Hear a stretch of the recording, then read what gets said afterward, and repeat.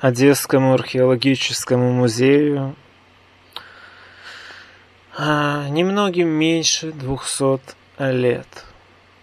То есть это и весьма старое здание, как для Одессы, а, и весьма важная коллекция, которая хранит в себе экспонаты, описывающие плюс-минус с древнейших времен историю Северного Причерноморья. А даже историю не как, соответственно, какую-то хронологическую последовательность правителей или дат, а, соответственно, с, с археологической стороны именно археологические артефакты. А, музей так и называется археологический, но археология – это, в общем-то, материальная сторона истории. То, как люди жили, а, то, в общем, какими они были во многом, а, чем они пользовались. В первых а, витринах собраны экспонаты примитивных племен охотников и собирателей, которые жили на территориях Северного Причерноморья с достаточно древних времен. А с ведической хронологией и историографией это согласуется таким путем, что, во-первых, до исхода с Гипербореи а, основной массы протославян тут также жило какое-то население. А, во-вторых, собственно, части аревычей, протославян, которые прибыли в данный регион после уже исхода с Гипербореи как северного континента и перед тем, как они уже сформировали новую а, в материальном смысле культуру, но на основании старого идеологического ядра, что выразилось в существовании трипольской культуры – Людям приходилось как-то вести быт, то есть без высоких технологий приходилось как-то учиться, как вот буквально уподобляясь примитивным охотникам-собирателям, как изготавливать из дерева, палок, э, глины, камня, э, шкур, костей, жил и других запчастей от животных и любых других подручных средств – как изготавливать средства добычи огня, как изготавливать орудия труда, как изготавливать жилища, как изготавливать э, всевозможные другие нужные штуки, в частности и одежду. Таким путем экспонаты Одесского археологического музея э, иллюстрируют те исторические вехи, которые, в общем-то, э, описывают, демонстрируют, точнее, то, как жили жители данной местности, чем они пользовались, что делали. Поэтому нельзя сказать, что они думали, конечно же, но кое-что можно установить. Допустим, э, здесь присутствует копия мизинской птички – Э, птицеобразной статуэтки мизинской культуры. На э, этой мизинской птице присутствует меандровая протосвастическая символика. Э, небольшими штрихами намечен хвост данной птицы. Вообще, то, что это статуэтка птицы, еще нужно присмотреться и догадаться, чтобы понять оно не совсем сразу опознается, но так или иначе опознать можно. И а, на фоне этой, так сказать, художественной никакущести а, данной статуэтки, на ней все равно присутствует символика. А это значит, что для того, кто создавал эту статуэтку, в общем-то, нанести символику было не менее важно, чем, соответственно, а, сделать данную так сказать, птичку, вообще похожей на птицу. А это уже кое-что говорит о, соответственно, мышлении, о, соответственно, духовно-идеологической составляющей мизинской культуры.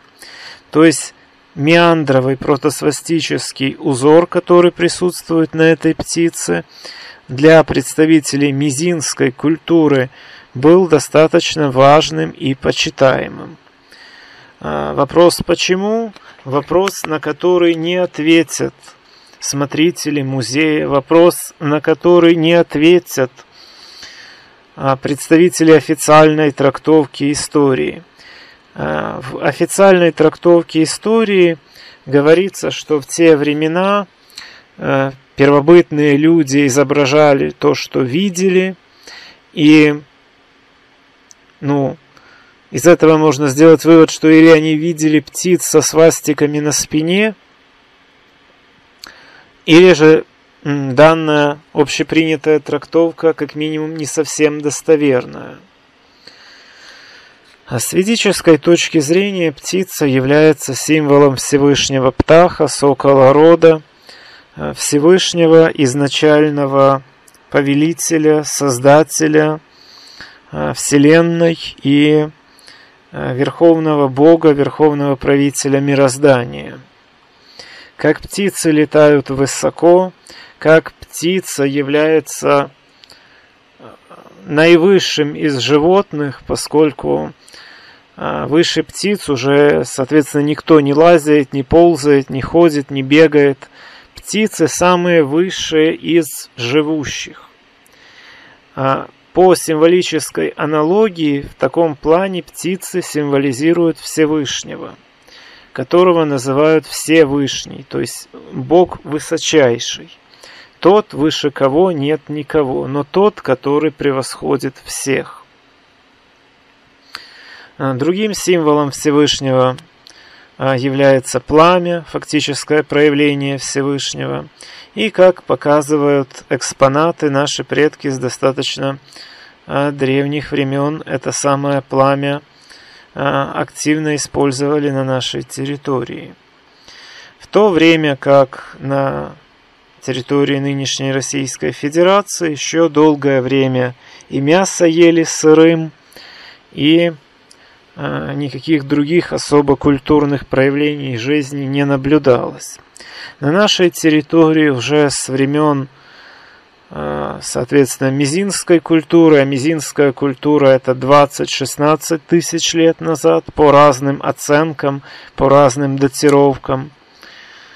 А, с времен Мизинской и далее на нашей территории и символику изображали, и если изображали и почитали определенную символику, значит, естественно, имели определенное знание, имели определенные соображения по этому поводу. А значит, думали.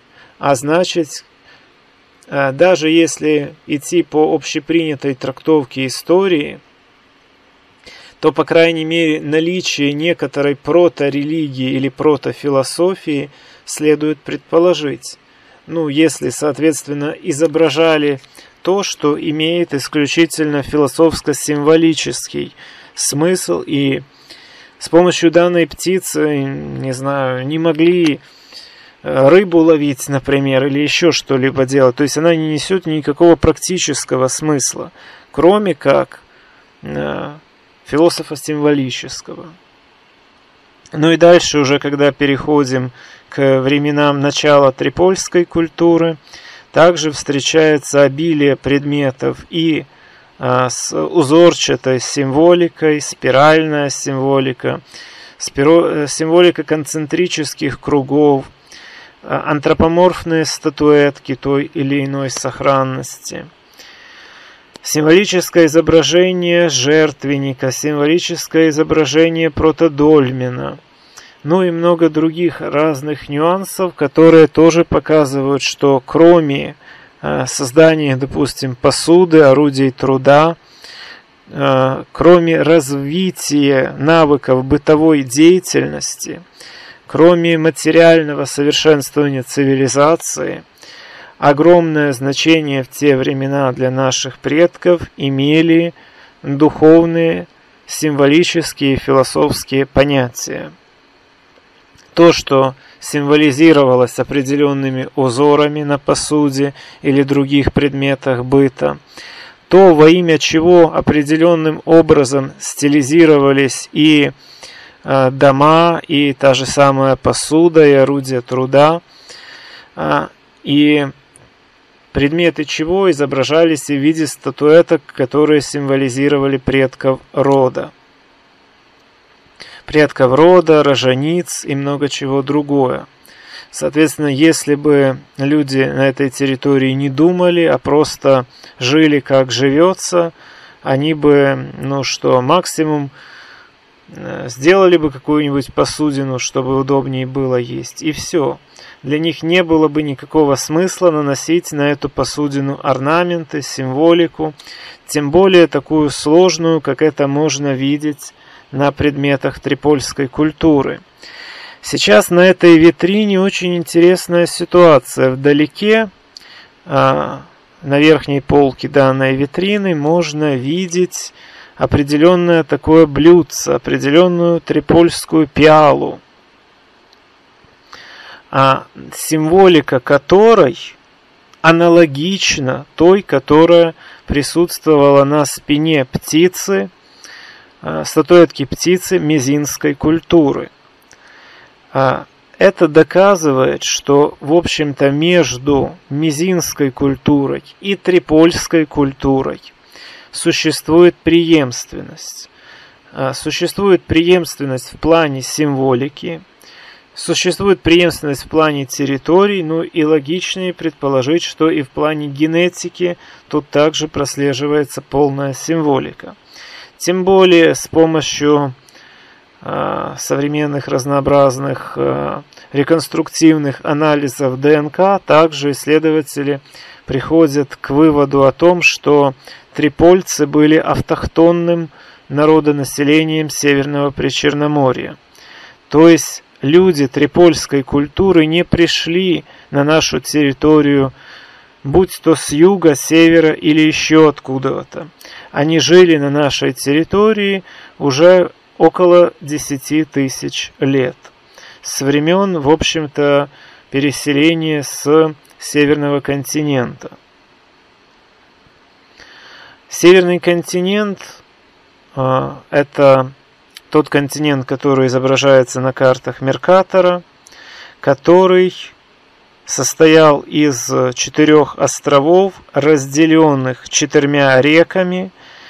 В центре между островами, э, из которой истекали реки, находилась гора, гора Меру.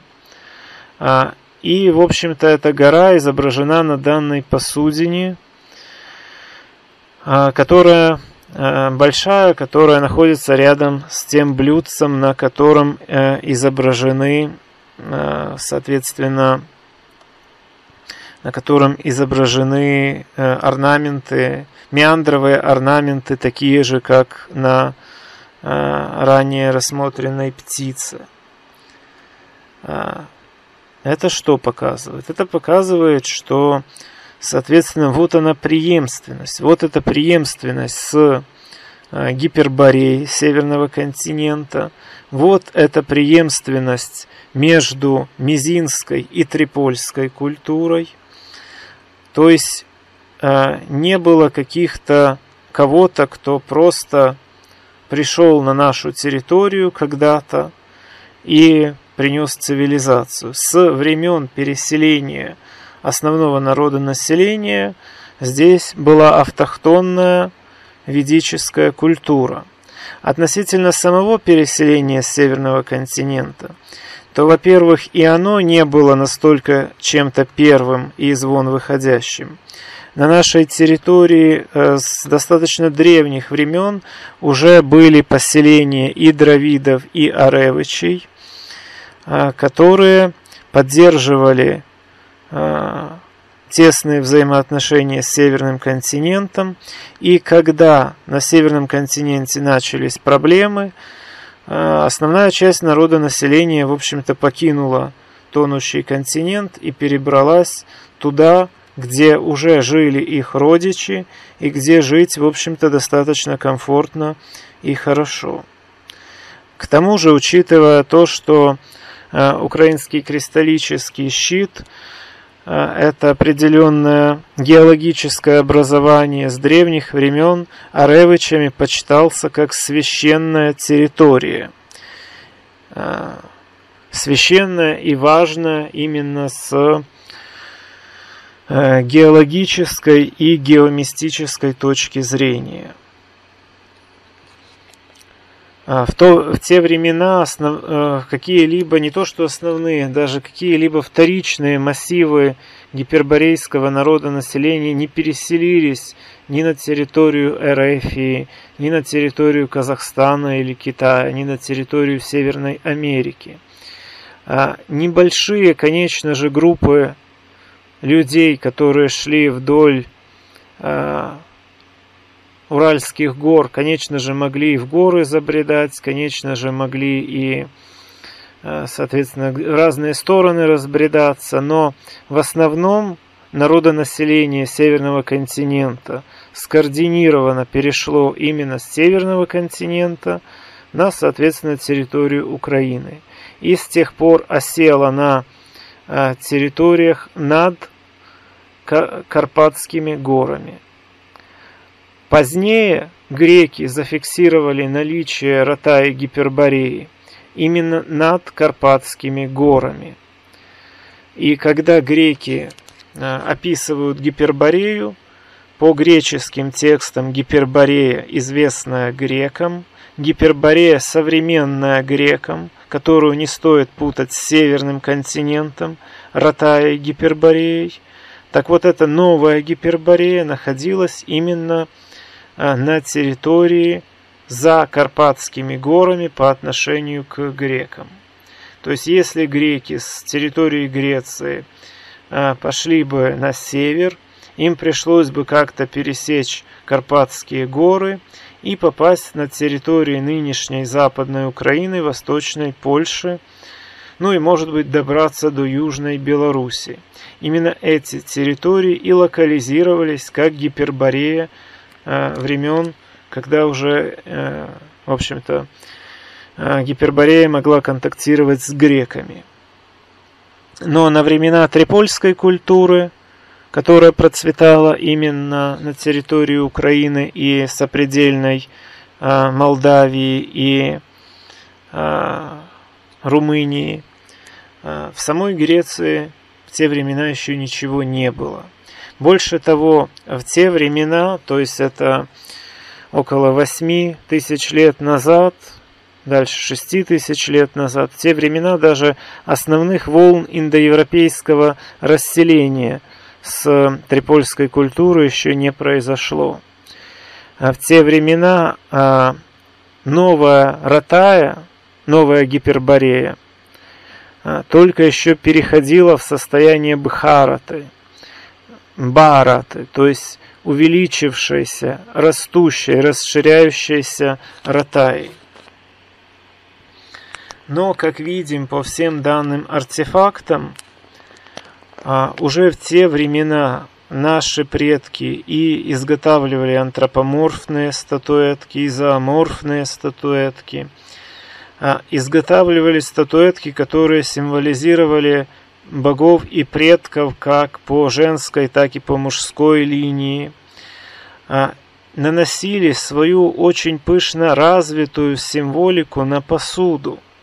Вообще трипольская посуда, трипольская символика – это прямой предшественник скифского звериного стиля. Кстати, на этой крышке посудины также можно видеть символику Гипербореи, где по центру присутствует одна возвышенность, с четырех сторон четыре другие. То есть опять крестообразная символика. Но э, в трипольском наследии можно найти прототипы не только более поздней кемерийской ротайской символики, а в трипольской символике можно найти прототипы еще и скифского звериного стиля – Присмотритесь, допустим, к данному изображению крылатого солнца на трипольской посуде.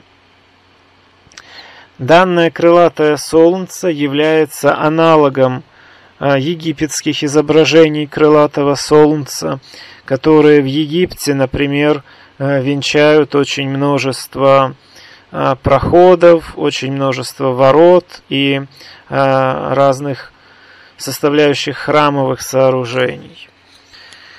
На территории Ближнего Востока и Передней Азии был весьма распространен такой символ крылатого солнца, как Фаравахар.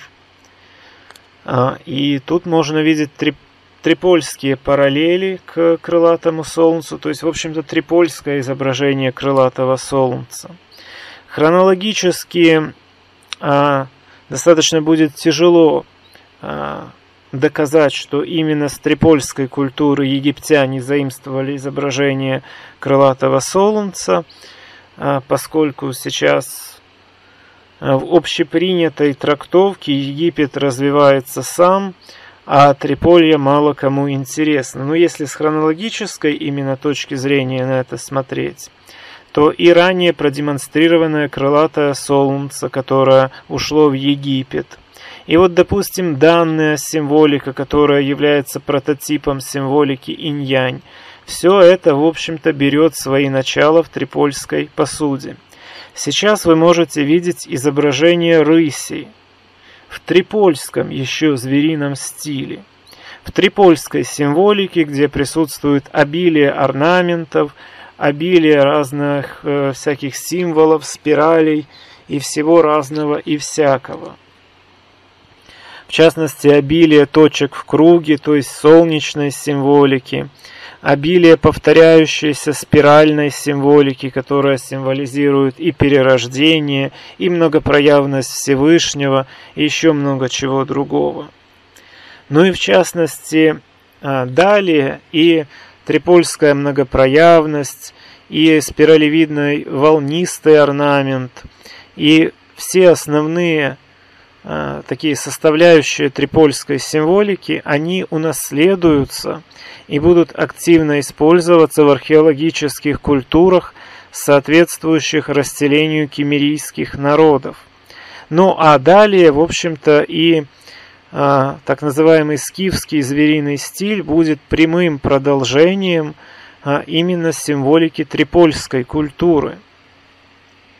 Можете присмотреться и к крестообразным а, допустим, мотивам, как на данной крышке посудины, и к вот этим а, разнообразным спиралям, завиткам, которые иногда похожи на инь-янь, иногда а, являются намного более развитыми, намного более многосоставляющими, то есть на фоне вот такой символики обычный китайский знак инь-янь выглядит очень бедно, выглядит очень примитивно и очень вторично.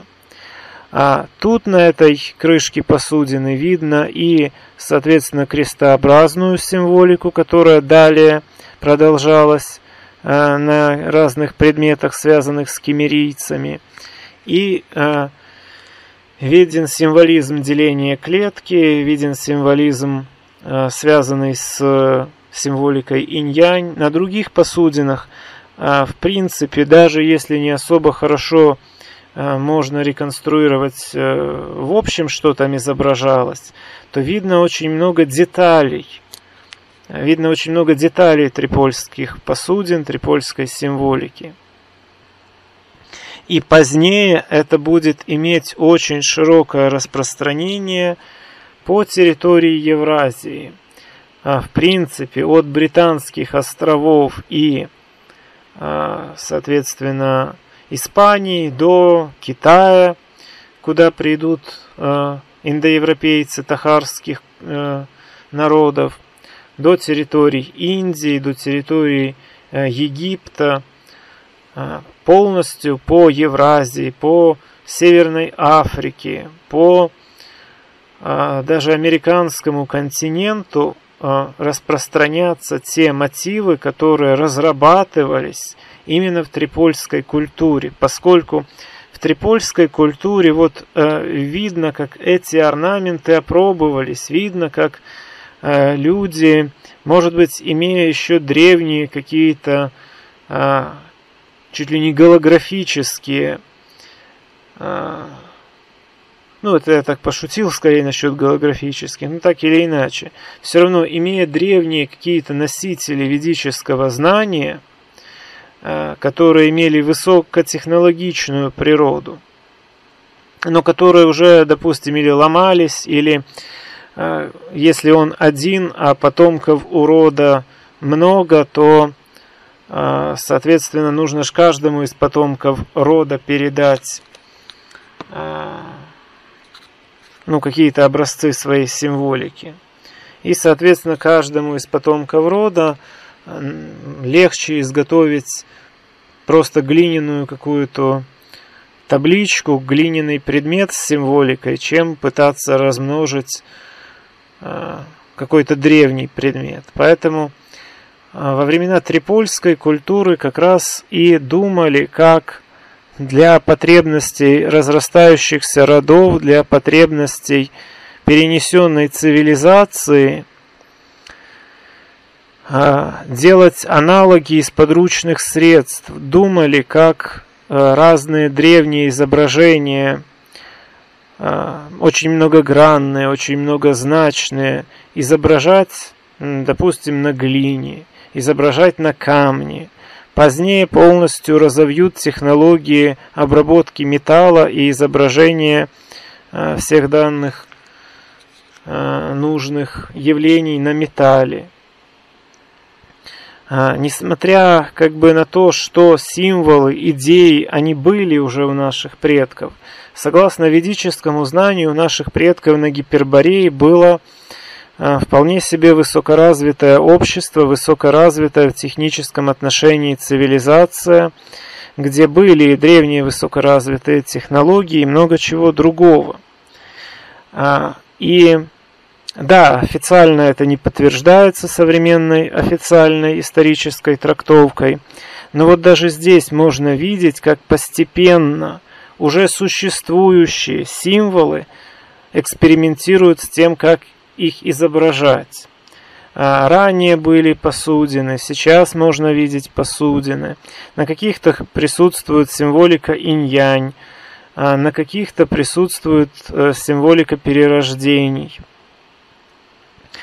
Идеи, которые изображались на этой посуде, вполне себе могли передаваться и устно в виде просто знания, которое, когда человек постигает, оно у него в уме само приобретает объемную форму, он сам начинает представлять эти явления в объеме и в том, как они могут происходить на самом деле. То же самое деление клетки, те же самые субатомные трансформации материи.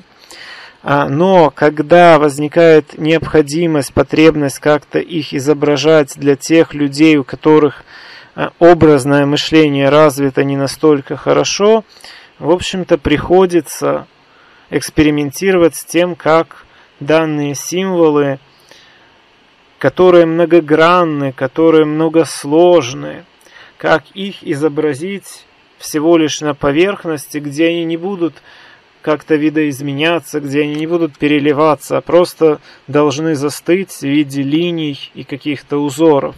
Это очень сложная задача. Это все равно, как поставить перед собой задачу, допустим, изобразить человека на протяжении всей его жизни. А, изобразить человека в моменте не так-то и сложно.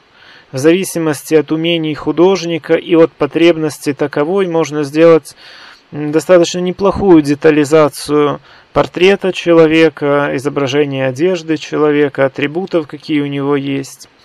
Но это если человек в моменте. А если предположить задачу изобразить человека на протяжении всей его жизни, а, тут возникнет очень сложная, очень а, отчасти даже нерешаемая для многих людей проблема. Те явления, те знания, которые тут изображены на плоскости – но на той или иной поверхности в своем а, исконном смысле, в своем исконном размере, они объемны, они многогранны, и они намного более сложны и величественны, чем человеческая жизнь э, допустим, как того или иного просто человеческого индивидуума. Они объемнее даже жизни всех 8 миллиардов человек. Это космические процессы.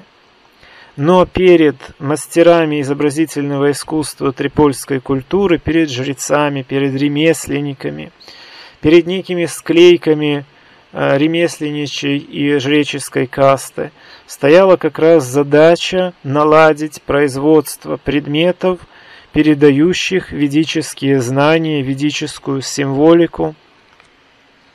Отчасти это было необходимо, потому что с времен исхода с Северного континента и до возникновения трипольской культуры, то есть Бхараты, как показывают эм, даже находки э, мизинской культуры, наши предки часто э, жили в очень сложных условиях, и многие рода отбились от общей э, цивилизации, частично потеряли знания – во времена трипольской культуры, когда на Полесье царствовал Саагаст, воплощенный Всевышний, когда э, жреческая каста весьма преуспела, когда, в общем-то, все аспекты ведического знания были доступны, какие-то в теории, какие-то и на практике, но так или иначе, по крайней мере, в теории все аспекты ведического знания были известны и доступны.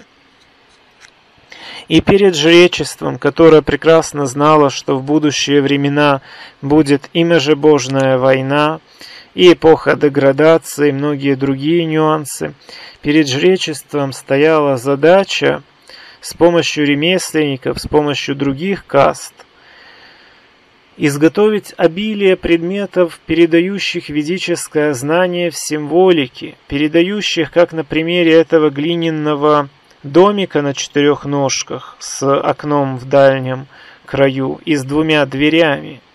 Передать знание, что нам показывает данная модель, что э, в местах, где грунт достаточно сырой, где бывают затопления, есть смысл ставить дом на сваях, на балках таких, на больших-больших стволах дерева, которые вбивали или вкапывали просто в грунт. Дома иногда в действительности делали круглыми, как э, показано здесь, иногда делали прямоугольными. И также делали двойную дверь для того, чтобы, в общем-то, э, и защищать дополнительным способом э, дом в случае или хищного животного, или каких-нибудь не пойми кого, и также, чтобы сохранять тепло. А, окно в таких домах часто было тоже всего лишь одно, и рядом с э, этим окном находился очаг. То есть даже зимой очаг несколько перебивал холод, который шел из окна так как во времена трипольской культуры мало у кого а, было что-то сопоставимое с стеклом.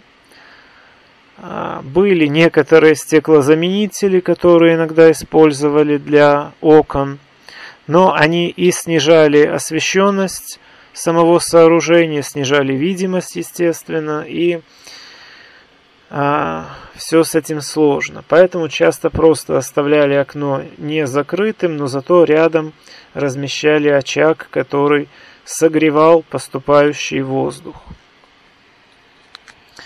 То есть трипольские дома имеют свою продуманность. И вот как передавали знания о, о том, как стоит строить дом, так передавали и знания о делении клеток, как, например, изображено на данной посудине.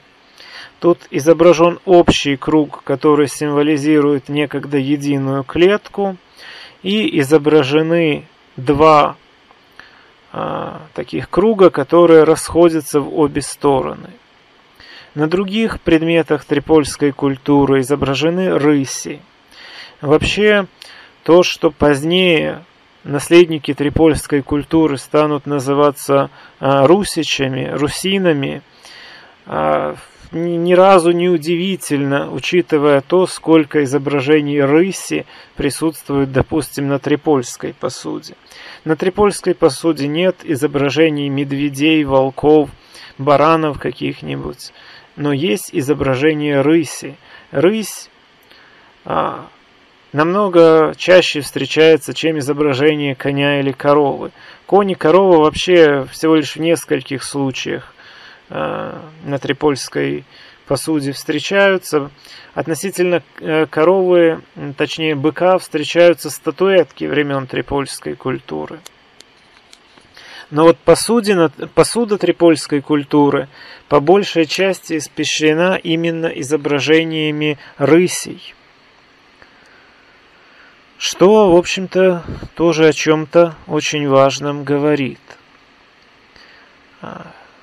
Существует много других нюансов, какие-то связаны с буквицами, какие-то являются клювами и глазами птаха, соответственно, изображаемыми на посуде. А, Все это сложная символика, которая часто и не предполагалась для какого-то краткого единообразного истрактования, а предполагалось для того, чтобы ее медитативно изучали, как бы как луковицу, э, снимая слой за слоем и постигая смысл за смыслом. Где-то изображено то, что можно соотнести с шеобразным тризубом. Где-то изображены другие разные символы, которые Позднее, если сравнивать трипольскую посуду с предметами времен Кемерии, с э, предметами времен Скифии, также там обилие параллелей. Вообще шеобразный тризуб на э, трипольской посуде – это один из древнейших тризубов, который вообще существует э, и археологически как-либо засвидетельствован. Когда на трипольской посуде уже активно изображались тризубы, а не было, соответственно, ни такого понятия, как тризуб Шивы, не было ни культа Шивы. Ничего такого никто еще не слышал и не знал, и а, на территорию Индии какие-то уже выселки и дравидов, и аревичей на тот момент осуществились, но до какого-либо возникновения индийской, именно индоевропейской цивилизации было еще очень и очень долго. А также, в общем-то, и э, египетский культ кошки, а, когда уже на трипольской посуде активно изображали рысей во всех возможных позах, бегущих рысей, подтягивающихся рысей, в Египте еще никакого культа бастет ни разу не было.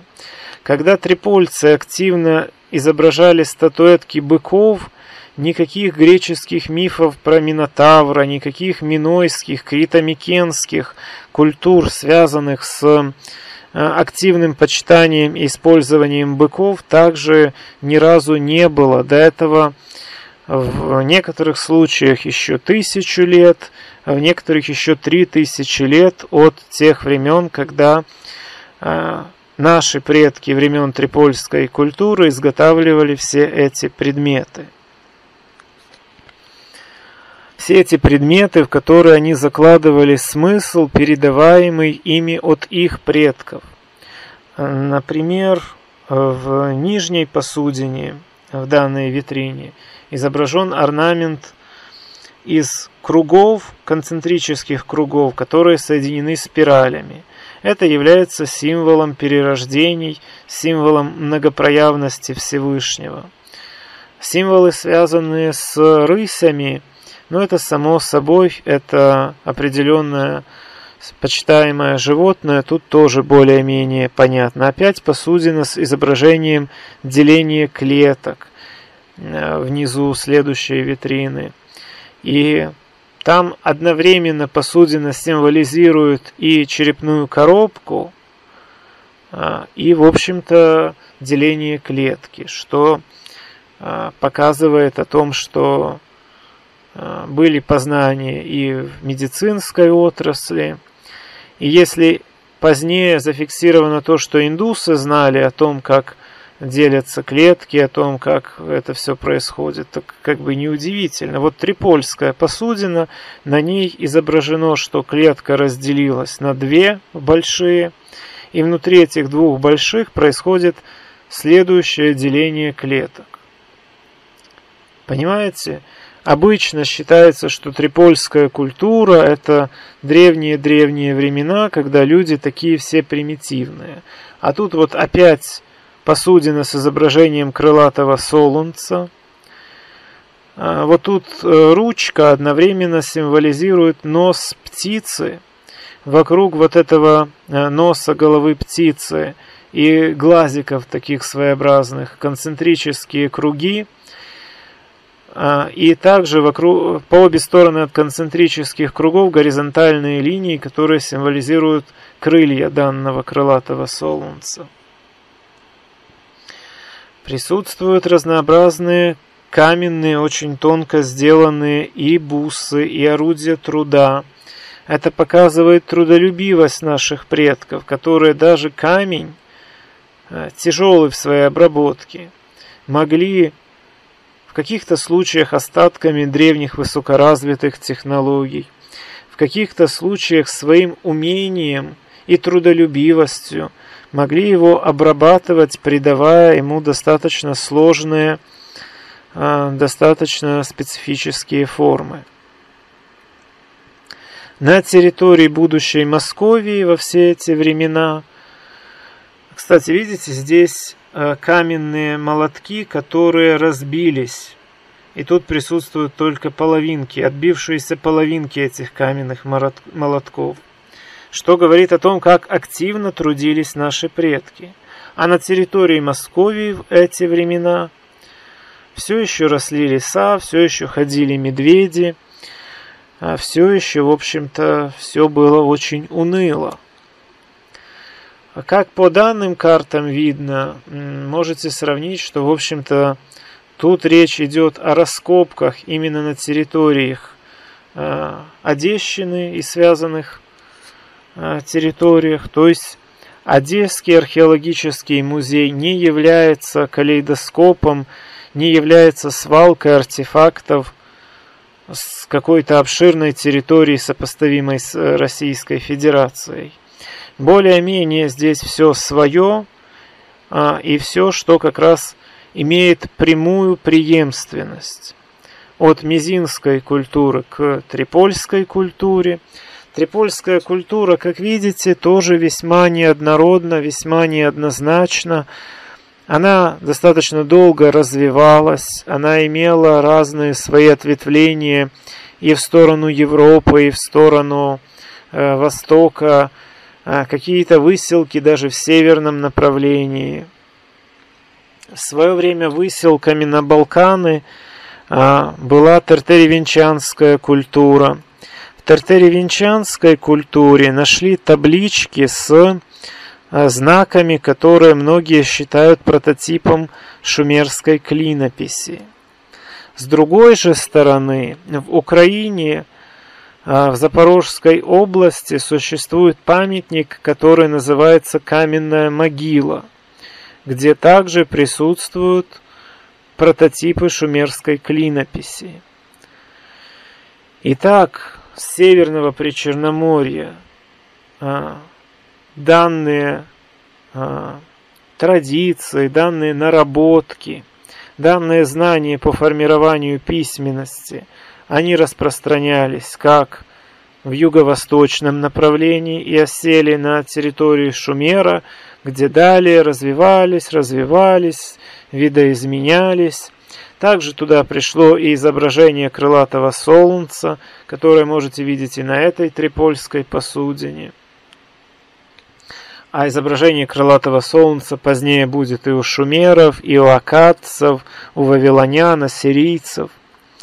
И письменность, как и изображение крылатого солнца, также осела и на территории Египта, и на территории Балкан – Правда, на территории Балкан она не дала какие-то пышные свои э, поросли, как это было на территории Передней Азии. На территории Балкан позднее это все было заменено более удобными а, для массового использования письменностями. Но так или иначе, все равно это было. А, можно даже по Википедиям, по интернету найти венчанские таблички, тертерийская культура. Можно найти, соответственно, изображение табличек с календарными и другими надписями, часть из которых также стилизирована и под меандровую вязь, которая снова же роднит их с мизинской птичкой, с э, свастической орнаментикой на трипольской посуде. Потому что тертерий-венчанская культура, как ни странно, является юго-восточным точнее юго-западным ответвлением трипольской культуры.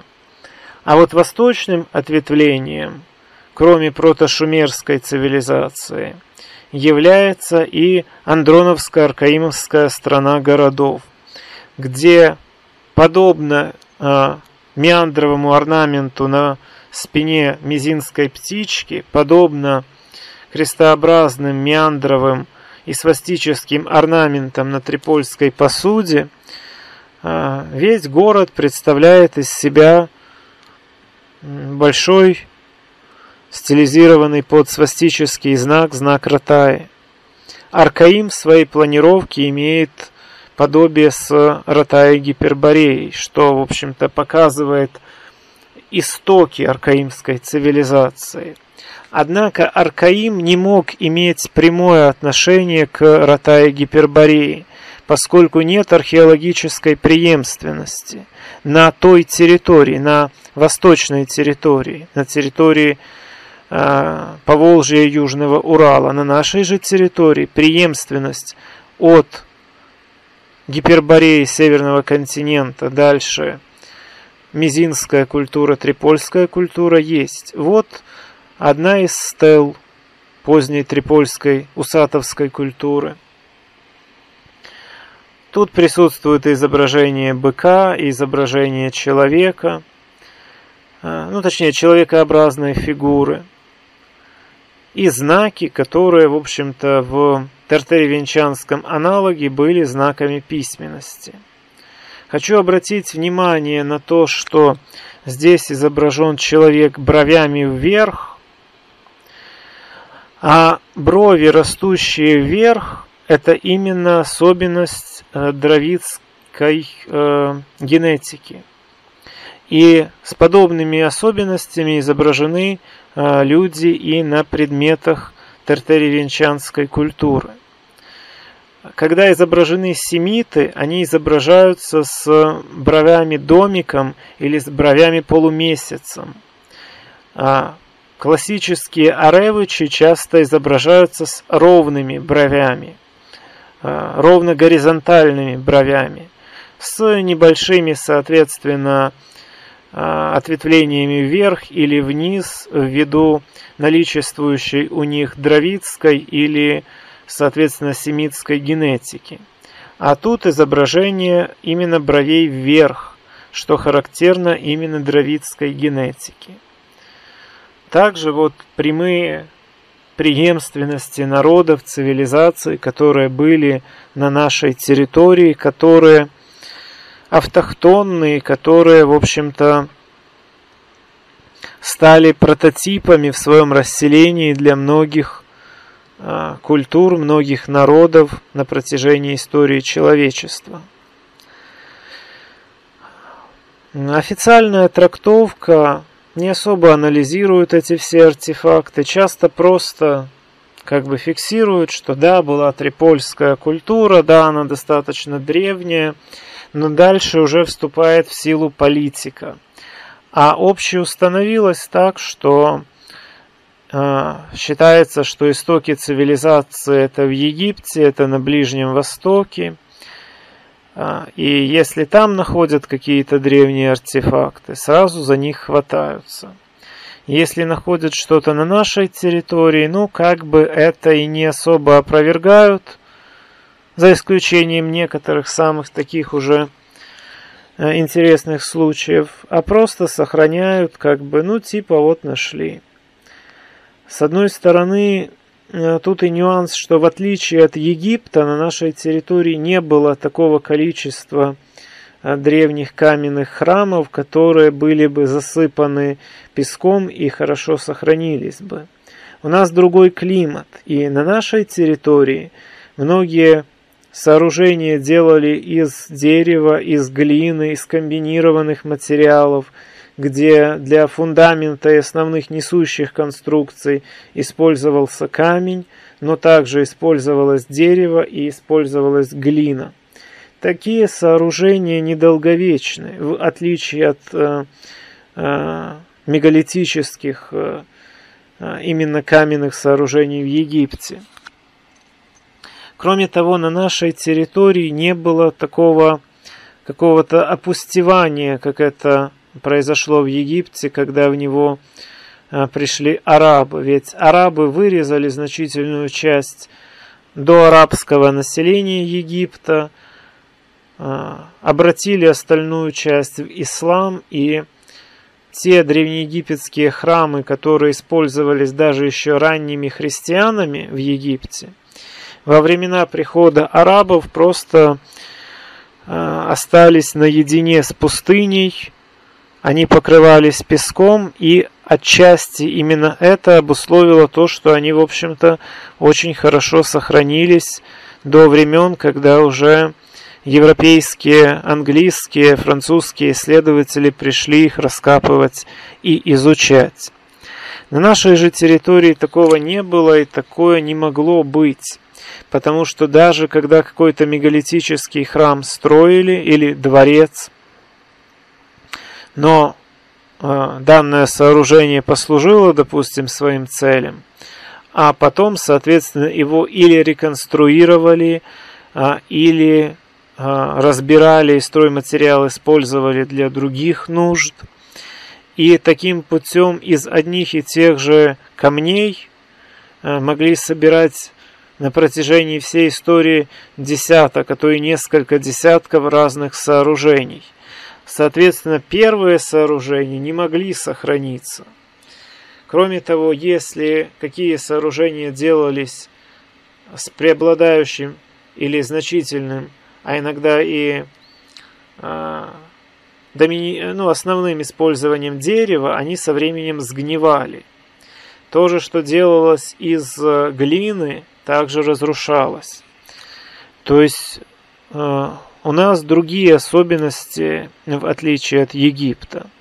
Но у нас сохранялись обычаи, у нас из поколения в поколение передавались знания, сохранялась рахманская традиция, которая сохранила свои знания намного в более чистом виде, чем в Египте, где да, первые поселенцы, которые пришли в Египет, они обладали ведическим знанием, полным и достаточно качественным.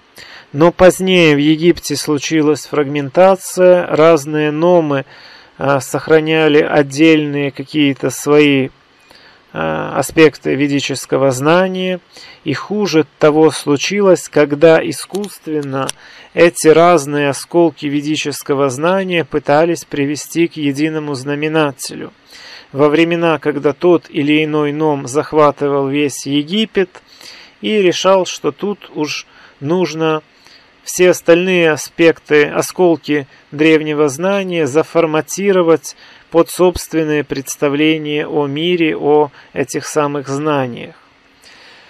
Что, естественно, вело к потере знаний, что, естественно, вело к искажениям знаний.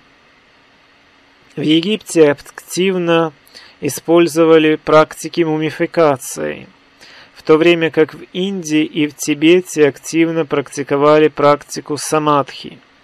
Тут вы видите трипольские статуэтки, которые изображают мумии, как, а, в общем-то, мумии мертвых людей, так и тех людей, которые на старости лет сели в медитацию, а, прекратили, соответственно, питаться и постепенно, высыхая, а, становились поначалу еще живыми мумиями, потом их покрывали мазями, травами, им давали специальное питье, которое как бы консервировало их тело начально еще при их жизни, распространяясь по еще живым э, венам данных людей, а постепенно уже просто обрабатывали данные тела, когда они умирали.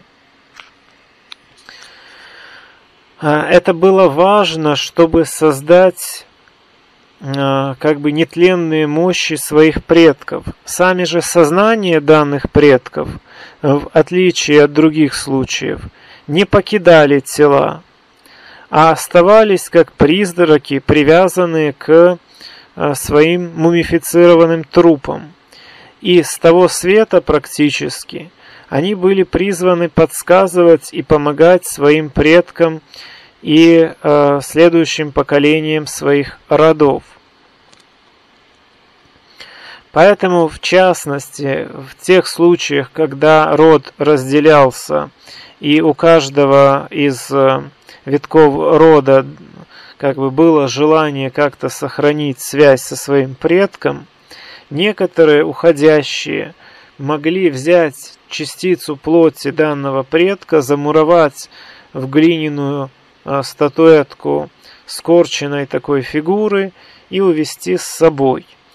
Это знаменовало, что хоть э, основная мумия предка и останется с его прямыми потомками, но все равно какая-то связь со своим древним предком и у переезжающего э, витка рода так или иначе э, сохранится, и, в общем-то, будет поддерживаться какая-то связь поколений.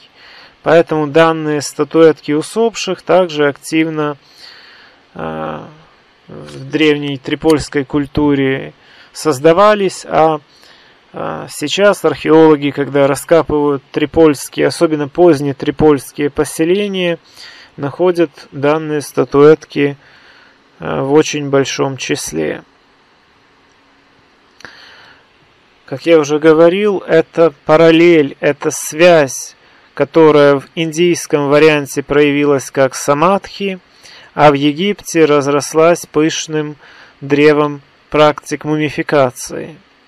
Но это поскольку а, представители трипольской культуры, протоиндоевропейцы активно расселялись.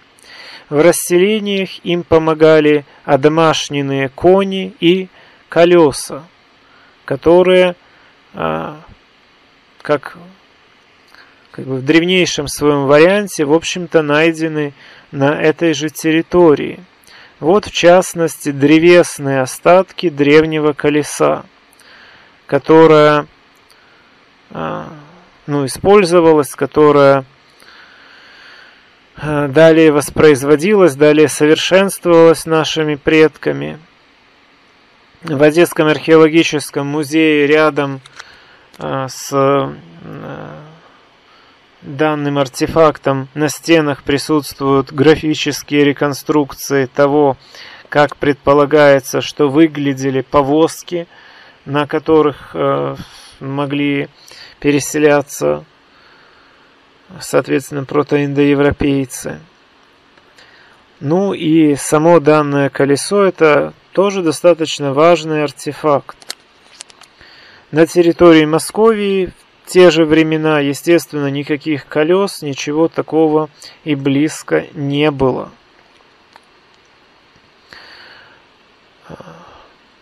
Также, в общем-то, можно видеть и а, каменные разнообразные орудия труда.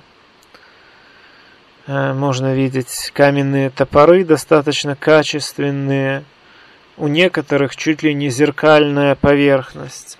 Правда, лучшие из данных а, экспонатов вывезены и хранятся в Московском историческом музее. А те, что хранятся в Одесском археологическом музее, хоть все равно поражают качественностью обработки камня. Видно, они даже блестят, и у некоторых из них чуть ли не зеркальная поверхность.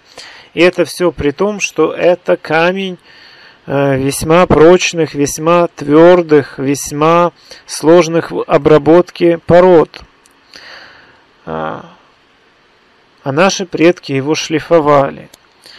И даже при использовании высоких технологий, все равно тут нужно и умение, тут нужно и понимание, и трудолюбие, и разум, и чтобы руки, так сказать, из правильного места росли, чтобы, соответственно, придумывать ребра жесткости для данных каменных топоров, чтобы обрабатывать их, чтобы продумывать то, э, как оптимизировать форму данных изделий, какие каменные топоры нужно использовать, соответственно, в военных целях, какие в строительных, какие э, в охоте, какие еще в каких целях. Э, в те времена существовало огромное количество разновидностей каменных топоров, каменных молотков – и, естественно, это разновидности э, не чисто потому, что как бы делали просто что-то, а почему бы не сделать. Делали то, что было нужно, делали то, что а, было полезно, за что покупатель этих предметов или заказчик этих предметов, соответственно, платил. То, что, соответственно, для него было удобно, и мастера состязались – том, насколько оптимизировано под соответствующую отрасль деятельности они могут э, сделать тот или иной каменный молоток или топор. В общем-то, э, каменные топоры, каменные молотки можно видеть и во многих других музеях э, и на территории Украины, и на территории других стран – в те времена, во времена катакомбной культуры, поздней трипольской культуры, усатовской культуры, ямной культуры, уже шло активное расселение индоевропейцев как в сторону Европы, так и в сторону Азии. А, уже были хетские волны, а, соответственно, в южном направлении были другие волны – то есть расселение народов активно осуществлялось.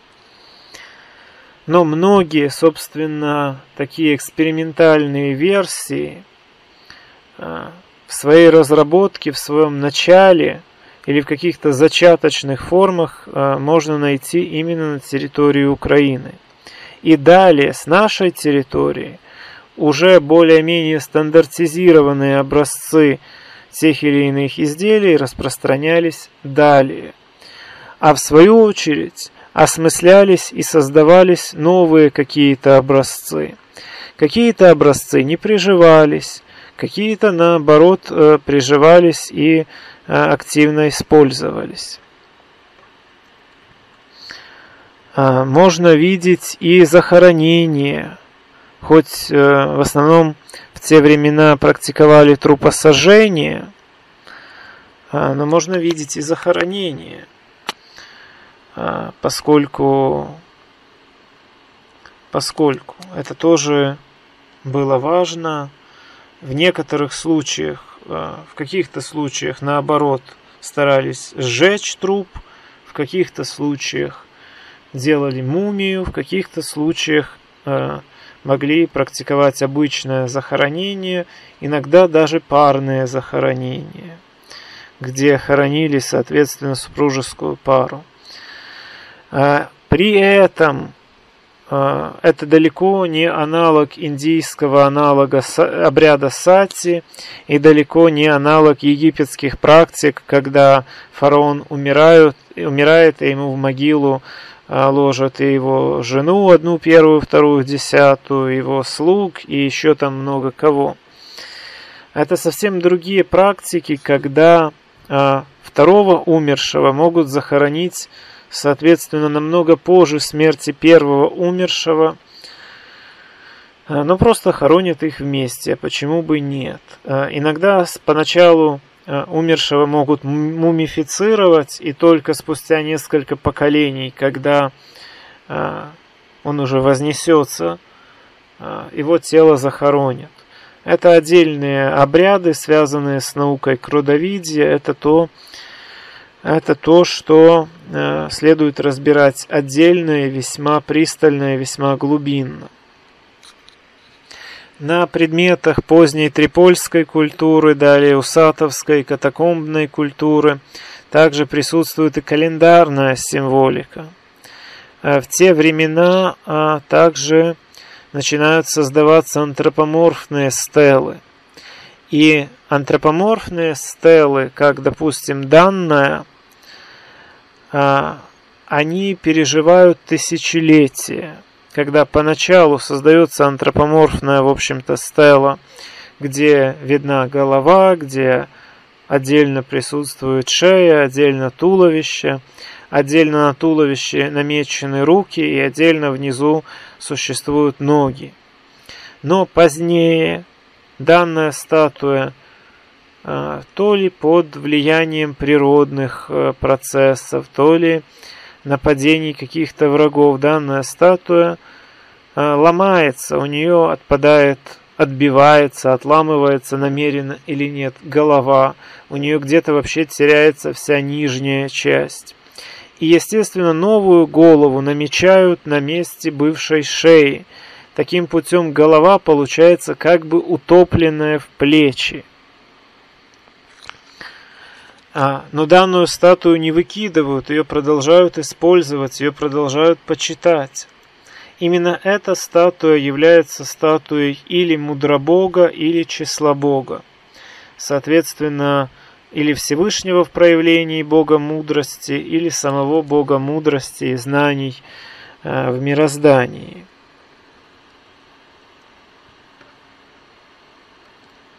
Также позднее данные статуи будут активно использоваться и кемерийцами, а, и, в общем-то, скифами и другими.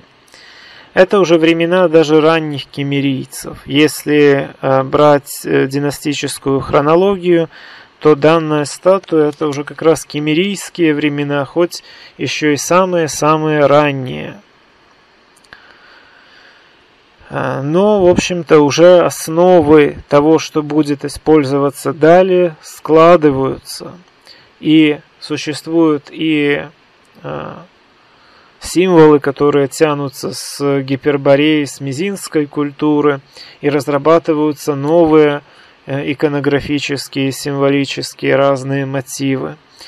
И в символике э, далее кемерийцев, уже классических, в символике скифов, в символике сарматов, э, в символике славян все это будет сохраняться, передаваться и далее как-либо совмещаться, модифицироваться, развиваться.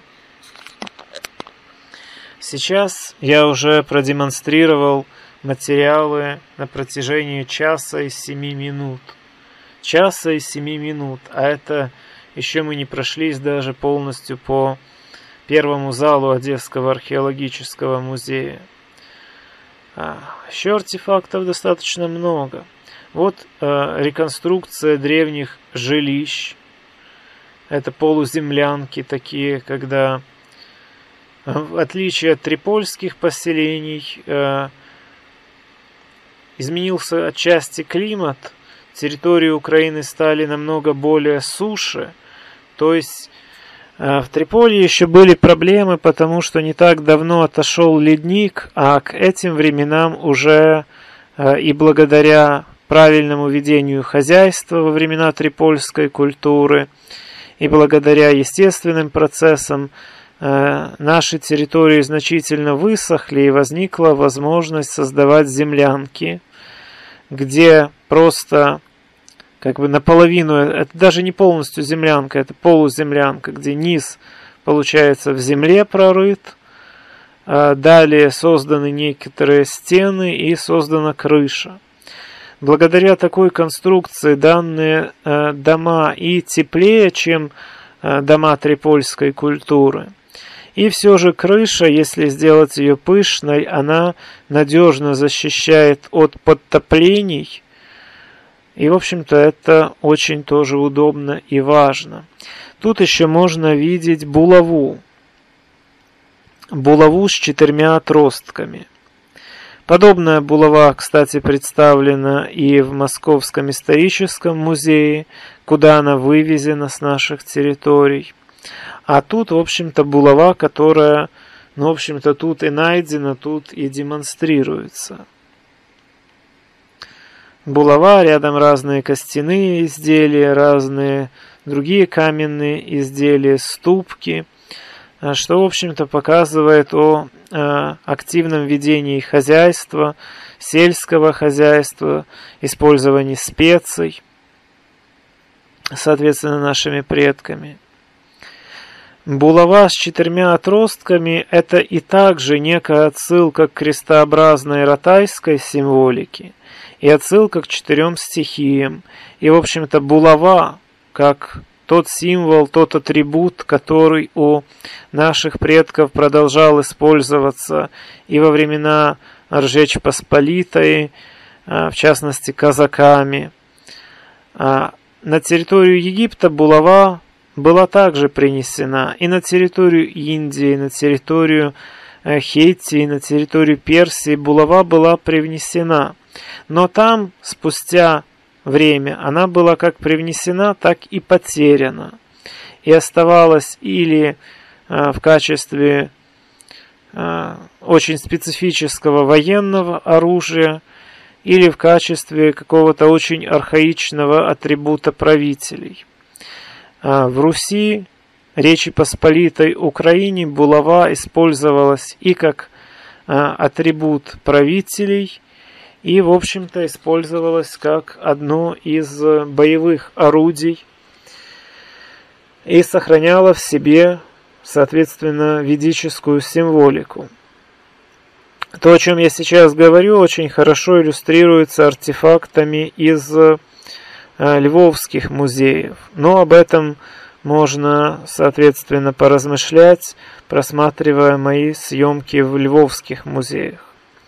То уже булавы как раз времен Ржечь Посполитой. Тут же как раз э, времена э, ранней Кемерии, в частности, присутствуют и металлические орудия, например, как данный клинок. Во времена Кемерии активно развивали тему использования металлов. Если во времена трипольской культуры с использованием металлов было еще все очень туго, и позднее э, развивался именно э, бронзовый медный век, то есть активное использование бронзы и меди, то позже уже стало, э, стало понятно, что с этим есть проблема, Э, потому что если использовать всего лишь медь, орудие очень неудобное в использовании, оно очень слабое, оно очень быстро гнется, оно не имеет э, достаточной прочности, чтобы резать, и с этим все очень сложно. А если же, чтобы из меди делать бронзу, в нее добавлять олово, возникает проблема с тем, что а, тут недостаточно уже одной руды, то есть недостаточно просто найти медную руду. Нужно найти и медную руду, еще и оловянную руду. И нужно еще иметь знание о том, как эти руды совместить, и при нужной температуре, и нужной концентрации, консистенции, и при нужных условиях все это выплавлять, и только так получится качественная бронза. Отчасти это было необходимо, отчасти таким вот методом и пошли на каком-то историческом этапе, но прекрасно осознавали, что это очень неудобный метод. И позднее, уже во времена э, кемерийской державы, кемерийская династия активно экспериментировала с тем, как с бронзы перейти на железо. И далее кемерийцы, в общем-то, это те, кто эту технологию активно развили, активно внедрили, и от кого позднее железную технологию заимствовали основные народы. Именно кемерийцы, именно в Северном Причерноморье а, создали а, основные понятия о том, как, а, в общем-то, изготавливать качественное железо и как с ним дальше работать. Поскольку а, в отличие от литья из бронзы, с железом часто нужно было работать, его нужно было ковать. Поэтому в среде э, кемерийского общества в качестве склейки промышленников и священнослужителей развилась каста кузнецов. Даже часть киевической э, княжеской элиты, в общем-то, стала основой для данной касты. А, именно поэтому а, слово «коваль» и слово «киевич» в общем-то, взаимосвязаны. В общем-то, слово «коваль», «кузнец» развилось из слова «киевич». И в иранском аналоге оно звучит как Кави, Кайви, Киев, Киевич в прототипах, соответственно, кемерийских. Российское слово «кузнец», оно очень позднее, очень э, оставляющее желать ему не пойми чего, а, но а, украинское слово «коваль» достаточно неплохо передает общеиндоевропейскую основу и близко иранским аналогам. И интересно, что в иранской традиции а, одна из древнейших династий, в общем-то, и называется династией царей-кузнецов. Потому что, да, тайны обработки железа были очень важным секретом в кемерийской династии.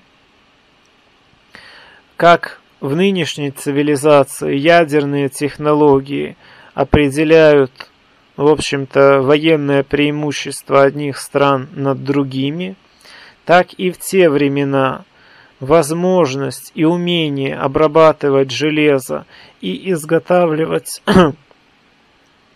из железа качественные мечи, качественные наконечники стрел, копий,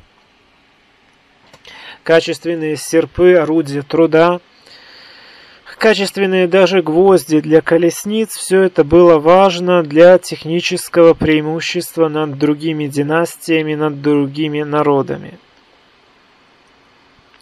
В общем-то, тут же можно видеть и артефакты, которые по недоразумению... Тут на фотографии можно видеть э, артефакты, которые по недоразумению хранятся в Московском историческом музее. А так тут хранятся формы формы для выплавки как раз металлических а, оружий и орудий. металлических оружий и орудий. Вот фотография предметов, которые хранятся в Московском историческом музее по недоразумению, привезенных туда. Тут видны и металлические, в общем-то, орудия, оружия точнее, наконечники копий, клинок, и там же видны и а, и там же видны и, соответственно, а, каменные топоры высококачественной обработки. А, каменные топоры высококачественной обработки, о которых я говорил, о которых у меня на канале есть соответствующее видео – с чем также, в общем-то, можно при желании ознакомиться.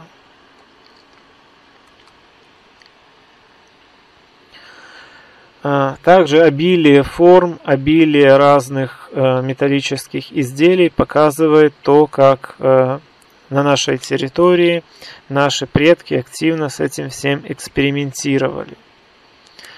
Далее присутствует еще одна антропоморфная стела, которая также пережила очень много испытаний. Также здесь голова не автентичная. Также здесь голова сделана на месте былой шеи, поэтому она кажется несколько впалой в плечи. А неизвестно ли а, автентична ли нижняя часть, или также здесь изначальный низ отбит. Но, по крайней мере, или из-за особенностей породы, или из-за других нюансов, данная каменная стела сохранилась намного лучше, чем предыдущая. э, это изваяние Всевышнего в его форме как Магарзарь. Магарзарь – это проявление Всевышнего как великого резчика, великого Творца мироздания, который создает нечто совершенное, отсекая все лишнее. Если посмотреть на то, как тут изображено лицо, то во многом оно вторит трипольским разнообразным посудинам, трипольским статуэткам. А, на туловище данного изваяния изображены топоры, изображены другие орудия труда, а, которыми в символическом смысле как бы Всевышний, в общем-то, и обрабатывает Вселенную, изготавливая как бы некое совершенное изваяние из изначально бесформенной материи.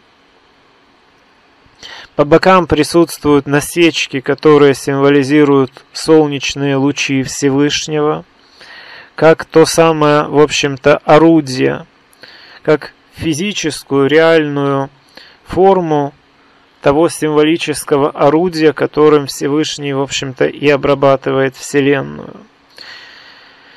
Изображение лучей, заканчивающихся ладонями, э, можно найти на территории Египта. Это свойственно египетскому культу Атона, но также, по, как видно по данной статуе, прототипы этого можно видеть в Северном Причерноморье.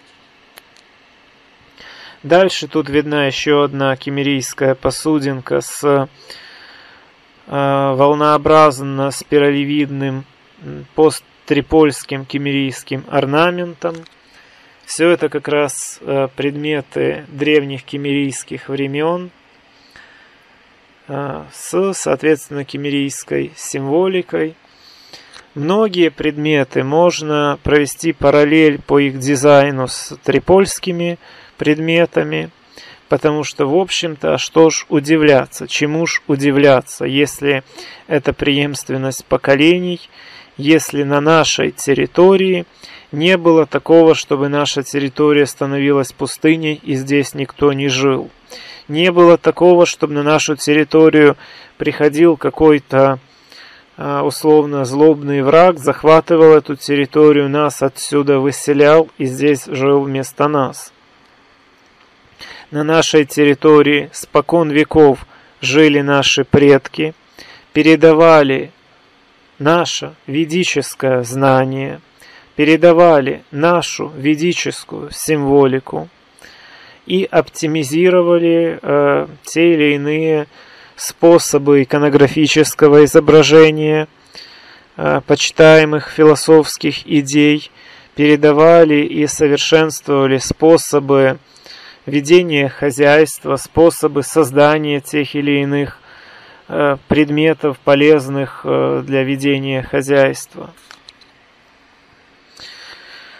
Э, в частности, на данных посудинах кемерийских времен, на данных металлических предметах кемерийских времен можно видеть орнаменты, которые, если сравнить с трипольскими, то однозначная преемственность как клинообразные, соответственно, символы, как, допустим, даже на ножнах данного кинжала, так и много чего другого. Ниже под этим кинжалом присутствуют изображения символических рогов изобилия, а по центру присутствует опять символ северного континента, Ратаи, Гипербореи – состоящего из четырех островов, разделенных четырьмя реками, а, реками, вытекающими из центрального пятого острова, на котором находилась гора Меру. Опять видна карта, археологическая карта с территорий, э, откуда взяты те или иные артефакты. По карте видно, что артефакты взяты именно с нашей местности – они привезены сюда не пойми откуда.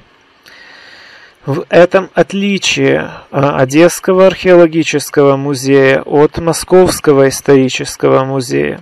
Одесский археологический музей а, показывает наше. Одесский археологический музей является гордостью наших предков. Московский исторический музей является позором, символом воровства московитов, которые посвозили а, к себе артефактов отовсюду – и с нашей трипольской культуры, из Алтая, из Хакасии, из Кавказа, еще не пойми откуда. Посвозили к себе артефакты от культур, от народов, не имеющих к ним никакого отношения. Вот, кстати, в более лучшем варианте тут видеокадры посудины, на которой присутствует волнообразный а, трипольский орнамент, но это кемерийская посудина, то есть преемственность поколений, преемственность цивилизаций. Также серповидные лунницы, которые тут а, показаны, в общем-то, активно будут использоваться и во времена даже Киевской Руси. Поэтому это еще один нюанс преемственности поколений преемственности символов, преемственности обычаев, преемственности орнаментов. На данных ножнах присутствуют клиновидные узоры, которые, естественно, связывают э, Северное Причерноморье с э, клинописью, так как клинопись на нашей территории также в свое время э, существовала. Единственное, что, что у нас клинопись не особо прижилась, и для кемерийцев уже клинопись воспринималась как нечто чрезвычайно архаичное. С клинописью экспериментировали еще во времена до трипольской культуры и ранней трипольской культуры. Тогда как раз случилось ответвление в Тартеревенчанскую культуру, ответвление в Переднюю Азию, в Междуречье Тигра и Ефрата, где сформировалась позднее шумеро-акадская цивилизация. И у нас уже было два варианта, когда, соответственно, существует а, система сокращенных рисунков, то есть протеиероглифов, и когда существует клиновидная стилизация общих очертаний данных иероглифов. И, в общем-то, две данные системы занесли и на территорию а, Передней Азии, где поначалу, как и в Египте, развивалась иероглифическая система, а потом поняли, что, в общем-то, удобней оставлять клиновидные насечки и, а, и так кодировать информацию.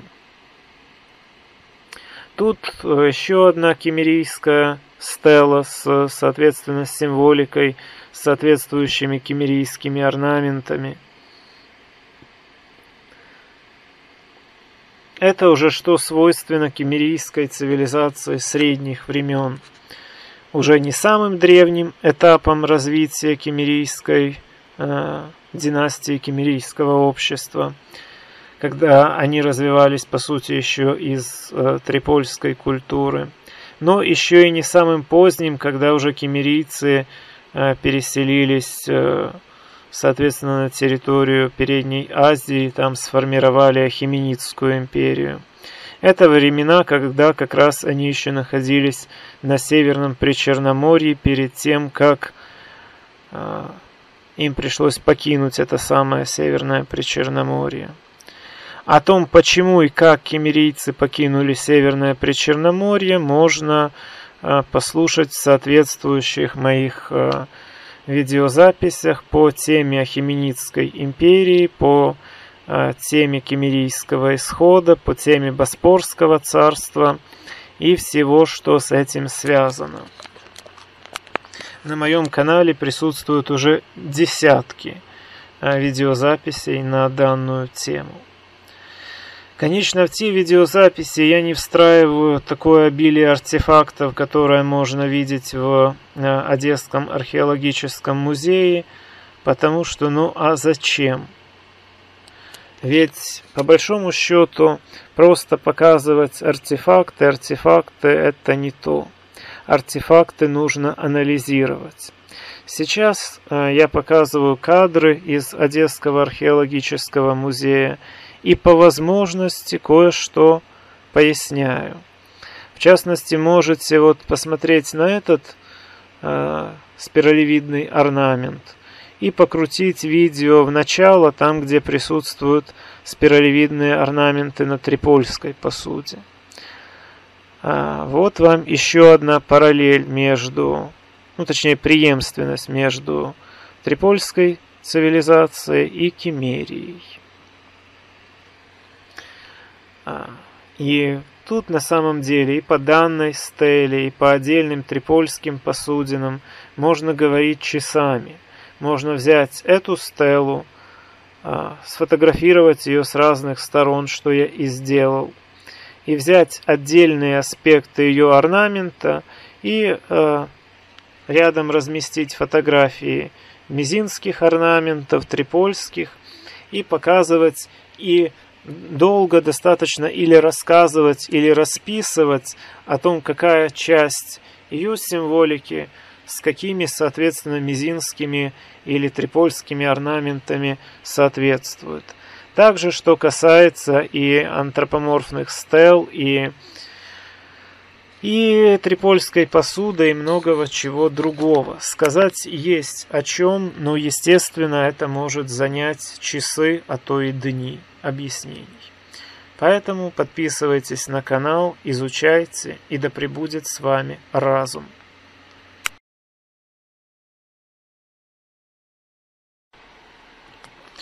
Идем далее по Одесскому археологическому музею.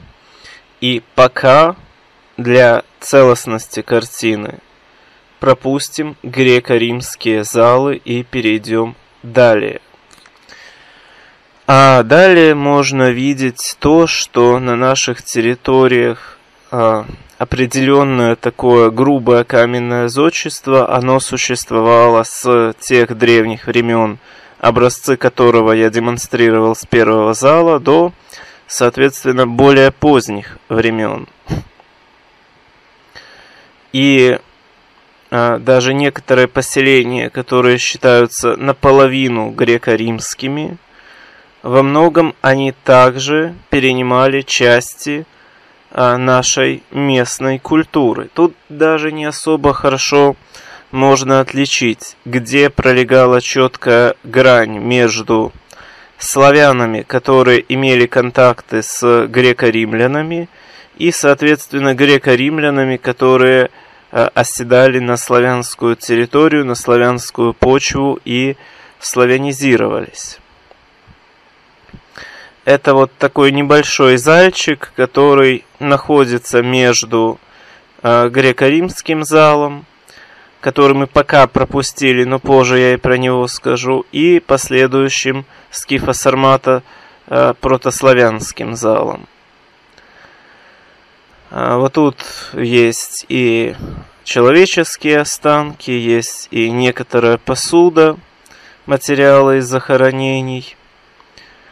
А посуда, в принципе, стандартная, а интересней будет другое – интересней будет среди многой символики, среди многих, так сказать, ритуальных украшений. А позже будут продемонстрированы и девятиконечные, шестнадцатиконечные звезды, восемнадцатиконечные звезды, что являются символами, во-первых, девятимесячной календарной системы, Э, во-вторых, что является символами некоторых расширительных концепций славянского зодиака. Потому что расширительных концепций славянского зодиака также существовало несколько.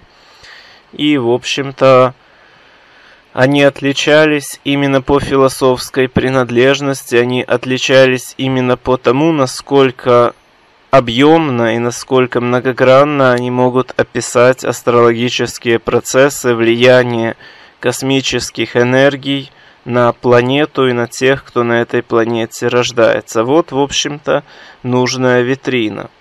Конечно, стекло, конечно, освещение зала не слишком яркое. И, конечно же, поэтому я в этом видео совместил, э, по сути дела, видеозаписи с моих разных походов в Одесский археологический музей. Э, в общем, за время своей проповеднической деятельности с разными людьми я ходил в Одесский археологический людей, музей более 40 э, раз. Я водил и последователей э, рахманской традиции, людей, которые интересуются ведическим знанием. Я водил в Одесский археологический музей эзотериков – я водил в Одесский археологический музей депутатов, даже тех, которые приезжали из Киева и не могли понять, зачем вообще это все нужно. Я водил в Одесский археологический музей и людей, которые понимают священную миссию Украины, которые готовы принять священное будущее Украины – и возил, э, водил в Одесский археологический музей людей, которые заблуждаются в своем мировоззрении, которые придерживались ошибочных христианских или других каких-то концепций. Они имеют на это право по нынешнему законодательству, по нынешнему устройству цивилизации. Но если в том же христианстве, в большинстве современных идеологий и религий. Постулаты этих учений никак не доказуемы, то есть просто говорится, что типа, ну поверьте, что это было так. А я говорю, вот смотрите, раскопки. Вот смотрите, города созданы по ведическим мотивам даже в сути своей планировки. Я говорю, вот смотрите, продолжение каменного зодчества, которое идет с древнейших времен, с трипольских до трипольских, которое развивалось в Кемерии и дальше получило развитие во времена скифов, сарматов, э, славян, соответственно. Я показываю предметы, на которых изображена 9-месячная и 16-зодиакальная календарная система, 18-зодиакальная календарная система – и говорю, смотрите, соответственно, это было. А, да, допустим, 16-знаковая календарная система, а, э, она отличается от хиневической достаточно сильно, несмотря на то, что и там, и там 16 знаков зодиака.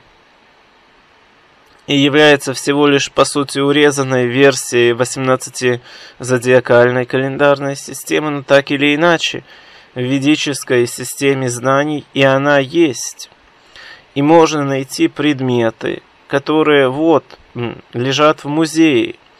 Их не съели рептилоиды, их не спрятали масоны. Они есть. Вот именно вот эти разнообразные не посудинки, которые сейчас видны, а как раз вот эти украшения, э, которые сбоку, снизу, сбоку, по центру на, на данной витрине находятся.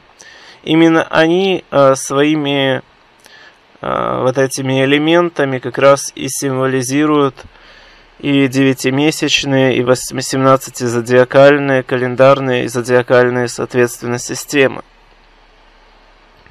И на посуде, которая рядом тут присутствует, вид, э, видно продолжение, продолжение трипольских элементов. Э, видно, что э, базово это знание не было на нашу территорию привнесено, несмотря на то, что тут же присутствуют камни с латинскими надписями. Несмотря на то, что, в общем-то, греки и римляне влияли на Северное Причерноморье, по крайней мере в прибрежных регионах. Но в отличие от греков и римлян, которые всего лишь влияли, Наши предки сохраняли свои обычаи, свои традиции, свое знание и передавали, что, в общем-то, сохранилось и что, в общем-то, э, скоро вы увидите э, видео с э, скифа Сармата славянского зала. Его, по сути, в хронологическо-смысловом смысле есть смысл осматривать фактически сразу же после завершения осмотра первого зала. Поскольку в первом зале мы заканчиваем э, кемерийскими временами, и можно зайти в этот небольшой зальчик, в эту комнатку, посмотреть, что да, на наших территориях, в общем-то, были греко-римские вкрапления, И дальше, соответственно, перейти в скифо-сармато-славянский зал. Дальше дойти до конца времен Киевской Руси. Дальше в самом крайнем зале просмотреть египетские артефакты, а потом перейти к греко-римским. Так сохраняется более целостная картина. Так сохраняется прямая хронологическая историческая нить преемственности между кемерийцами. Вот, начинаем, допустим, даже с этой статуи. На этой статуе все-таки видна голова, в отличие от ранее демонстрированных кемерийских статуй. Просто потому, что эта статуя лучше сохранилась. Просто потому, что не пришлось еще ее радикально как-то модифицировать. Также тут также есть голова, которая не является шеей. Если бы, соответственно, данную статуя, данная статуя была бы повреждена, точнее, голова данной статуи была бы повреждена, пришлось бы новую голову делать из элементов шеи, и поскольку плечи уж сильно сдвинуть вниз было бы достаточно тяжело, то, в общем-то, а, пришлось бы делать все как в ранее продемонстрированных вариантах, где голова практически утоплена в плечах. Это то, что уже зафиксировано за скифский период. Статуя скифских времен. И далее переходим к витрине, на которых присутствуют останки, соответственно, скифских кольчуг. Это чешуйчатая скифская кольчуга, где, а, в общем-то, очень много звеньев. Даже это не совсем кольчуга, кольчуга, по сути, из колец, а это такой э, э, звенья сегментчатый доспех, э, доспех, в котором э, сегменты прикреплялись или звеньями, или просто пришивались к кожаной основе. И также присутствуют остатки копий, остатки стрел, остатки других предметов, которые связаны в первую очередь с воинским делом, с скифскими воинами – на схеме показано приблизительно, какие остатки доспеха в какой части, в общем-то, обмундирование воина соответствуют. И также сбоку присутствуют гальванические копии рукояти меча. Э, присутствуют, кстати, посмотрите, здесь головы тура, быка, смотрящие в разные стороны. Присмотритесь к высокой качественности вообще проработки всех деталей и данной рукояти меча. И, соответственно, сбоку присутствует изображение птаха. Если не ошибаюсь, это э, с Кировоградской области, с Кургана. Но это гальваническая копия. И также присутствуют другие предметы, гальванические копии, и реально остатки каких-то древних артефактов полуистлевших, которые демонстрируют то, как, в общем-то, это все было на самом деле. А, и, и по реконструкции данной кибитки, и, в общем-то, по данным артефактам можно сделать некоторые выводы о искусстве, а как следствие о мировоззрении, даже о, о знатных регалиях и валюте тех времен. Вот эта спираль, эта спираль, это гривна. Некоторые современные недоисследователи даже считают, что данные спиральные гривны одевали на шеи коням. Но если вы хорошо присмотритесь к данной спирали, то заметите, что для конской шеи она слишком узкая.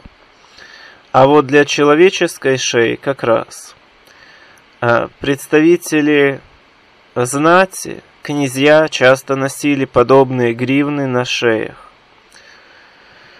А, как правило, на шее носилась самая дорогая, самая элитная гривна, которую князь получил от вышестоящего князя.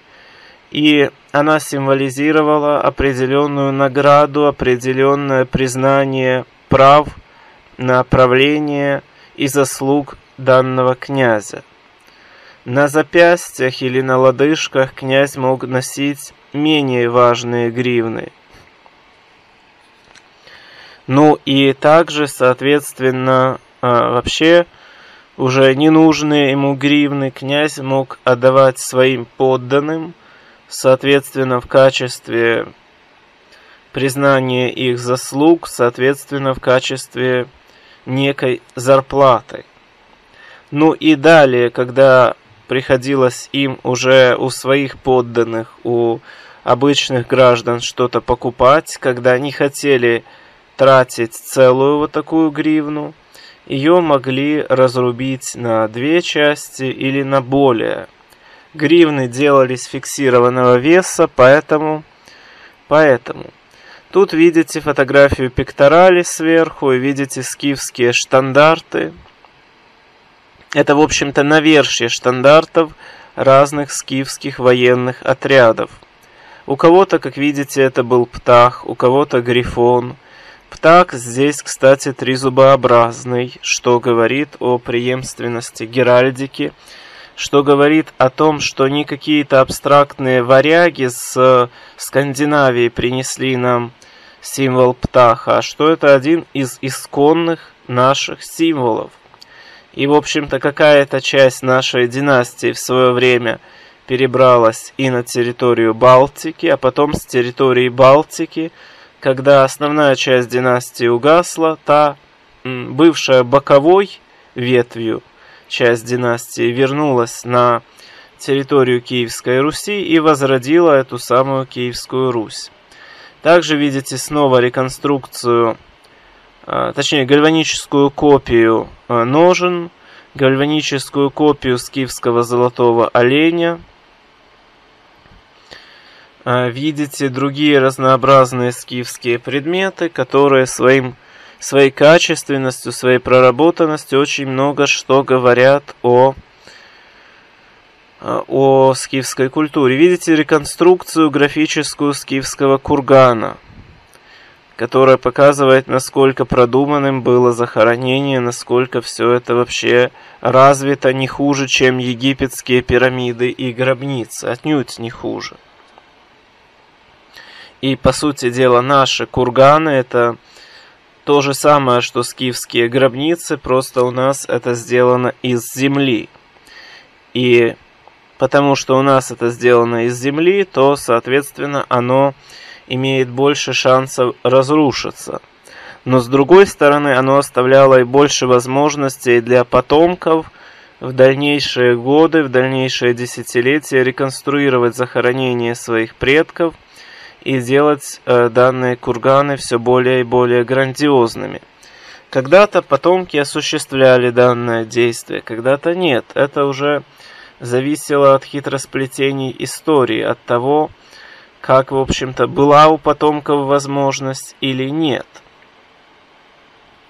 Тут была продемонстрирована и статуэтка змеиногой богини, и фотография еще одной скифской каменной статуи – Опять уже кадры из э, э, другого похода в музей, опять же демонстрируют штандарты э, скифских э, военных подразделений.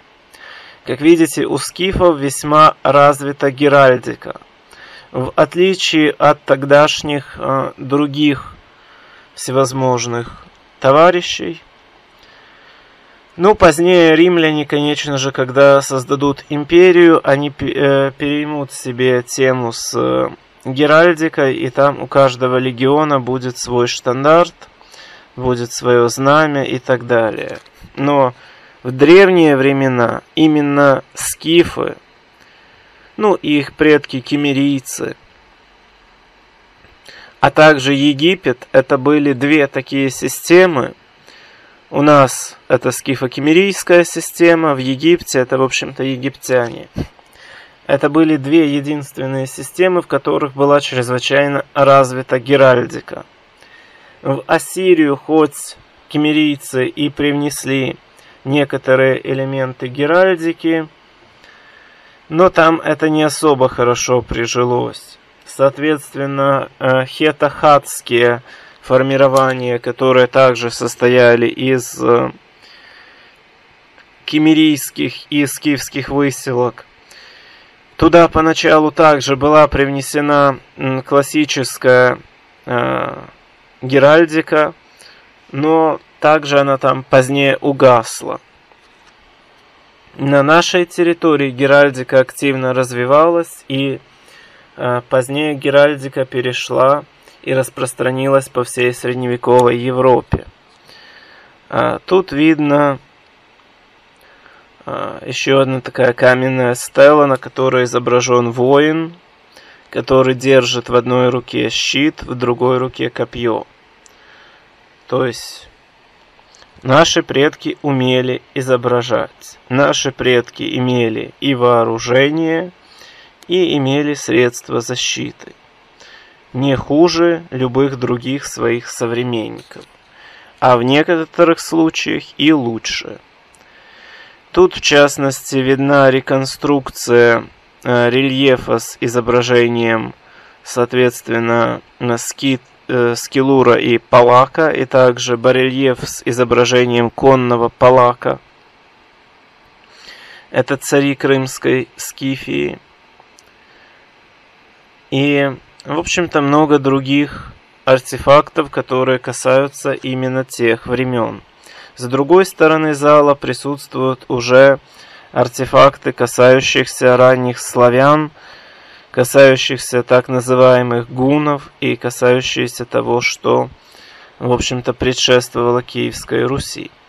Вновь пока возвращаемся к скифскому периоду, осматриваем эту стелу, переходим к следующей витрине, тут как раз артефакты крымской скифии. Это не совсем непосредственно Одещина, но все равно связано с северо-причерноморским регионом. То есть все равно нельзя сказать, что в Одессу свезли артефакты э, вообще с каких-то территорий, которые с Одессой никак не связаны. Крым э, был активно связан с Ольвией, с Боспором. Боспор имел свои выселки также на территорию западного Причерноморья. Э, Все северное Причерноморье было очень хорошо взаимоинтегрировано, а в глубокой древности э, даже существовал проект циркумпантиды, то есть идеи совмещения всего Причерноморья в одну культурно-историческую, политическую, экономическую систему. И культурно-исторически Северное Причерноморье и так э, было достаточно взаимосинхронизированным. А вот э, восстановить политическую целостность Северного Причерноморья э, Боспоро-Понтийский царь Митридат Евпатор, конечно же, попытался, но у него это не совсем получилось. Точнее, на э, незначительный промежуток времени получилось, но потом греко-римские силы смогли у него и у его потомков отжать это все виден предмет с, в общем-то, сарматской тамгой. Ну и э, видны другие предметы сарматского периода. Потому что, да, в Северном Причерноморье в определенный исторический период скифы, которые ранее заменили кемерийцев, также были заменены сарматами.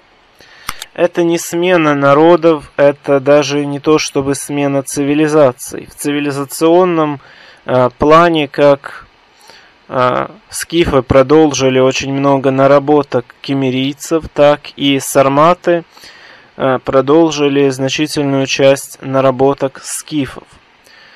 Но в династическом плане, конечно же, кемерийцы были отдельной династией, которая, конечно же, была связана со скифской династией и даже с сарматской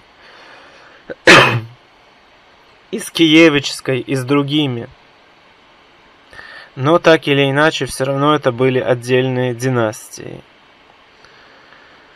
А, тут также есть следующие статуи, которые также а, выглядят достаточно грубо. Не то, чтобы наши предки не могли делать какие-то чрезвычайно э, антропоточные статуи, на которых в точности изображены все пропорции человеческого тела, могли изготавливать и изготавливали.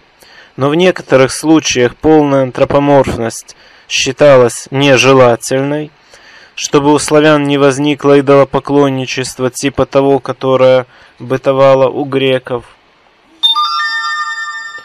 в других случаях э, подобные статуи были всего лишь дорожными указателями к храмам или были всего лишь э, теми частями алтаря, теми частями капища, святилища, которое находилось под открытым которое находилось под открытым небом. А, и в самом музее было множество таких нюансов. И в самом музее было множество таких нюансов, когда, в общем-то, и смотрители выходили, говорили, нет, Ари, ты, не, ты все не так объясняешь людям, сейчас мы по-своему объясним. Кстати, насчет этого камня, а, смотрительница вышла и сказала, а, символизм этого камня обозначал что типа тот или иной князь просто пасет коров. Ну, ну, у меня нет чего сказать вообще по этому поводу на самом деле. А, просто царь пасет коров. Мое предположение трактовки – это тамги, которые являются как бы подписями отдельных сарматских родов, но вероятнее всего это происходило или на святилище Велеса, или с представительством каких-то волхвов, или еще с чем-то. А, поэтому в центре изображена, в тамгическом стиле изображена голова быка или коровы. И вокруг изображены тамги отдельных родов. Если бы а, всего лишь один князь хотел сказать, что он пасет здесь коров – ему не было бы смысла, чтобы другие всевозможные князья оставляли здесь свои тамги. Больше того, а для кого князю говорить, что он пасет здесь коров? Для коров? Для, не знаю, его пастухов? Или типа это другие князья подписались, что они не будут ходить на его угодья? Как-то бессмысленно. А, логичнее было бы даже предположить, что этот знак является пастбищем общественного какого-то предназначения, где как бы есть и подписи всех этих династий, соответственно, каждый из этих родов имеет право пасти коров на данной территории. Но, в общем-то, такую трактовку тоже считаю неправильной. Считаю, что это некий договор э, Возможно, на святилище, возможно, еще в каком-то месте. Возможно, все эти династии присягнули, соответственно, князю.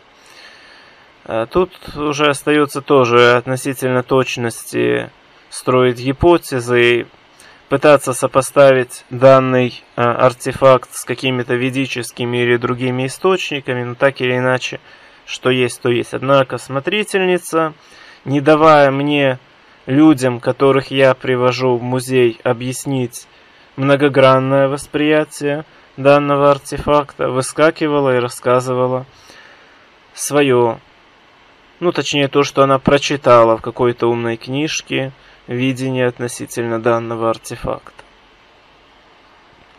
Сейчас вот и смс и кашель несколько мешает мне записывать данное видео. Тем не менее, записываю, потому что какие бы помехи ни были, у наших предков было много помех на пути развития, на пути, вообще на жизненном пути. Они их преодолевали, они, несмотря ни на что, а, были самыми известными, самыми могущественными силами, с которыми считались и египтяне, и ассирийцы, и позднее греки с римлянами – Почему, вы думаете, греки с римлянами так хотели лезть в Северное Причерноморье и торговать именно с, соответственно, скифами и сарматами? Если бы скифы и сарматы были бы просто лишь дикарями, греки бы с легкостью их подчинили бы, как в свое время э, европейцы подчинили американцев. Все было по-другому. Скифы имели богатство, скифы имели власть. А, даже беглые преступники, э, которые оседали в Греции, могли вполне себе становиться тамошними полицейскими и охранять Афины от самих же афинян и много чего другого. Торговля с Боспором э, для греков была чрезвычайно важна. Статуи боспорским царям стояли в Афинах. А, например, статуй афинским царям в Боспоре не стояла.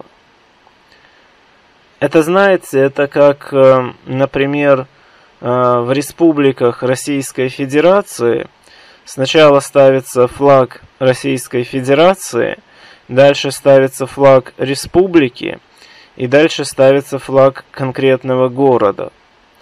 Так же самое в Европейском Союзе часто ставится флаг Европейского Союза, флаг страны, ну и далее флаг города. А, а вот в Брюсселе над флагом Европейского Союза не стоит какой-либо другой флаг. Конечно же, там есть э, место, где находятся флаги всех членов Европейского Союза, но то уже другое.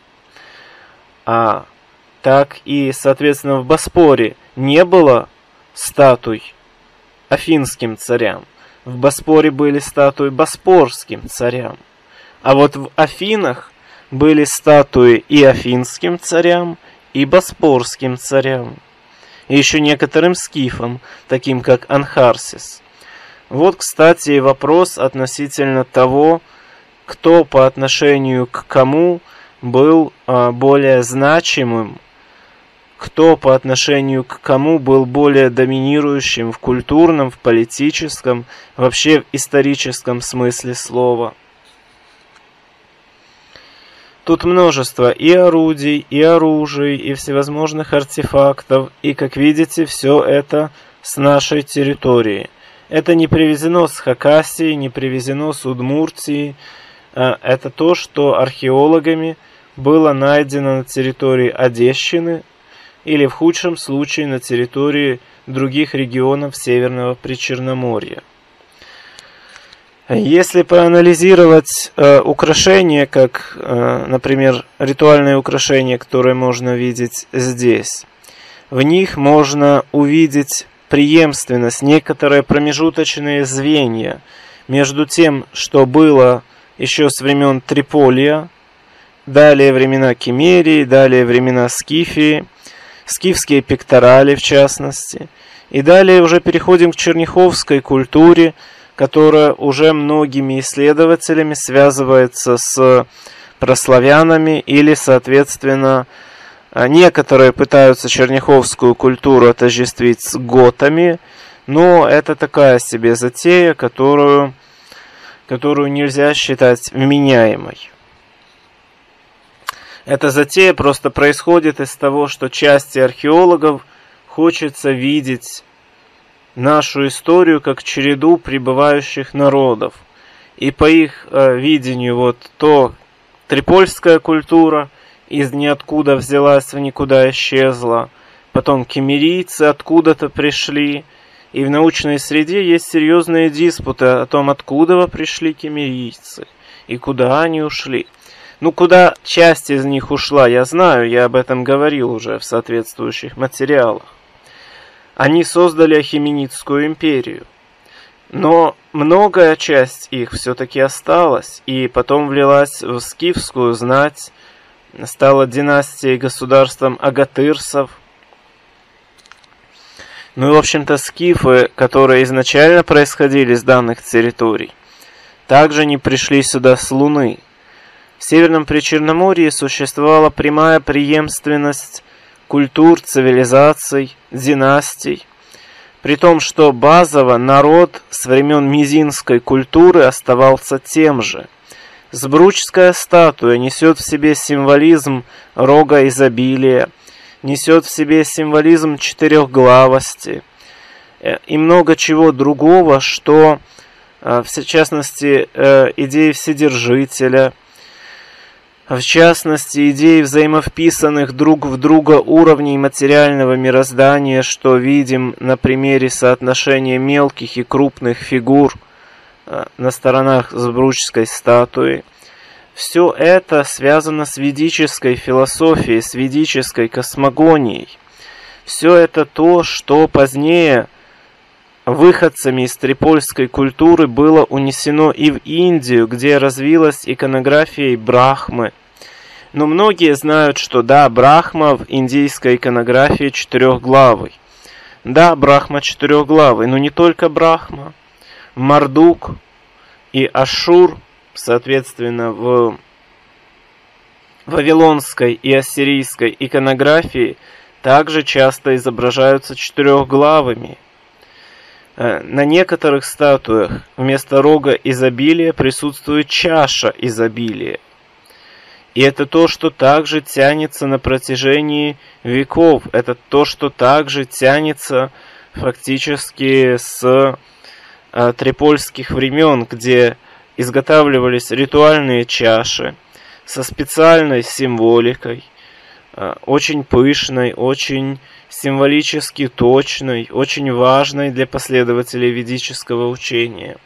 И то, что так или иначе передавалось, конечно же, из поколения в поколение оно изменялось. Конечно же, оно приобретало какие-то дополнительные символизмы, а часть старых символизмов терялась. Но базово, базово глубинная суть сохранялась и передавалась, несмотря ни на что. Как я сейчас говорю, несмотря на а, некоторые проблемы с горлом, так и наши предки, несмотря на а, то, что греки лезли в Северное Причерноморье, пытаясь привнести свою культуру, то, что некоторые степняки, которые уже достаточно деградировали в своих степях, вторгались и пытались тут навязать свои порядки – конфликты с разными другими народами, в частности с кельтами. Все это не прошло незамеченным для наших предков. Все это вносило те или иные аспекты деградации. Все это лишало наших предков каких-то незначительных пластов ведического наследия. Каждое разрушение города, каждое разрушение храма, гибель каждого жреца, который погиб и во время вторжения римлян в Боспорское царство, и в другие времена. Все это сокращало общий объем, все это сокращало чистоту и, э, в общем-то, глубину осознанности тех ведических знаний, которые были доступны нашим предкам. Но наши предки старались сохранить, что могли, старались передать, что могли – старались это знание зафиксировать и еще раз зафиксировать. И зафиксировать его в символике, и зафиксировать его в геральдике, и зафиксировать его на посуде, на оружии, на предметах быта, в украшениях, на доспехах, а на чем только можно.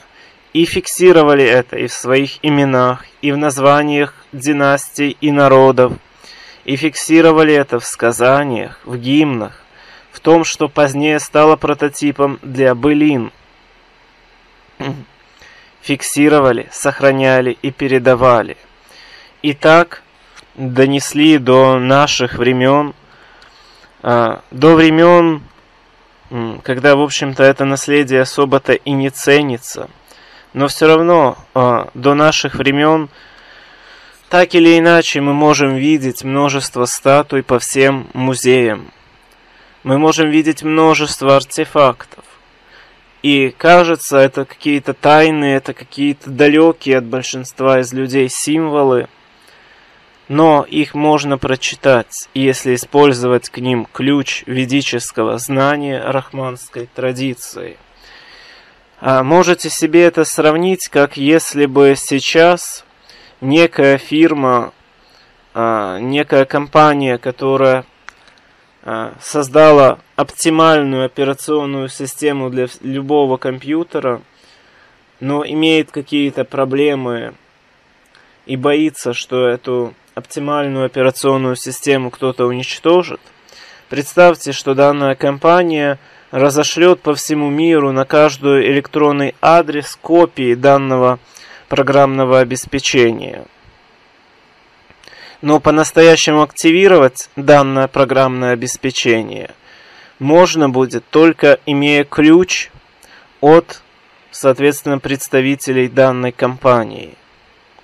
Ну или можно сравнить это с пробными версиями разных программ, когда вы можете установить на свой телефон или компьютер дорогую профессиональную какую-то программу и попользоваться ей, но у вас будет или ограниченность в функционале, или ограниченность в доступном вам времени пользования данной программой, или, соответственно, программа будет накладывать какой-то отпечаток на обрабатываемые файлы.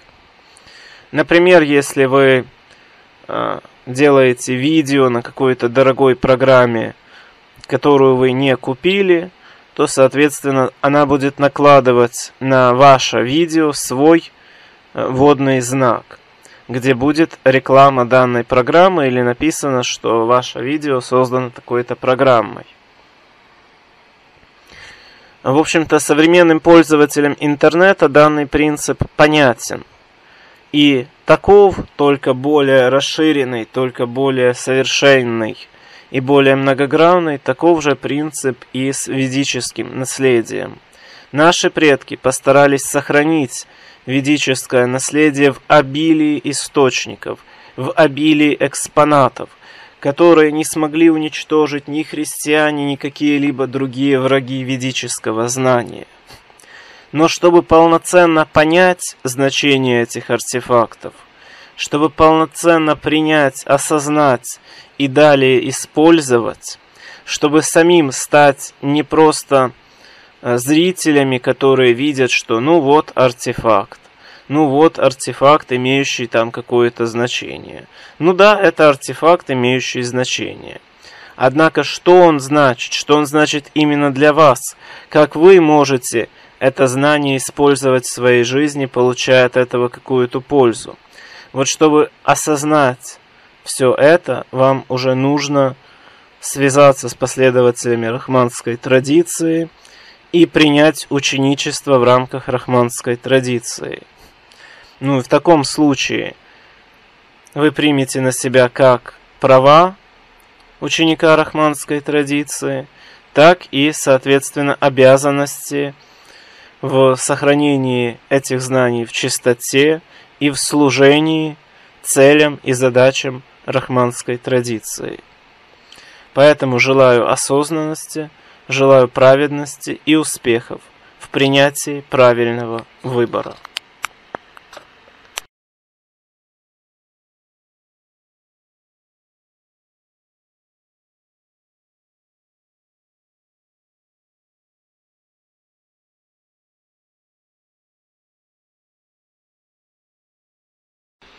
Итак, наследие времен Киевской Руси, Одесский археологический музей. Лучше всего ознакомливаться с этими материалами, предварительно ознакомившись с скифа э, сармато-славянским наследием и, соответственно, с трипольским и кемерийским наследием, которые хранятся в соответствующих залах Одесского археологического музея. Данные записи можете найти на моем канале. А, но постепенно пройдем осматривать, что же у нас присутствует. И кроме орудий труда, которые э, можно видеть буквально сразу же, зайдя в э, соответствующий зал по тематике Руси, виден и интересный водосток. Вот это всего лишь водосток. Но зато присмотритесь, как он сделанный. То есть я не буду тут думать, это а, какая-то машинная обработка камня, как многие интересуются, не машинная. В любом случае это показатель цивилизации. это показатель того, что не просто сделали водосток как-нибудь, а специально его еще сделали в виде вот соответствующей головы какого-то такого существа странного. А, и на обработку прочного, качественного камня, естественно, ушло достаточно много времени. Не только камень обрабатывали наши предки, но и металл. А, данную технологию разработали еще кемерийцы. Тут важно было создать технологию, которой можно пользоваться буквально в походе которой можно пользоваться буквально где угодно. Для того, чтобы пользоваться данной технологией, не надо ничего лишнего по сути дела, из палок, камней и грязи создать печку и из мехов поддувать в нее. Вот карта Киевской Руси. Вот археологическая карта, которая показывает, откуда те или иные артефакты, которые представлены э, в соответствующем зале Одесского археологического музея. Предметы, на которых также есть сложная солнечная символика, что, в общем-то, показывает некоторые важные для нас данные. А, вообще же, тут не только речь о отдельных поселениях славян, но в общем о Киевской Руси и о регионе Одещины как неотъемлемой составной части Киевской Руси. Видим множество предметов, орудий труда, всего-всего-всего, что касается Киевской Руси. И видим, что многое из этого было найдено и в нашем регионе. Потому что Одесса – это Русь. Одесса – это часть Киевской Руси. Вот, собственно, и монеты Киевской Руси. Ранее я уже когда-то говорил о гривнах. А гривны изначально были как спирали, которые одевались на шею, и в более редких случаях гривны меньшего номинала одевались на запястья и лодыжки. Но позднее также, когда нужно было кому-то заплатить много этих гривен, могли плавить их э, уже не спиралями по отдельности, а целым таким металлическим слитком, который просто своим весом соответствовал размеру определенной спирали. Эти э, слитки были соответствующей формы, то есть они были в более таком э, цилиндрическо-продолговатом виде, что соответствует недорастянутой проволоки и были в шестиугольном виде, э, как, в общем-то, классически представляется гривна. Ну, а когда гривны рубили, чтобы создать монеты еще меньшего номинала, то, что получалось, называли рубль. Поэтому рубль это всего лишь осколок гривны. Вот можно видеть э, статуэтку богини, э, статуэтку богини Веды, судя по всей этой атрибутике, которая есть. Э, если сравнивать, если проводить параллели, то э, еще можно вспомнить первый зал, еще можно вспомнить разные скифские статуэтки. И, в общем-то, из этого вывести последовательность, вывести понимание, что ничего на наших землях не возникало из ниоткуда и не исчезало в никуда. На наших землях шла последовательность и преемственность в развитии, затухании а, или использовании тех или иных иконографических подходов или технологий. Можно также осмыслить осмотреть доспехи Киевской Руси, сравнить, соответственно, данные доспехи с доспехами, допустим, времен Скифии и Да, несколько отличается материал, да, э, отличий достаточно, но общий подход в принципе сохраняется тот же самый. Общий подход, который, э, допустим, у греков, у каких-нибудь китайцев, у римлян весьма отличается от того, который был, соответственно, у скифов или в Руси а между скифами и Русью последовательность заметить как раз можно. Рядом тут, кстати, находится рунный камень. Рунный камень обычно приписывается скандинавам, неким готам или уже скандинавам, соответственно, которые скандинавы. А дело в том, что в нашей э, местности поначалу побывали готы Германариха, а потом уже многократно бывали викинги, которые путешествовали путем из варяг в греки.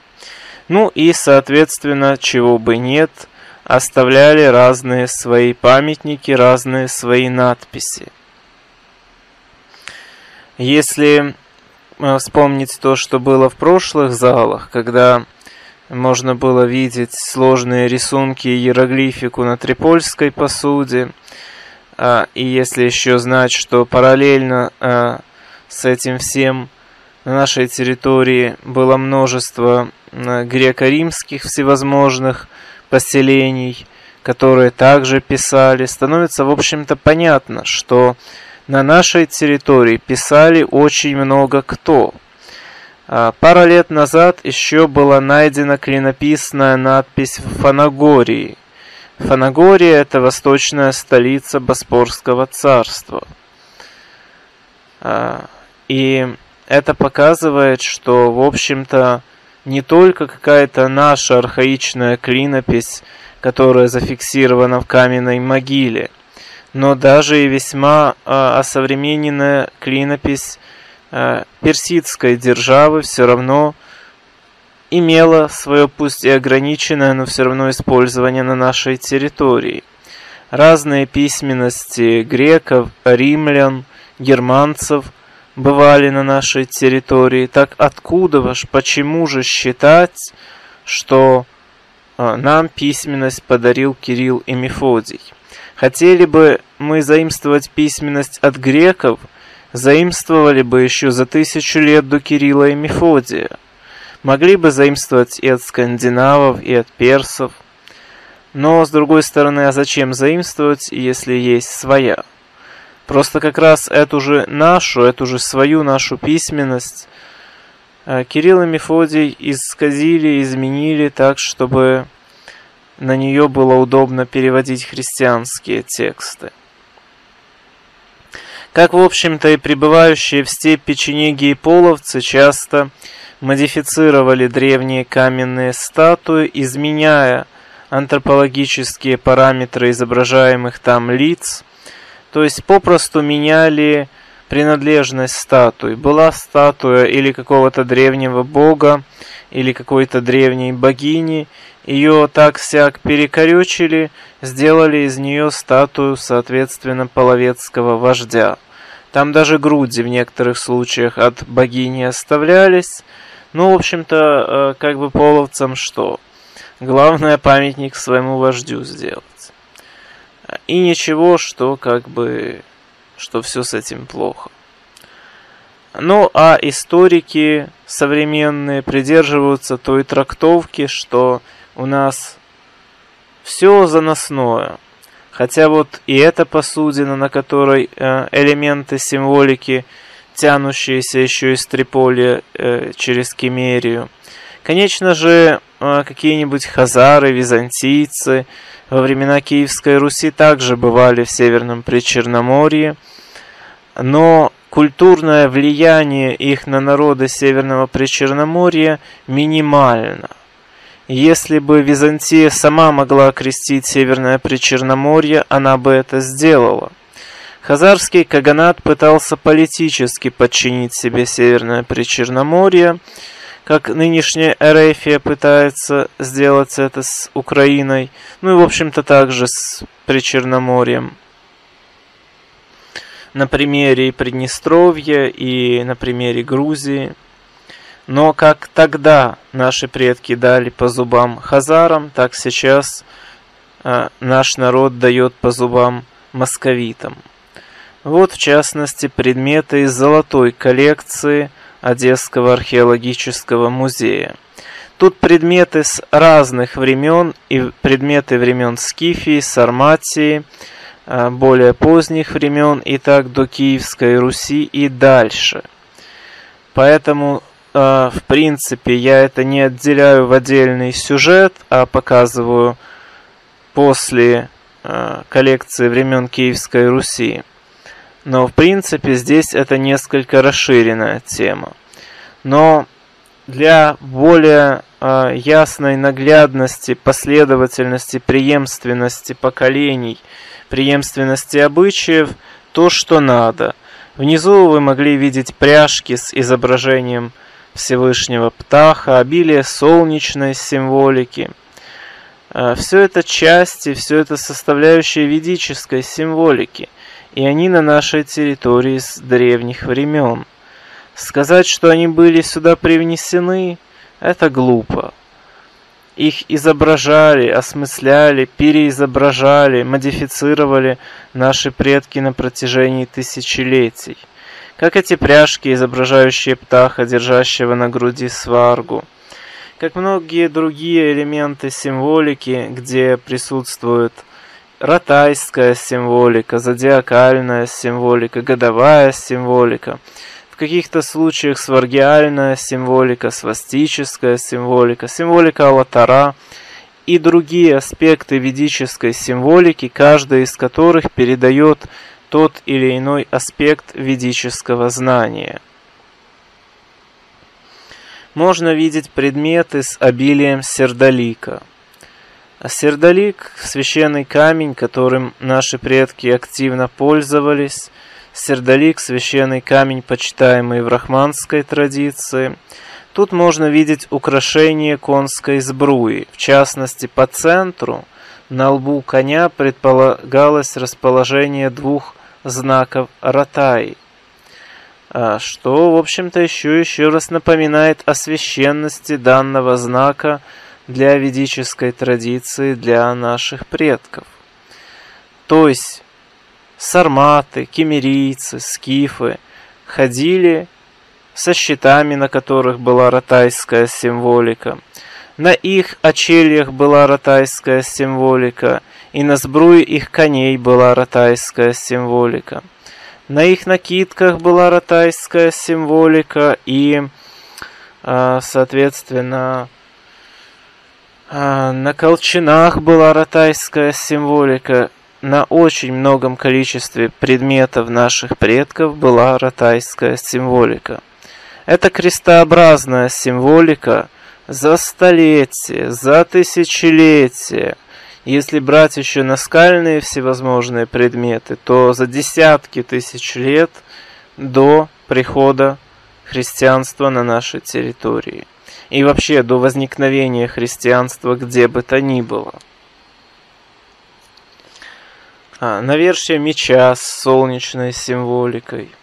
Все это золоченое, все это весьма дорогое, все это весьма тонко обработанное, все это весьма Э, весьма символично и весьма элитарно. То, что предполагалось для князей, для праведных воинов, то, что благословляло воинов в бою, то, что напоминало князьям еще и еще раз аспекты ведического знания, аспекты священного равновесия. А вот тут тоже можно видеть знаки Ратаи. А, пусть и несколько по-своему стилизированные.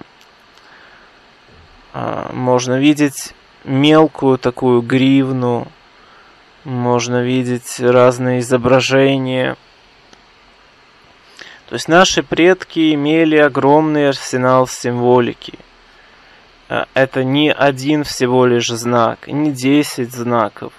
И даже не какой-нибудь список из ста знаков, условно говоря.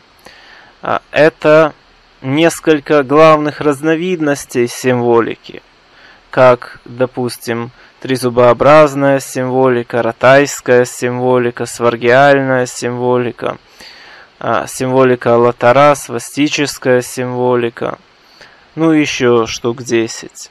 Но в рамках каждой из данных э, групп символов существовали э, сотни, а то и тысячи разных э, знаков, разных вариаций этих знаков. Какие-то использовались на головных уборах князей и княгинь, какие-то использовались только в оформлении интерьера зданий, какие-то использовались для украшения и обережного использования на оружии. А, Все это имело разную символику, разные грани, разные а, подсмыслы ведической символики. И все это было читаемо. Все это, кроме того, что это ну, священный знак, это еще и имело некое философское напутствие для князя, для воина, а, для в редких случаях торговца, который носил на себе эту символику, или, по крайней мере, для представителей любой касты, которые видели на князе, на жреце, на воине данные символы. Некоторые из них, чтобы разглядеть, приходится смотреть через увеличительное стекло, потому что, потому что они очень мелкие в своем изготовлении. Данные предметы, которые вы можете видеть сейчас, обычно связывают с греками. Но я считаю это не совсем так однозначным. Конечно же, греки и римляне использовали технологию гравировки э, прочных небольших камней, которые могли или носить э, на соответствующих ожерельях, или в качестве кулона, или в качестве печатки. Все это, конечно же, было у греков, у римлян, ранее еще у персов и даже у шумеров и у египтян.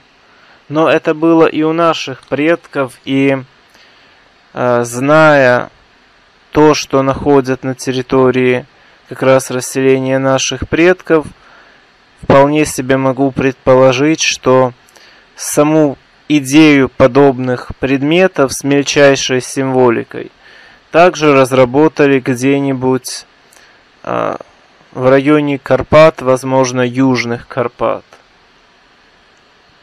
откуда далее это и распространилось и на территорию Египта, и в Переднюю Азию. Ну, и еще ранее, вероятно, к нам также пришло.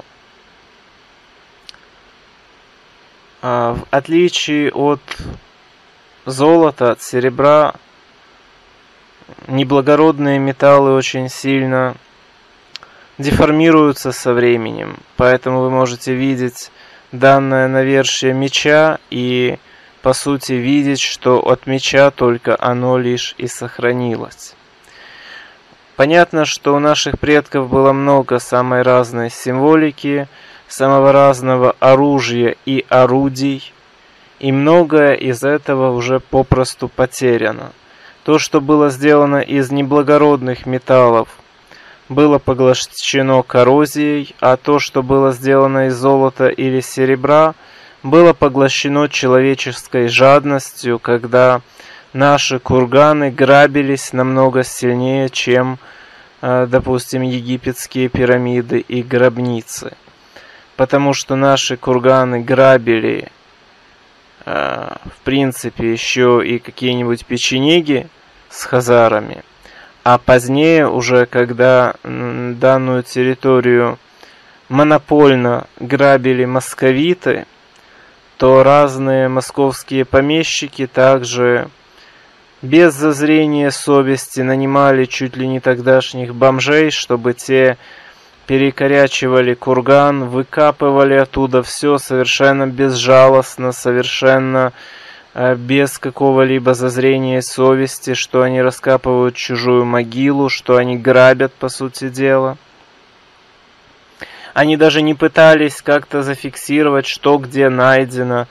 А, ученые, когда делают подобного рода раскопки, они тщательно и бережливо относятся ко всем слоям почвы, потому что, может быть, там в почве сгнила какая-то ткань. Может быть, где-то несколько волокон ткани еще не догнило, и можно эту ткань как-то изучить. Может, где-то еще что-то. А археологи очень скрупулезны в своем изучении. Когда же российские помещики попросту приказывали Гапоте раскапывать курган, вывозить оттуда золото, и иногда это золото даже попросту переплавлять для а, повышения, соответственно, богатств данного помещика, это нанесло колоссальный вред для изучения курганов, соответственно, на территории Украины, на территории, прилегающей к нам Кубани, которая, по сути, также историческая территория Украины, хоть сейчас и находится в составе Российской Федерации. И поэтому у нас украли очень многие страницы нашей истории. Сейчас можно видеть блюдце с э, знаком Перуна в его центре. Тут Ж-образная звезда, Ж-образный цветок в круге. Это знак Перуна. Это знак Перуна как защитника жизненных животворящих сил, как защитника Земли, как защитника цивилизации на Земле, как Бога, первого Бога атмосферы. Тут виден предмет священной симметрией. Вообще симметрия часто повторяется в ведической символике, в ведическом и околоведическом искусстве. Потому что последователи ведической традиции стремились к совершенству, стремились к порядку, а симметрия является частью этого.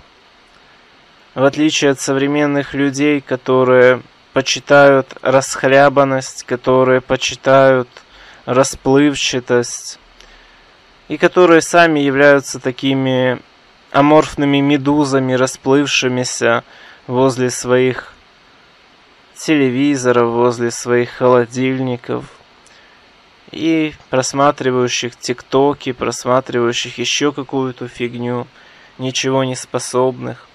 В отличие от таких вот амеб, последователей ведической традиции, последователи околоведических культов, всегда пытались постичь порядок, всегда пытались привнести порядок, создать порядок или воссоздать, в зависимости от необходимости.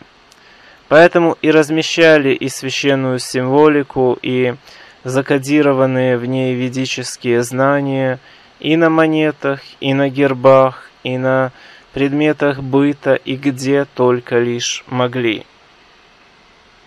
Конечно, как вы могли видеть раньше, и в зале, посвященном Руси, где показана торговля и корабли, так можно видеть и в этом зале на примере наличия на нашей территории а, разных иностранных монет. Торговля а, шла очень активно. Не только мы пользовались своими гривнами, а, но на нашей территории присутствовали и монеты других стран, европейских стран, Византии, той или иной формы присутствовали, и не московиты создали здесь что-то.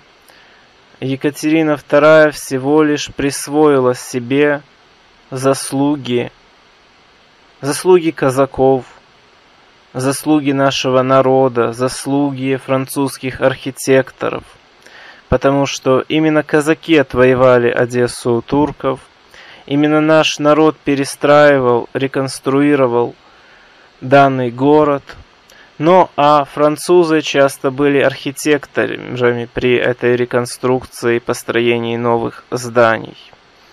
Евреи активно участвовали в торговле, греки также сразу присоседивались потому что они имеют исторические связи с данным регионом. Болгары и многие другие народы Северного Причерноморья.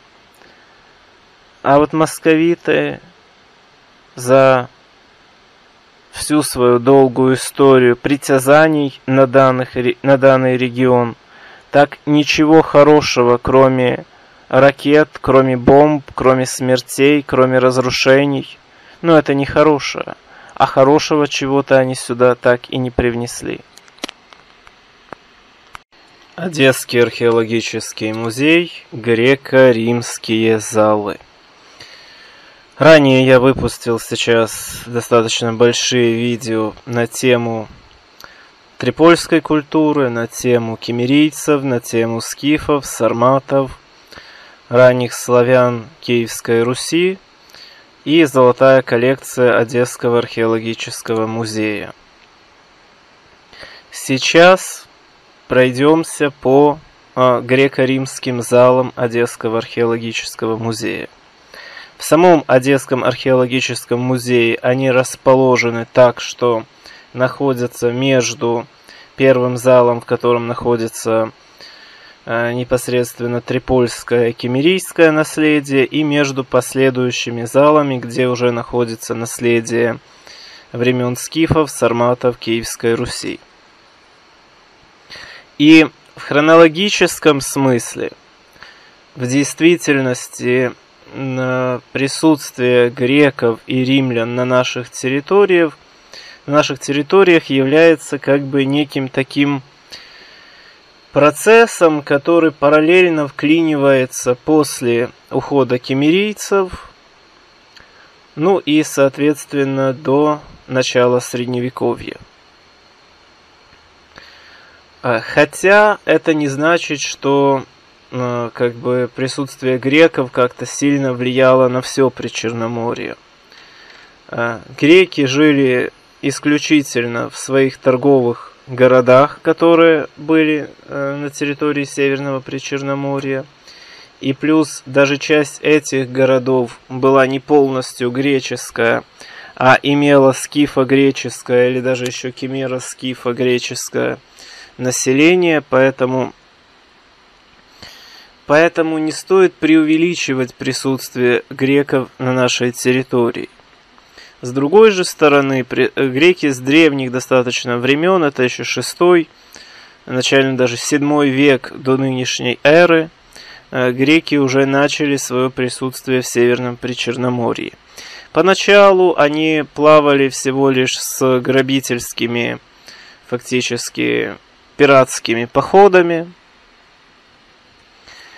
А, в принципе, это даже в их эпосе отображено. Это и поход аргонавтов, это и деятельность Одиссея, и много чего другого, что, а, соответственно, присутствует в греческих историях. Однако, с другой стороны, если взять Илиаду, то там часть персонажей – происходят непосредственно с Северного Причерноморья. К тому же, если взять другие греческие сказания о мифологических предках греческого народа, то часть из них также или связаны с Северным Причерноморьем, или в общем с Причерноморьем, допустим, с Восточным Причерноморьем, территория Колхиды, или, соответственно, с Западным Причерноморьем – территория Фракии Адрисского царства.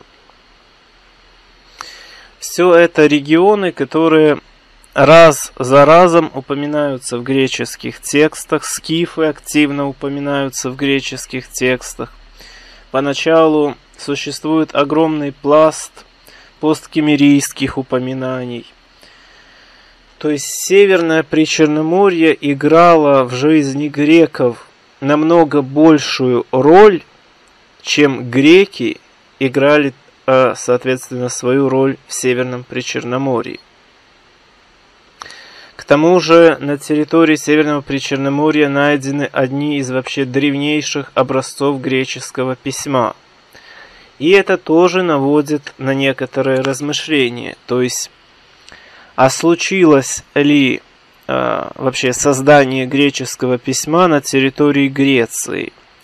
Или как раз греки его где-то подсмотрели или, допустим, создали совместно с финикийцами именно на территории Северного Причерноморья, общаясь с кемерийским или скифским жречеством. Сами по себе греки происходили с территории южнее от Дании, недалеко также некоторые регионы ближе к речке Висла, в Европе, соответственно. Но позднее они были вытеснены достаточно на юг и заселили как раз побережье э, Греции и, соответственно, острова Эгейского моря и также побережье Анатолийского полуострова. А, значительный пласт вот тех самых дарийцев, которые бежали с территории Вислы, они э, сформировали будущую спартанскую державу. Э, законы в спартанской державе, или свод законов спартанской державы, назывался Великая Ретро, что, в общем-то, можно проверить даже по Википедии. И если сопоставлять это с тем, с какого региона они происходили, то становится понятно, что э, они э, еще в местах своего былого проживания как-то контактировали с э, рахманской традицией Редегаста, столичным городом, который был город Ретро, из которого сейчас, ну, даже не сейчас, пара столетий назад, но все равно по меркам а тысячелетие все равно это относительно недавно, так сказать. Хоть по меркам человеческой жизни это очень давно. Так вот, уже в нынешнюю историческую эпоху, по ее меркам недавно, а, а именно пара столетий назад, были найдены оплавленные статуэтки как раз с города храма Ретры. И сейчас тоже не совсем сейчас, а пара десятилетий назад. Данные статуэтки, можно сказать, были повторно найдены а, в плане того, что к ним возник интерес именно ввиду развития интернета, ввиду того, что а, к ним тот или иной доступ к их изображениям а, уже смогли получить не только узкие специалисты, а, соответственно, достаточно большая прослойка людей, которая интересуется древним наследием и которая, соответственно, э, имеет доступ к интернету. Но это уже чуть-чуть другая история. Просто я хочу подчеркнуть и изначальную связь греков с славянским наследием, и то, что вообще все существование греческой истории, оно существовала в неразрывной связи с теми или иными э, скифскими царями, с теми или иными раньше еще кемерийскими царями. И даже более поздние боспорские и сарматские цари все равно накладывали свой отпечаток на историю Греции. Северное Причерноморье, в частности Боспор, в частности Ольвия и Херсонес, были важнейшими торговыми партнерами для именно греческих, собственно, городов-государств уже с территории самой Греции. Потому что на территории Греции, кроме как раз спартанского региона, очень плохо произрастала пшеница. Греки и сами не особо умели ее выращивать. Ну и их регион, который с одной стороны очень прибрежный, с другой стороны достаточно гористый, и там множество мелких островов, на которых э, ни о каком а, выращив... серьезном выращивании пшеницы и речи, по сути дела, быть не может. А пшеница им была достаточно уже, так сказать, привычна. Еще во времена того, когда они проживали на территории, э, соответственно, Европы ну, той части Европы, из которой они происходили. Э, и поэтому они э, торговали с э, Северным Причерноморьем, торговали непосредственно со скифами, торговали со своими городами, государствами в Северном Причерноморье. И они отчасти естественно, контактируя, привносили сюда элементы своей культуры, не без того. Но с другой стороны, контактируя с нашими предками, они и перенимали элементы культуры наших предков. И они изображали на своей посуде, на своих статуэтках а, некоторые элементы ведического знания. Поэтому не стоит вот так прямо в наглую смотреть на греческие предметы и думать, что греки, проживая в Ольвии, в Тире, в Херсонесе, что они где-нибудь сидели просто за городскими стенами и варились исключительно в своей греческой культуре, в своей греческой жизни.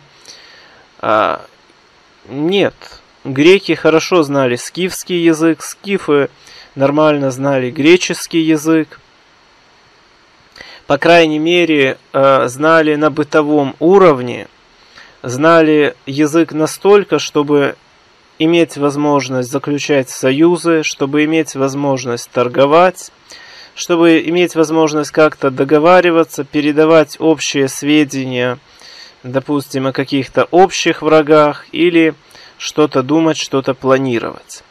Понятно, что э, какая-то духовная терминология – Имена богов, названия обрядов греками не были правильно поняты, и позднее Геродот допустил много описок, ошибок, когда пытался на греческий мотив, используя греческое понимание и греческую мифологию как образец, описывать скифское вероучение.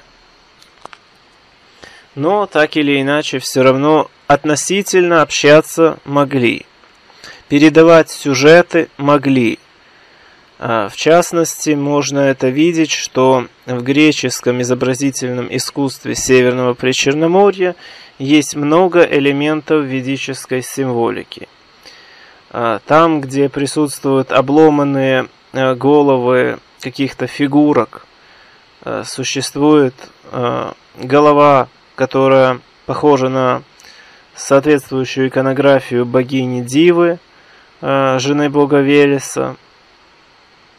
В других случаях присутствует иконография, соответствующая праве, э, которая является центром тройственной симметрии, э, собранной из, допустим, двух тел животных или еще чего-нибудь такого. В других случаях присутствуют крылатые персонажи, присутствуют изображение некоторых персонажей с оружием или с атрибутами, которые не характерны грекам. Присутствует очень много камней с надписями и посуды с надписями. И все это приблизительно, э, хоть начинается где-то еще с 7 века до нынешней эры, но в наилучшем своем варианте существует с 5 соответственно, по первый век до нынешней эры.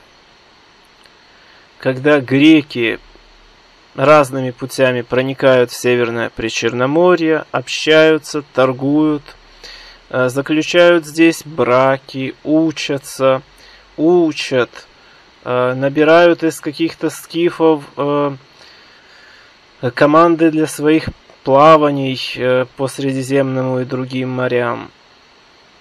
Контакты существуют самые разнородные, самые разноплановые и весьма обширные. А, поэтому не стоит вообще ничему удивляться. Конечно же, тут множество статуй, тут множество каких-то рельефов, барельефов, надгробий, памятников, всего, чего хочешь. Потому что Ольвия, Тира, Херсонес, это только самые крупные из, э, в общем-то, греческих городов или огреченных городов Северного Причерноморья. Каких-то мелких поселений, чисто греческих или смешанных, как и на территории нынешней Одессы, так и э, южнее и, соответственно, восточнее. Всего этого было достаточно много – в любом месте, где была какая-нибудь удобная бухта, какая-нибудь удобная местность, куда можно причалить кораблем и э, там дальше как-то выгружать что-то или загружать что-то, это делалось, и шли торги, и э, какие-нибудь скифы, которые не могли найти себе применение на своей э, родине – они могли отправиться на территорию Греции и найти себе уже применение в Афинах, в Церимфе, или как наемники, или как полицейские, как э, э, инструкторы по конной езде. Э, много было возможностей, где э, скифы могли применить себя э, именно на территории Греции. Также, в общем-то, и греки – могли проникать и высшее сословие скифов. А, у многих скифов были греческие жены, греческие советники, греческие переводчики. А, с многими скифскими правителями рядом чуть ли не постоянно ходили греческие послы всевозможные. Контакты были, и как скифы хорошо знали о греках, так и греки – э, неплохо знали о скифах. И, в общем-то, греки, находящиеся на, северном, на территории Северного Причерноморья, активно изображали разные символы этого самого Северного Причерноморья и культур Северного Причерноморья на своей посуде, на своем оружии, на разных своих всевозможных предметах. А контактируя со скифами, в общем-то, греки еще и еще раз узнавали о священной стране, которая находилась а, в северо-западном направлении от, э, э, соответственно, основной Скифии. Это территория Искростанского, э, если говорить греческими терминами, амфиктиония, если сравнивать с современной ситуацией из Крастанского теократического государства, похожего на Ватикан по некоторым элементам, но намного большего. Ватикан, по сути, это кусочек Рима, часть Рима, которая обособилась в отдельное государство. Искростанская страна, духовное теократическое государство – по сути, было намного больше. А, Искростанское государство по своим территориям больше современной какой-нибудь э, Швейцарии или Австрии. Оно находилось в основном на территории нынешней э, западной Украины, частично даже северо-западной Украины. И э, с заходами на территорию Польши – и э, Беларуси. В какие-то исторические промежутки Искростанское государство могло брать под контроль намного большие территории, в принципе от Вислы или от Одра, соответственно, до Днепра. В каких-то случаях редуцироваться до именно теократического жреческого государства с центром в Искростане. Все это разные нюансы, разные э, вариации взаимодействия искростанского жречества, как с местными династиями, так и э, разное влияние вообще внешнеполитической ситуации, э, в частности и на Искростан, и на территорию Европы. Потому что когда кемерийцы правили большей частью Европы, ситуация была одна, когда кемерийцы ушли в Переднюю Азию ситуация чуть изменилась.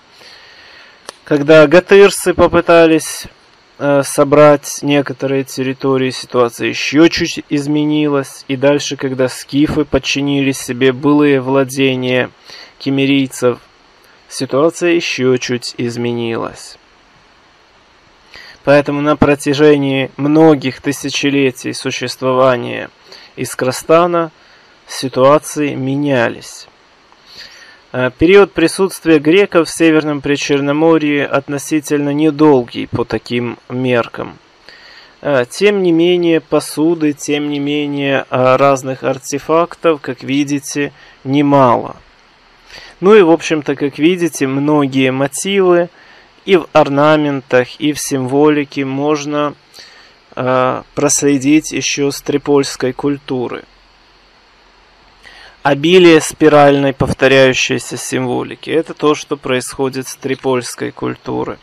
Обилие солнечной символики – это тоже то, что происходит с трипольской культуры – это не греки с территории Греции принесли в Северное Причерноморье, наоборот.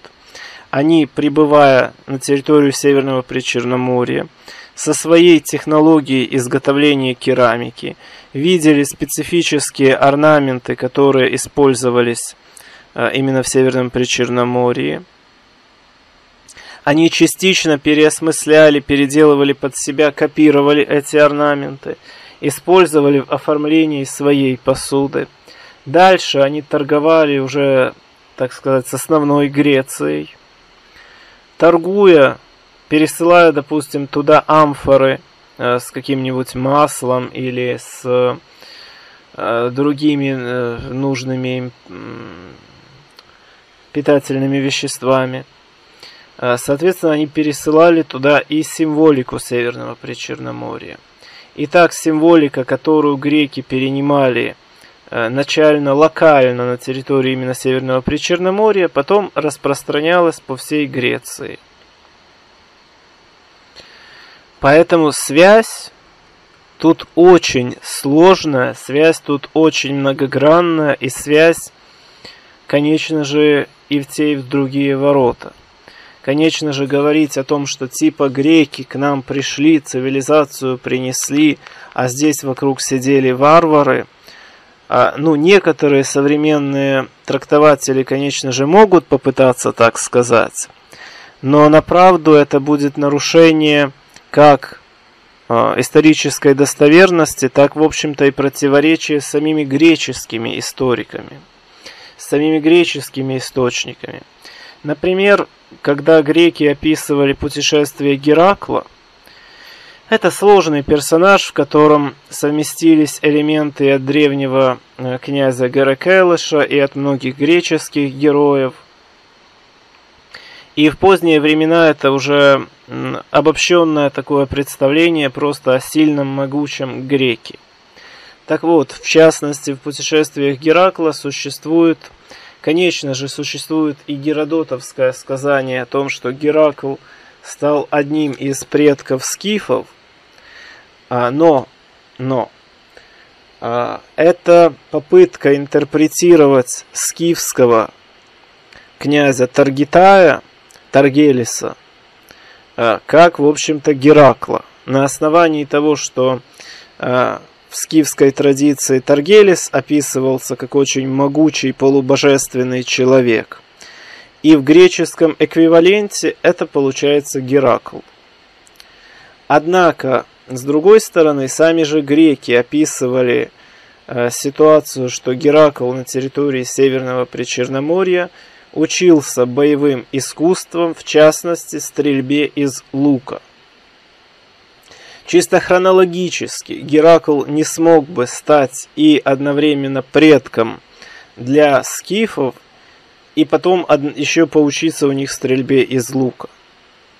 То есть, ну, это уже такое себе. Тут можно или быть предком скифов, или учиться у них стрельбе из лука.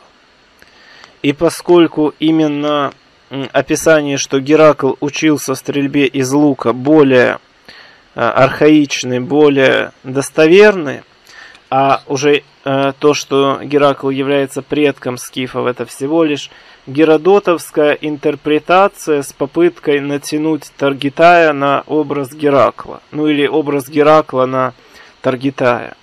В любом случае, как бы это ни произносить, звучит очень мерзко, и лучше такое себе даже не представлять. Поэтому правда в том, что не всегда представляется возможностью отождествлять а, разных а, исторических действующих лиц, разных персонажей из мифологии исключительно на основании описания их свойств или деятельности. Героичность можно приписывать разным, соответственно, э, героям, э, для разных стран, для разных народов героями являются разные люди. Для народа Украины героем является Степан Андреевич Бандера, для нынешних россиян героем является Сталин и Ленин. Это как бы взаимопротиворечивое явление, которое нельзя попытаться привести к какому-то единому знаменателю, объявив, что э, Бандера это просто э, местное имя Сталина. Так же само и нельзя говорить, что образ Таргитая из классической грече... э, скифской традиции тожественен э, греческому Гераклу из, в общем-то, греческой традиции. Но, тем не менее, даже то, что греки связывали Геракла, то есть, как бы, своего эталонного героя с, с историей скифов, Пусть он прародитель скифов, пусть он учился у скифов, пусть он жил э, со скифами. Все равно в любом случае это показывает, что для греков скифы были чем-то очень древним, чем-то очень важным, чем-то, что связано с древнейшими страницами истории греков. Э, тут же можно видеть и Э, разнообразные посудины, на которых присутствуют галактические символы, галактические спирали. Э, тут можно видеть светильники, на которых изображение бога беса. Можно видеть посудины с э, звездами и солнечной символикой, которая была геральдической, допустим, для Боспора.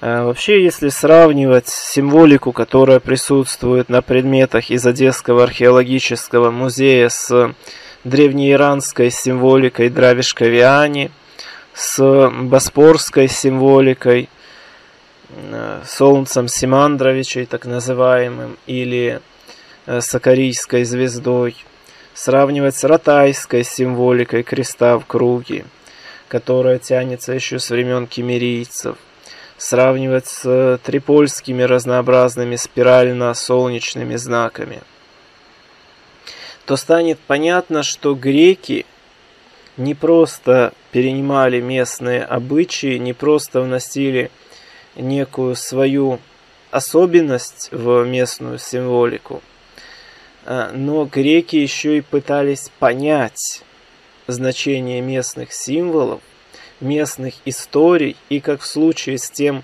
когда Геродот, интерпретируя скифскую генеалогию, попытался отождествить Таргелиса с Гераклом, так и в других э, случаях с символами, с функциями богов, с значением разных э, скифских э, символов. Греки часто не просто бездумно их копировали, но пытались как-то по-своему интерпретировать. И это, с одной стороны, ну, в общем-то, неплохо. Это показывает, что у них была доля разумности. А с другой стороны, это часто вызывало то, что они искажали, не до конца понимая ту или иную символику. А искажали, изменяли, по-разному ее трактовали, приделывая, приспосабливая под свои мифы, под свои мифогенеалогические истории и так далее. А, ну, в общем-то, даже сложный скифский лук а, греки конкретно заимствовали, это общеизвестно, тут уже, а, тут уже даже никак с этим не поспорить. И именно скифы в этом плане были изобретателями, а греки теми, кто скопировал. А сами же греки приписывали скифскому мудрецу Анхарсису изобретение э, и якоря, и много чего другого. А, именно скифскому мудрецу, а соответственно не какому-нибудь из греческих. Хотя у греков тоже были свои мудрецы. Например, греческий Пифагор – греческий ли или пришедший к грекам, то уже тоже такой себе вопрос. Ну, так или иначе. Греческий мудрец Пифагор бывал, вероятнее всего, в Северном Причерноморье, поскольку далее возвращался к грекам он через Дакию, а, где, вероятнее всего, по одной из версий, учился или как-либо контактировал с жрецом, а, ставшим одним из составляющих мифологического образа э, Салмаксисиса, э, такого дакийско-фракийского обожествленного царя-чародея. Но об этом отчасти я говорил в материалах про буревестника и про даков, а отчасти еще буду говорить. Сейчас можете видеть солнечную спираль, которая также является символом тройственности и которая также является священным славянским триколором – белый, черный, красный. Как в славянской вышивке, как в славянской геральдике. Это и тройственность, как тройственность витков спирали, это и тройственность цветов. И общая композиция является солнечной символикой – в ряде других случаев греки также используют солнечную символику. А, конечно же, солнечную символику можно найти активно используемую и на территории самой Греции. Но тут уже вопрос, то ли греки и сами сохранили обычай э, почитания солнца, то ли в Северном Причерноморье они настолько сильно прониклись Э, солнечной символикой, солнечным культом, что позднее привнесли э, аналоги этого и на свою территорию. А, в виде концентрических кругов, в виде разных солярных крестов, солярных звезд, всевозможных околосвастических символов э, активно оформлялась греческая посуда – активно оформлялись и нижние части, и донные части, и наносилась роспись на бока данной посуды. Конечно, присутствует и чернолаковая э, посуда, которая, э, которая также была популярна на территории греков. Э, данная посуда, как сказать, Вполне вероятнее всего, что развилась именно на территории греков. Но когда греки как-либо ее модифицировали уже на территории Причерноморья, то она тут также приобретала аспекты ведической символики. Плохо, что в Одесском археологическом музее несколько неудобно разместили предмет с изображением Солнца Бога, и теперь, чтобы его рассмотреть, приходится присматриваться, он там и под углом лежит, и вообще очень неудобно. Но у меня сохранились э, некоторые фотографии данного предмета. Поэтому не все так плохо. И об этом будет также в следующих материалах. А, в общем-то, кому надо, тот соответственно, тот, соответственно, может ознакомиться в других моих видеозаписях. Я уже все эти э, темы не раз поднимал, не один раз сводил людей в Одесский археологический музей, так сейчас считаю, раз уже 40 возил разные группы разных людей некоторых по несколько раз, некоторых по одному разу. И все равно даже я, даже для себя периодически, вновь приходя, нахожу, что что-то я поначалу или не заметил, или потом забыл, или не учел в съемках, или не особо хорошо получилось во время съемок. И, в общем-то, работы, конечно же, еще много.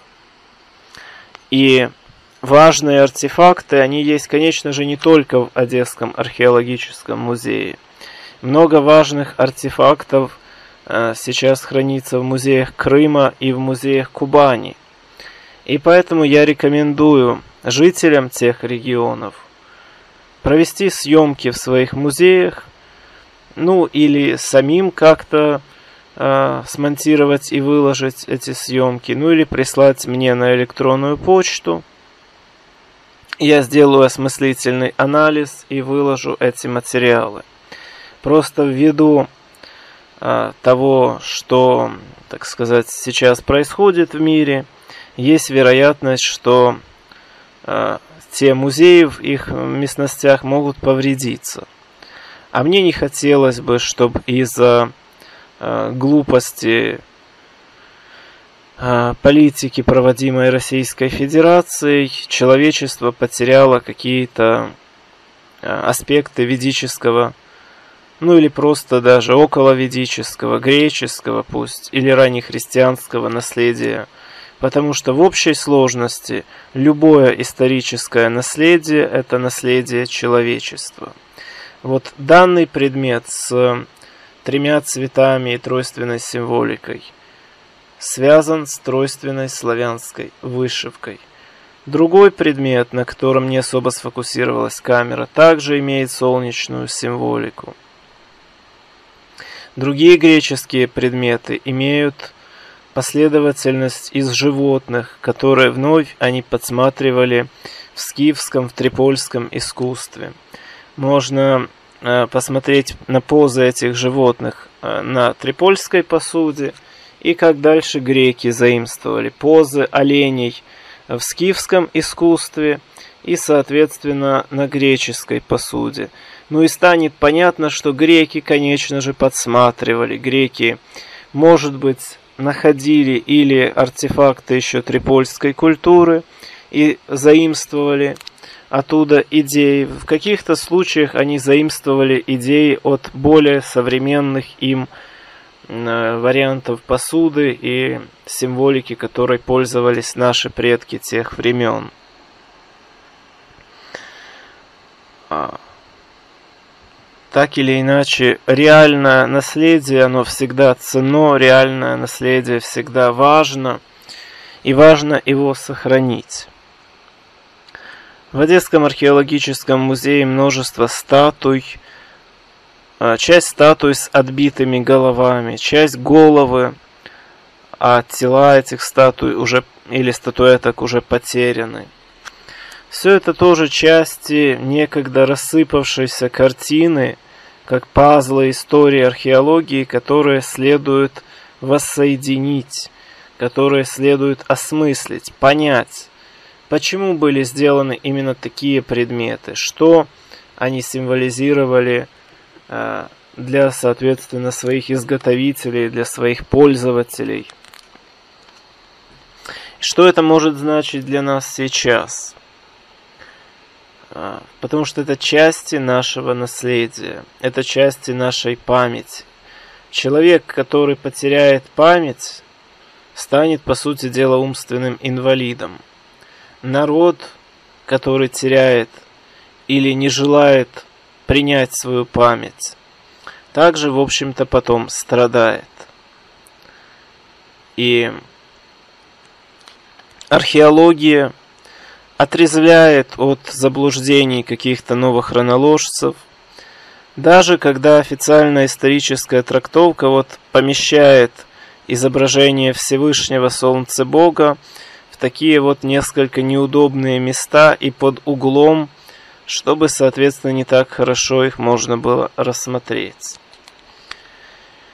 Не знаю, или из-за моих походов в музей, или просто так – или, может быть, они реально считают, что так даже удобней они расположили э, данный артефакт. Но что есть, то есть.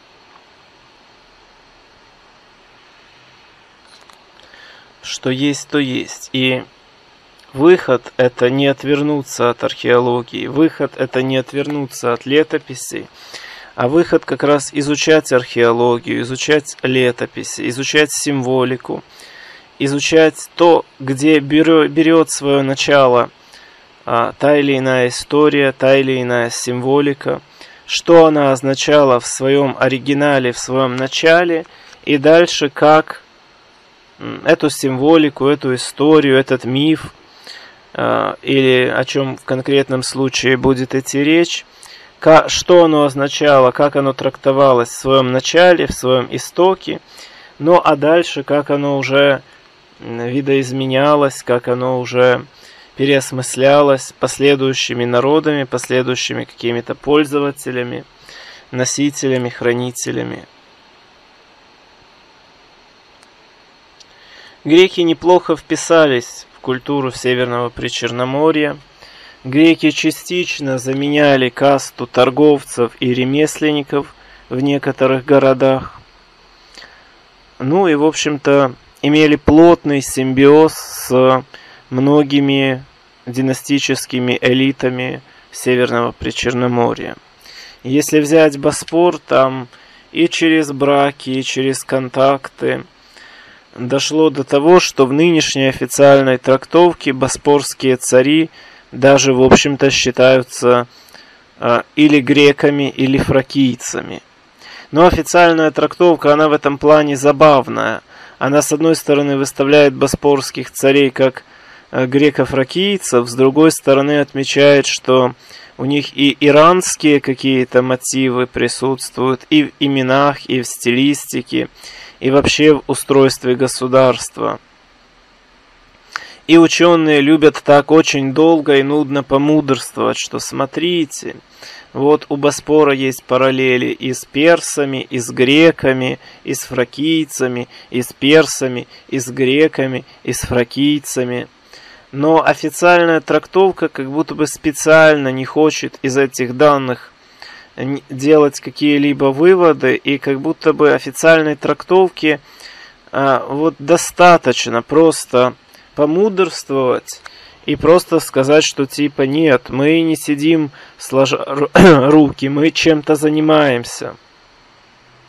Вот видите, мы заметили эти параллели. Ну, как бы и все.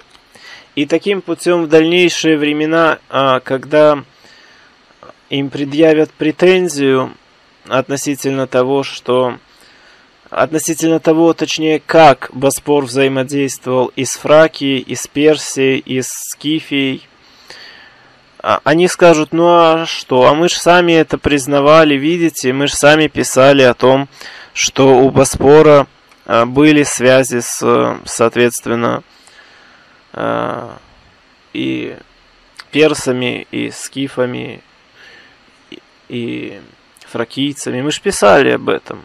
Просто мы не написали, какая именно была связь. Просто мы писали, что Боспор был зависим и от греков, и от фракийцев, и от кого хочешь и не хочешь. Просто мы чуть-чуть ошиблись. И так даже тяжело будет как-то как-то что-то потом против этого сказать. Потому что проблема в истории не в том, что что-то слишком спрятано, а проблема в том, что история фрагментирована. И при изучении истории, чтобы что-то реально понять, недостаточно прочесть всего лишь один буклетик по истории, недостаточно прочесть школьный учебник, нужно читать и осмыслять очень много. Тогда картина сложится. Если же не читать, будут фрагменты истории и современные трактовки этих фрагментов. Археология в этом плане является важнейшим источником. Важнейшим источником, который вот реально показывает, что у древних людей было, чем они пользовались, что изображали – а, можно даже определить, что они ели и пили, проведя соответствующие химические анализы внутренней поверхности многих а, сосудов.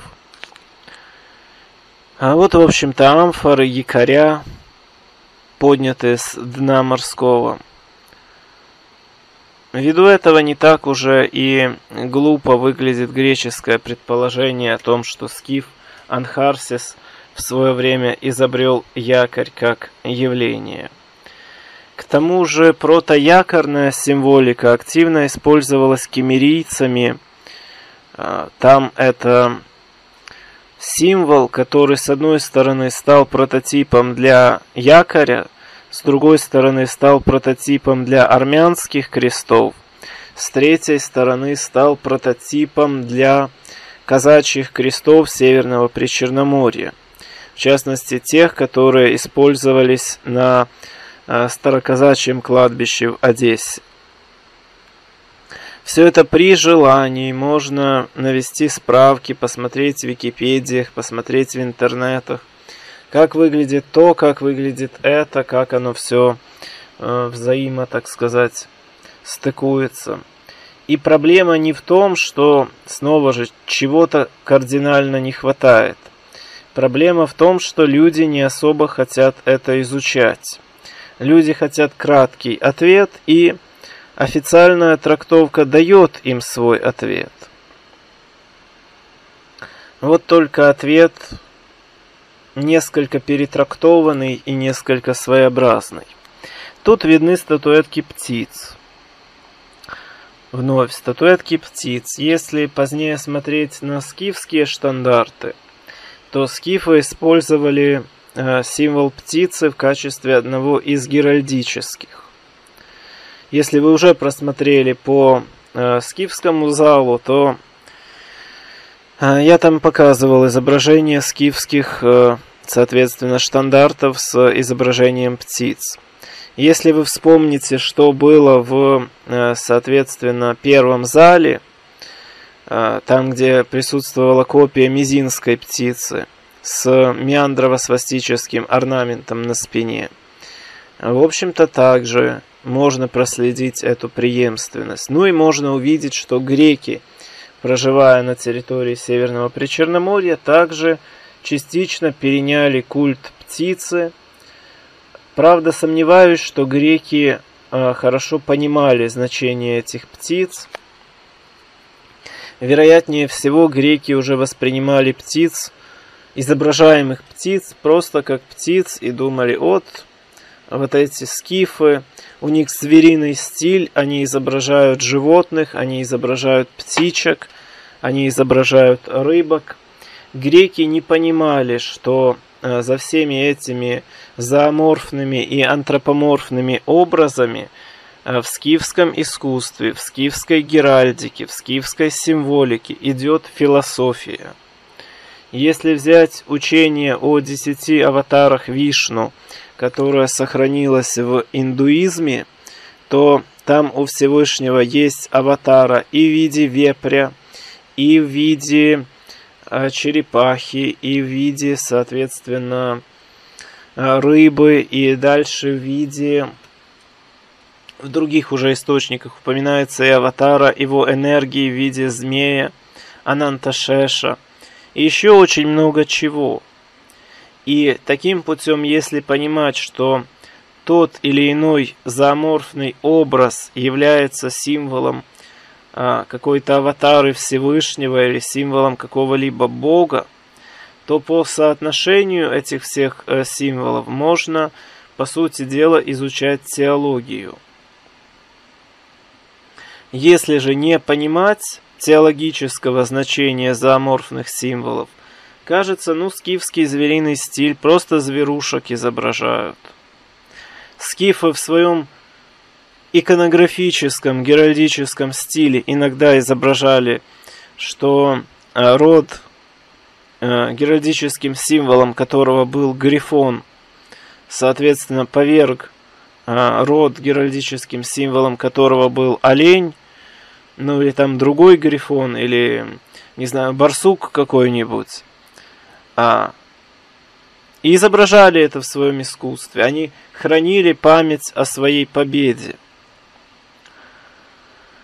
Но, соответственно, сейчас историки, вторя грекам, трактуют это исключительно как скифский звериный стиль и считают, что если скифы изображали как э, одно животное победило другое животное, то тут речь исключительно о животных.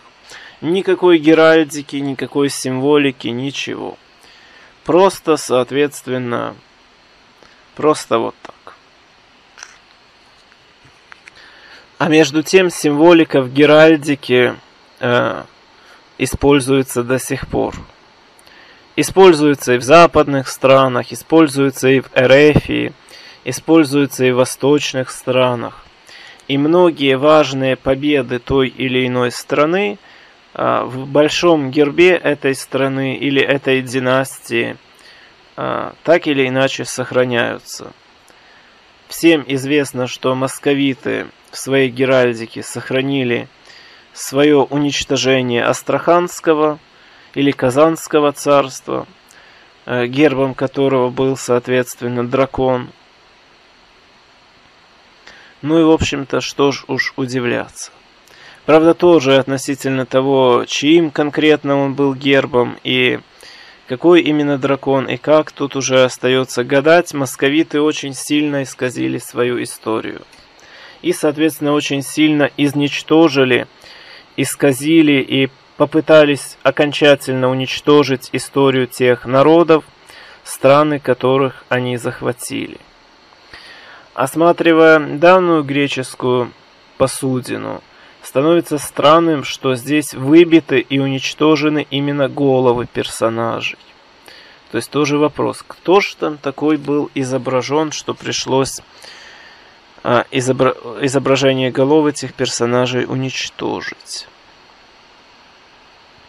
Присутствуют лампадки, курильницы, часть из которых также несет на себе тройственную или крестообразную кемерийскую или общеведическую символику.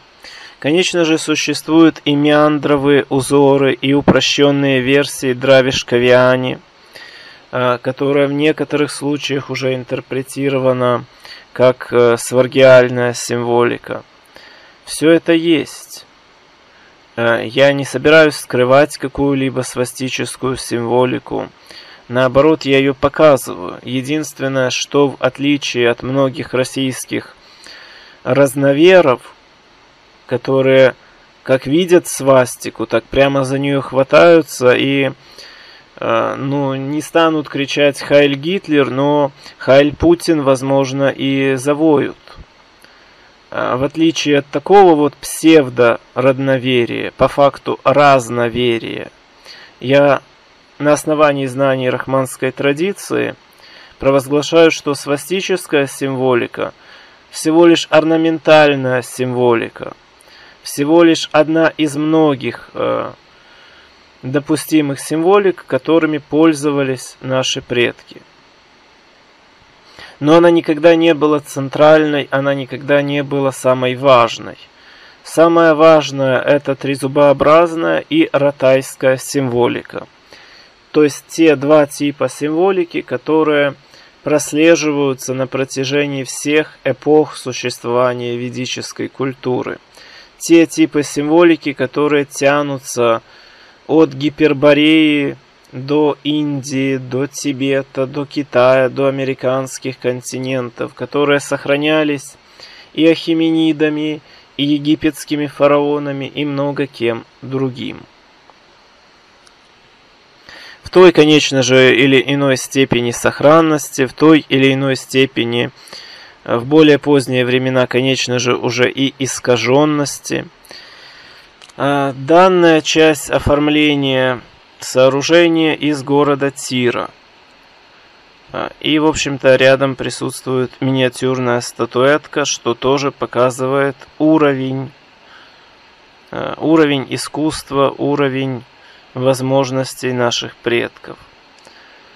Возможности изобразительного искусства были достаточно развиты. Были и миниатюрные статуэтки, и статуэтки в 3-4 метра которые также в каких-то случаях абстрактно символизировали воинов, символизировали мифологических персонажей, в каких-то случаях изображали или конкретных предков, или ныне существующих царей, военачальников, героев.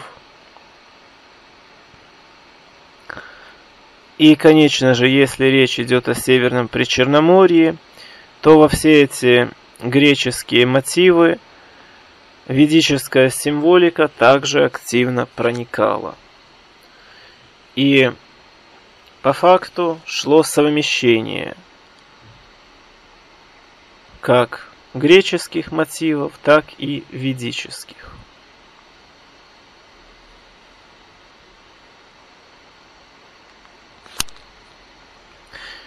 И это неплохо, это показывает, в общем-то, что у нас эти мотивы были.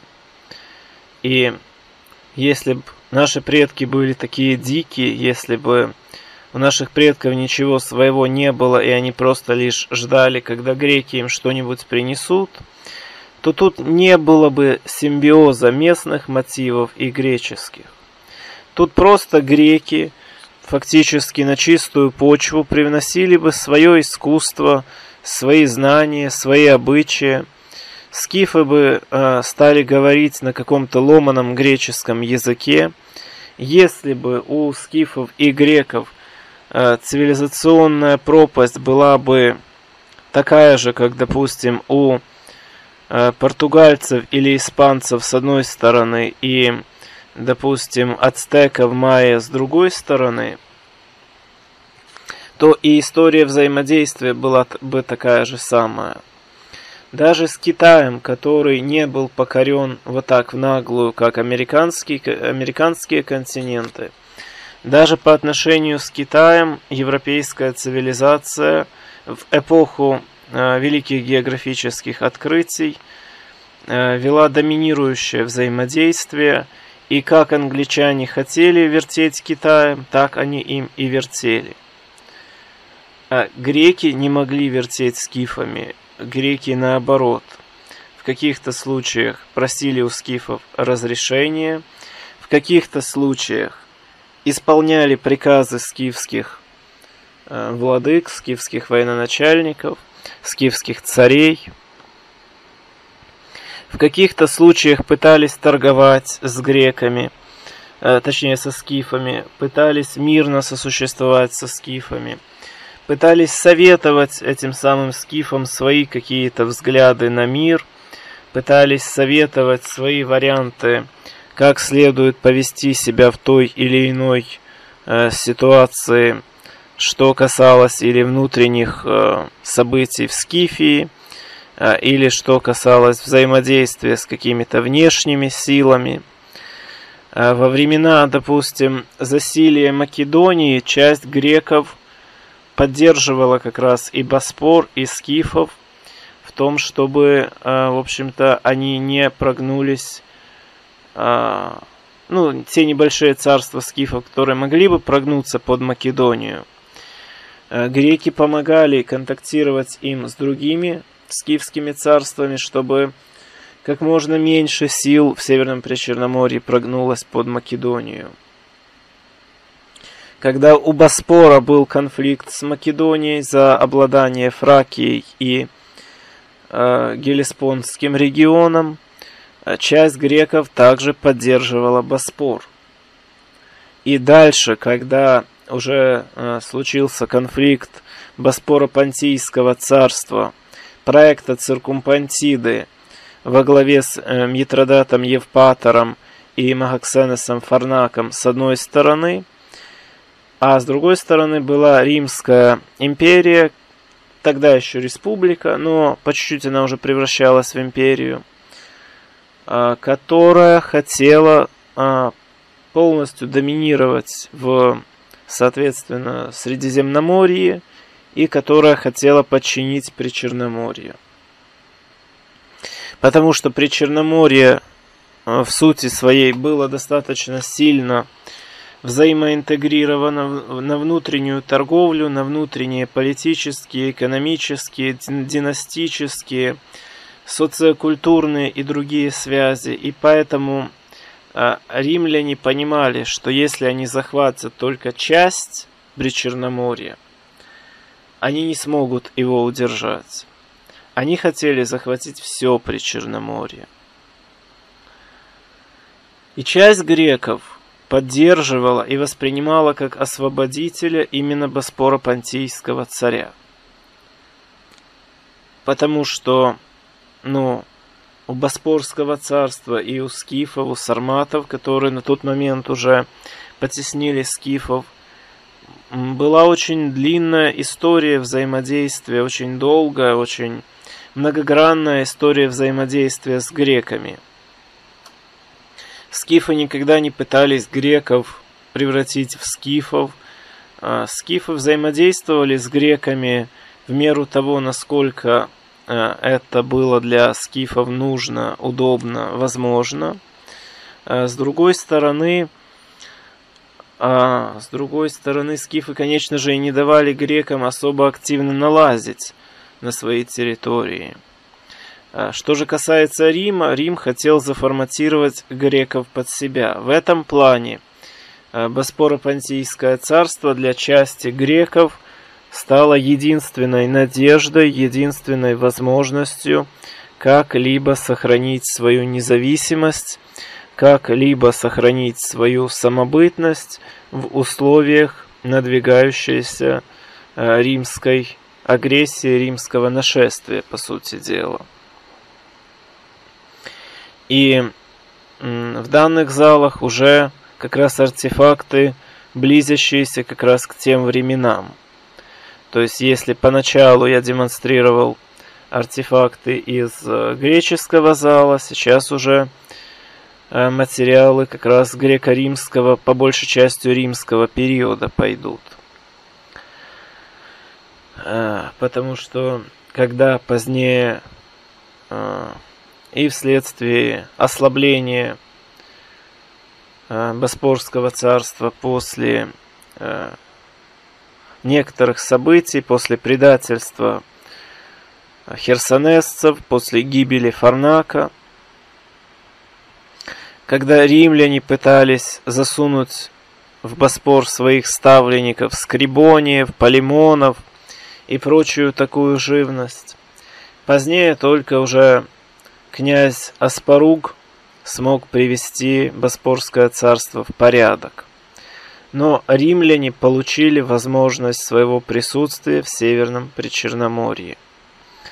Уже тогда никаких разговоров о том, что Северное Причерноморье будет как каким-то таким альтернативным центром, э, где греки смогут себе спокойно жить. А уже никаких таких разговоров не было. А часть греческих или полугреческих городов-государств просто перешли под власть Рима. Тут, в частности, в центре вы могли видеть статую, часть, точнее, статуи, голову статуи Митродата Евпатора. Тут уже сейчас другие всякие элементы, другие символы.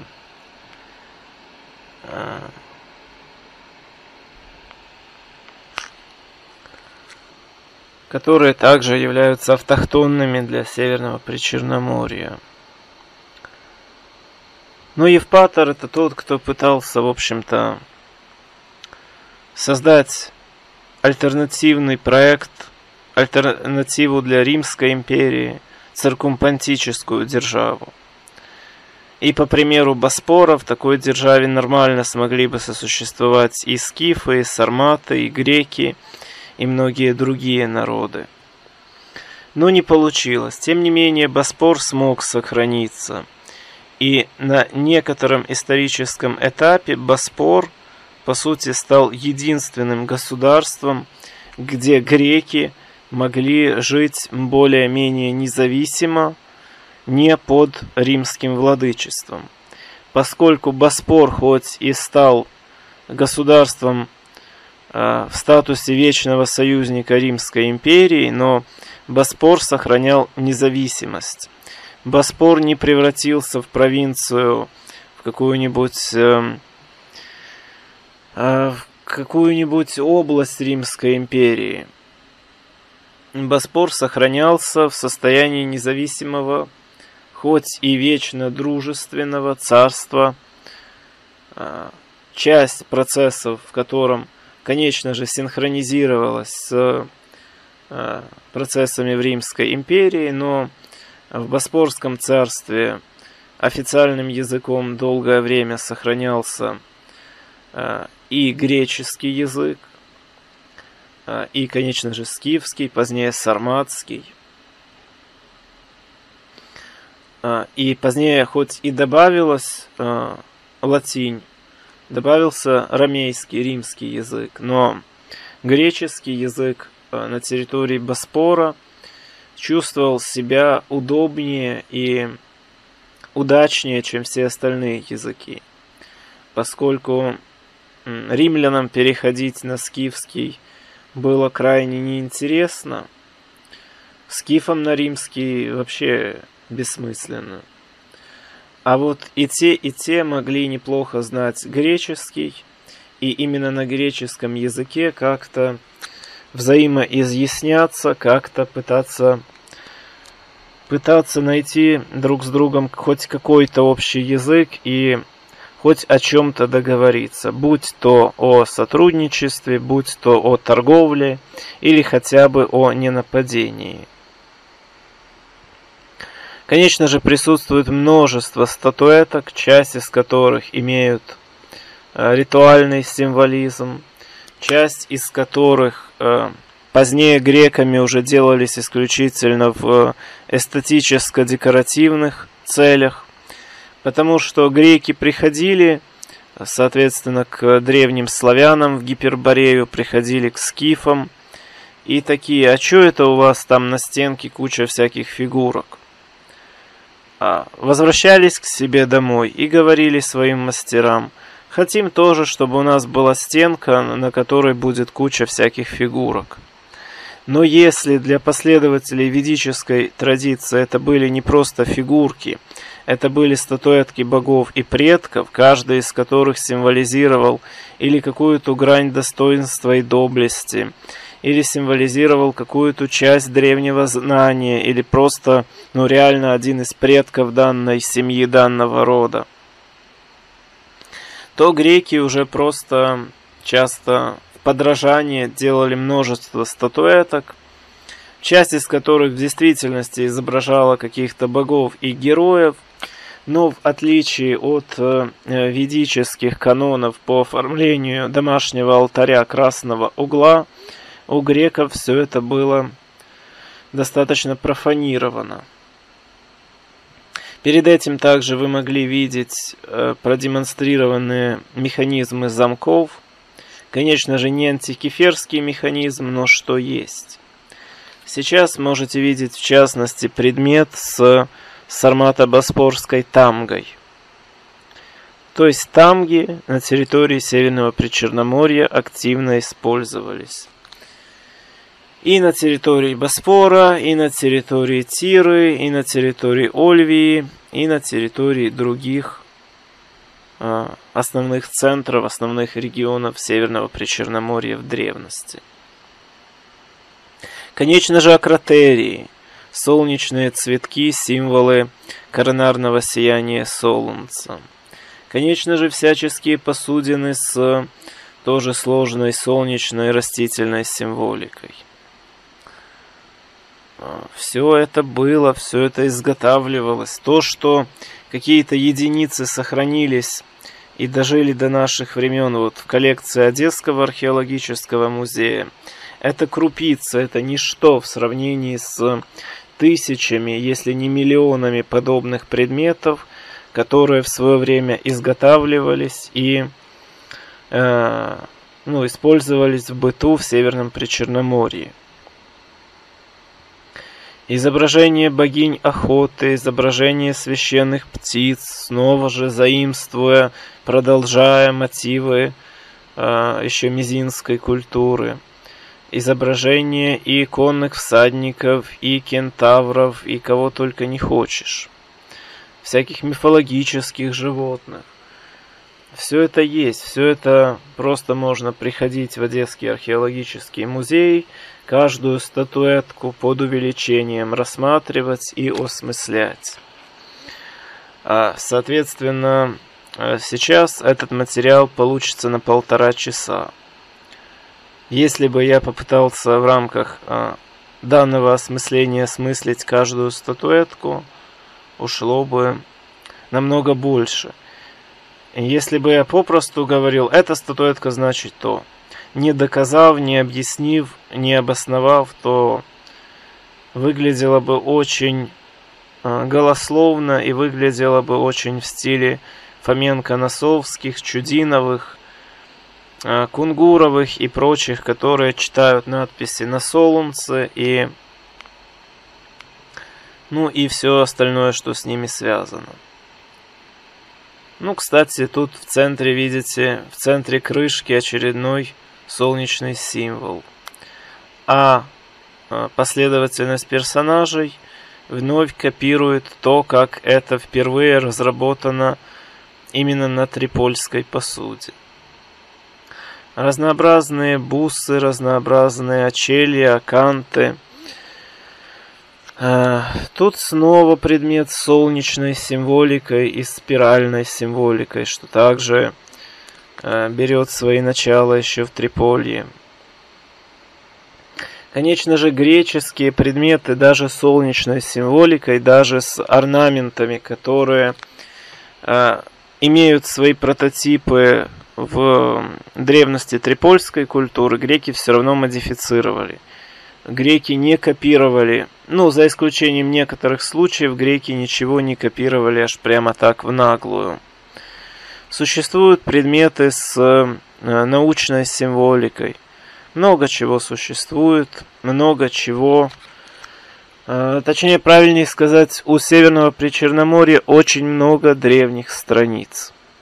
И если просто вы даже с помощью интернета попытаетесь посмотреть сколько классических греческих деятелей или происходили из Северного Причерноморья, или как-то были связаны с Северным Причерноморьем, вы, в общем-то, по-другому сможете взглянуть на историю Северного Причерноморья. Сможете понять, что тут речь не просто о городах-колониях, не просто о греках, которые колонизировали Северное Причерноморье, а тут некая ситуация аналогичная с китайцами в Америке. Вот во многих американских городах есть китайские кварталы.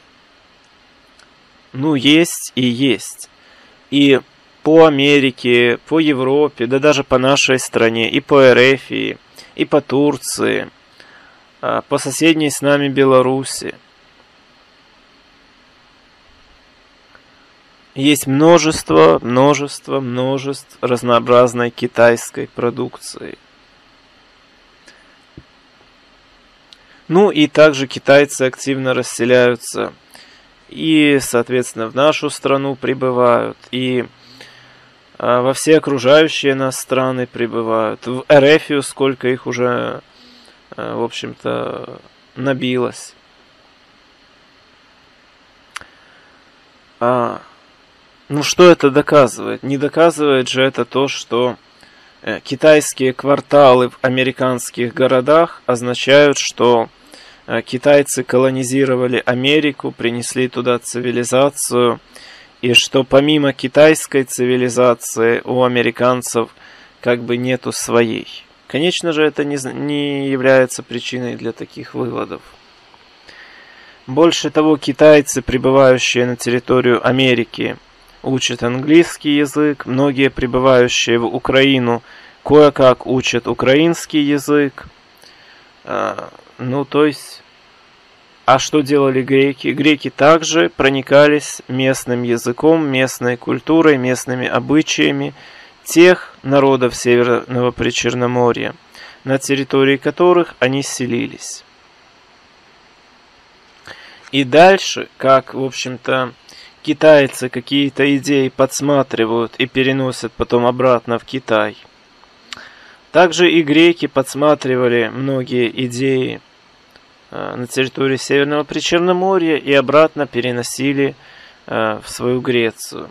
И это неплохо, это, ну, это просто история, это просто так было. То, что я это все говорю не для того, чтобы как-то греков там ущемить или что. Такова история. А, сейчас принята несколько другая трактовка истории. Просто потому, что те, кто в Российской Федерации, поначалу еще в Российской империи, писали э, историю, для них было важно показать, что э, все здесь было очень уныло, потом кое-как крестили Киев, потом из Киева вывести предков э, династии, которая поначалу правила в Москве, ну и дальше обосновать необходимость засилия немцев в э, государственной верхушке Российской империи. Поэтому они намеренно унижали, уменьшали, искажали значение скифов, значение сарматов, значение Боспора не только в истории Северного Причерноморья, но и вообще в мировой истории. Потому что если бы сказать, что Северное Причерноморье всегда было достаточно густо заселенным, здесь с древнейших времен, с трипольской культуры и ранее, было множество поселений, часть из которых были городами. Северное Причерноморье активно торговало с другими причерноморскими регионами, с средиземноморскими регионами. Если так это все признать, то некие мифические екатерининские постройки Одессы выглядят крайне незначительными – российская государственная пропаганда попыталась сказать, что типа, ну да, может быть, какие-то греческие города-государства когда-то здесь и были, но то все давно, то все прошло, а вот Екатерина построила Одессу. Екатерина, конечно же, ничего не строила. Екатерина даже ни единого коня на территории Одесской области или Северного Причерноморья не удовлетворила. Хоть как многие свидетельствуют, вполне могла это сделать. Тем не менее, и прототипы Одессы существовали еще с тех времен. И пока на территории Московии квакали жабы и ходили медведи, на нашей территории вот существовало все вот это – только если здесь вы видите осколки статуи, вот опять демонстрирую осколок, голова статуи Боспорского царя Митридата Евпатора, другие осколки статуй. Но это сейчас вы видите всего лишь осколки статуй. У каких-то отбиты руки, у каких-то отбиты головы, у каких-то всего лишь голова сохранилась. Статуи лишены окраски, статуи лишены золотого или какого-либо другого э, украшения, которое им изначально предполагалось. Начально все это выглядело намного более грандиозно, намного более красиво. Поэтому то, что есть в музее, это даже не процент, это как полпроцента или четверть процента от всего того великолепия, которое э, еще до нынешней эры, за пять веков до нынешней эры и в первые века нынешней эры уже было на территории Северного Причерноморья.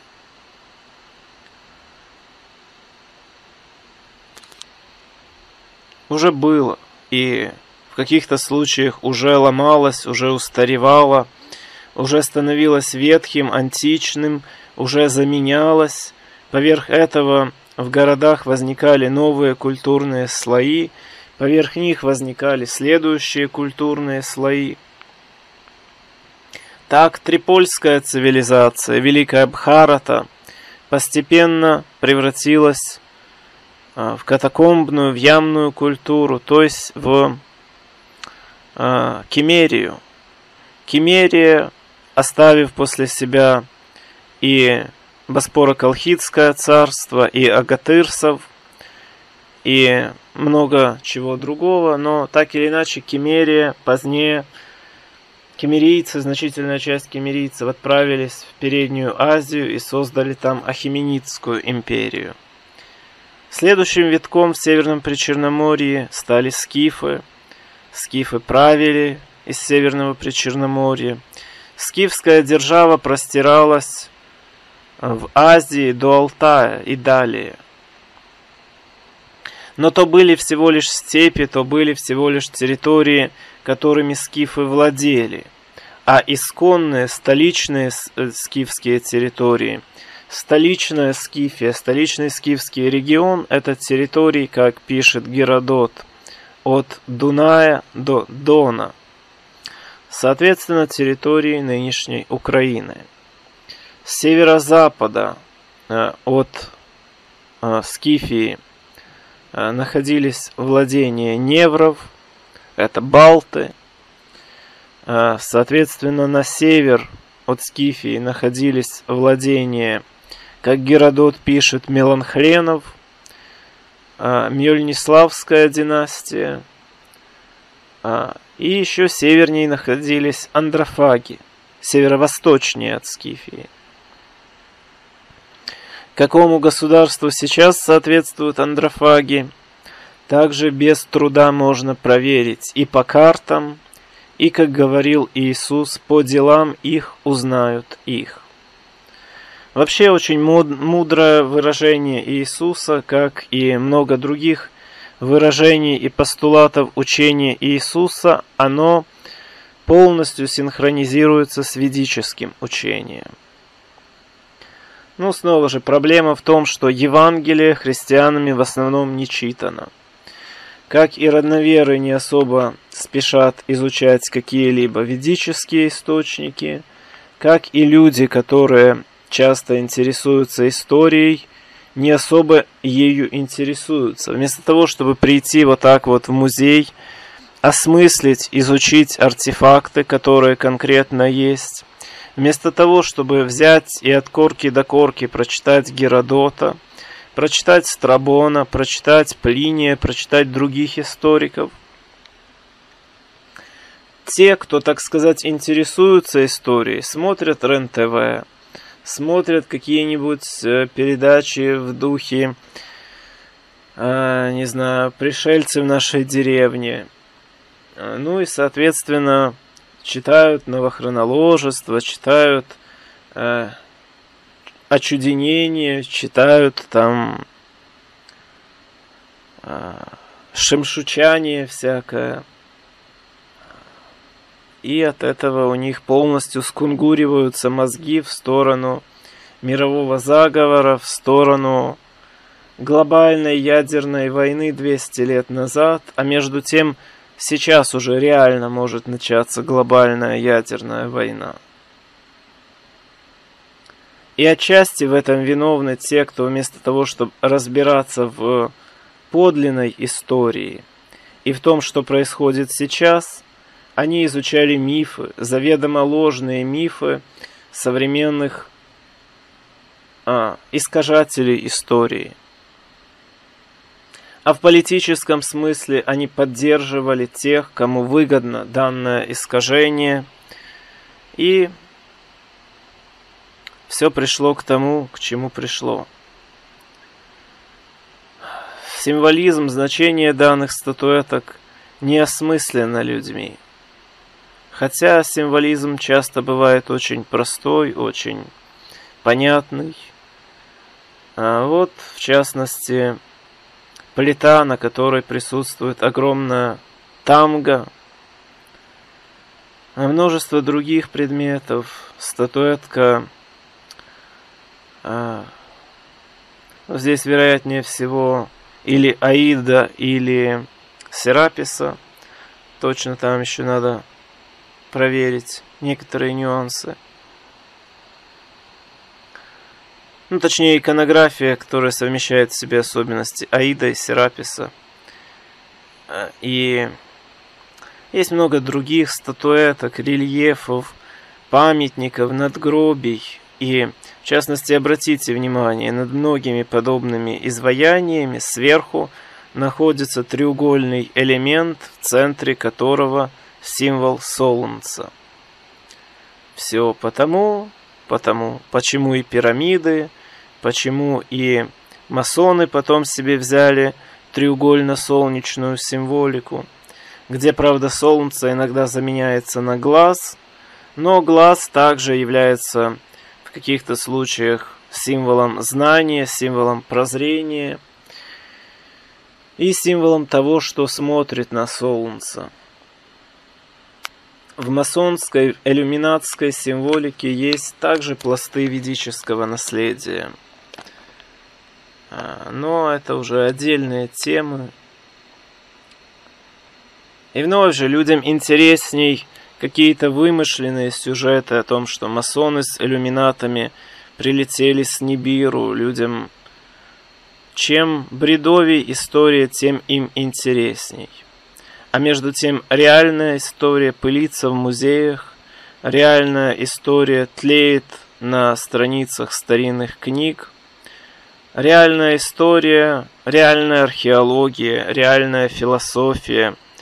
Все это находит всего лишь несколько просмотров на моем канале, в то время как какие-нибудь видео о том, не знаю, как э, хомячок пукнул, или как люди пожрали очередную какую-нибудь шаурму э, из дохлого, э, не знаю, барашка или или еще кого-нибудь. Все это набирает миллионы просмотров.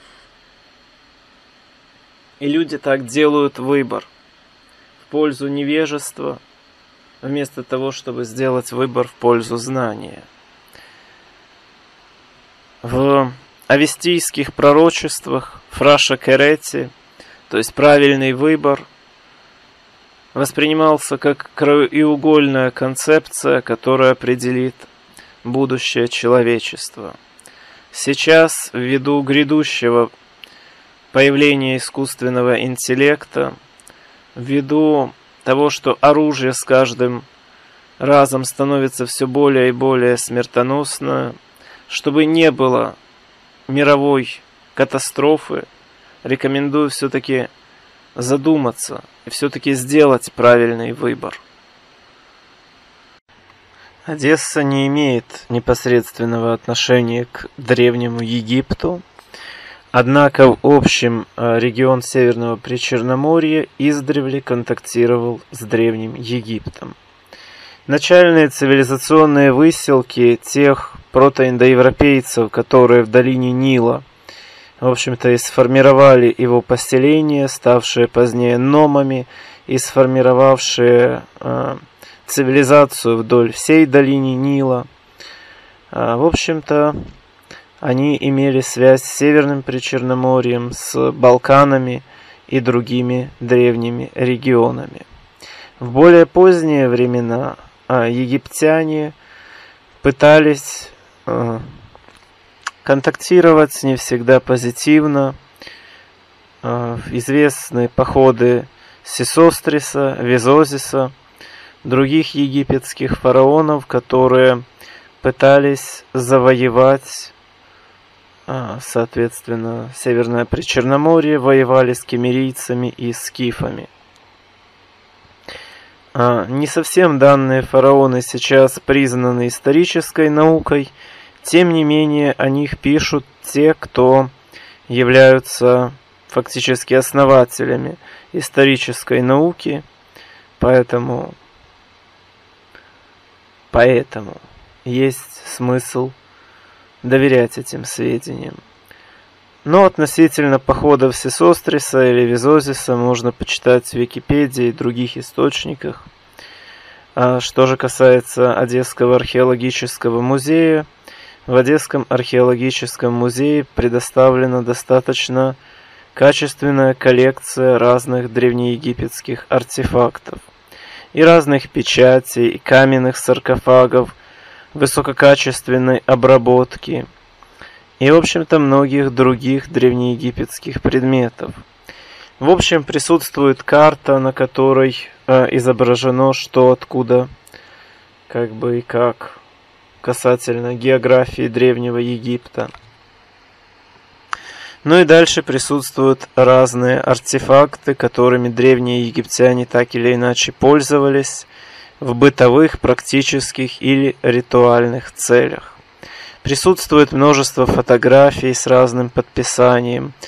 В частности, присутствуют и статуэтки, в общем-то, фараонов, статуэтка беса, достаточно такого специфического существа, тем не менее которого почитали некоторые древние народы. Бес, если брать, а, в общем-то, ведические данные, не сразу сбесился, но это отдельная сложная история. И у беса были свои специфические взаимоотношения как с кемерийцами, так и с династией хименидов, так и с другими народами. Тут же видна древнеегипетская подушка. Вот это нечто в виде подставки под шею или под голову, в общем-то и является египетской подушкой. Да, достаточно аскетично, да, достаточно твердо, но тем не менее никакие лишние живности в пуховой подушке не заведутся и не будут грызть голову обладателя. Поэтому в этом есть свое преимущество по отношению к более поздним, ну или вообще европейским подушкам. А так голова проветривается, что в условиях египетского климата тоже достаточно э, важно. Разные статуэтки ушедших, ушебиты так называемые, фотографии храмов, фотографии всяких других предметов, которые были связаны с культами и числа Бога, и Анубиса, и много кого другого – древнеегипетские, а, соответственно, крылатые скоробеи сбоку там находятся относительно этой витрины. И не только, также Урей, также другие, а, также другие разные статуэтки у шебетов, статуэтки Джеда, священного жезла, которым пользовались жрецы и фараоны. Скоробеи это вот эти крылатые сбоку. С другой э, стороны, на другой витрине присутствует мумия в древнеегипетском гробу. Разложившаяся, но как есть. Изображение суда Осириса, когда умерший приходит к Стребогу, Осирису, Кроносу, Яме и докладывает ему относительно своих праведных или грешных дел. Ну и там дальше Стребог говорит свое заключение относительно дальнейшей посмертной судьбе данного умершего. Данные сюжеты часто изображали на саркофагах, в гробницах, ну и просто на храмах, а, в разных манускриптах Древнего Египта. Вообще саркофаги были расписаны огромным количеством разных аспектов древнеегипетского знания, что было важно для того, чтобы в случае чего, как полагали египтяне, умерший может выйти из саркофага, и, соответственно, почитать, почитать что-то еще интересное, готовясь к переходу в иной мир. Поэтому саркофаги расписывались очень-очень пышно. И то, что вы видите сейчас, это когда уже спустя а, две с половиной, в лучшем случае, а чаще всего три, три с половиной, четыре тысячи лет, спустя, Спустя такое достаточно долгое время саркофаги достаточно уже так подпортились.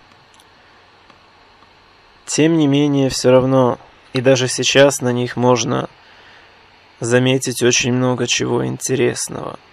Это изображение богов, это ротайская символика даже на серьгах данного саркофага – и обилие-обилие разных сцен. Саркофаги расписывались очень пышно и снутри, и особенно снаружи, поскольку предполагалось, что какое-то время умерший будет еще находиться в саркофаге, пока он сможет, ну, дух умершего, пока сможет выйти из своего саркофага. И это время он сможет читать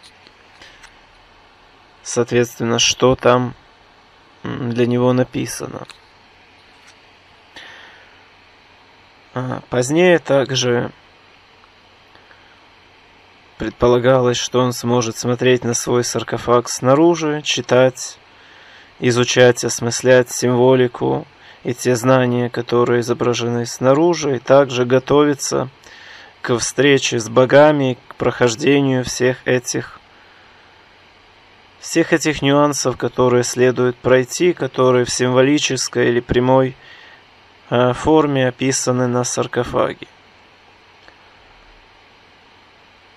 На саркофаге снутри и снаружи изображалось просто огромное количество разных сцен, разных богов, разных сюжетов, и все это имеет непосредственное значение. Все это, по сути, части древнеегипетской философии, древнеегипетской космографии и древнеегипетской книги мертвых. Аналога ведической науки крудовидия. Можно видеть трезубообразные композиции, можно видеть изображение богов, изображение змей, изображение соколов.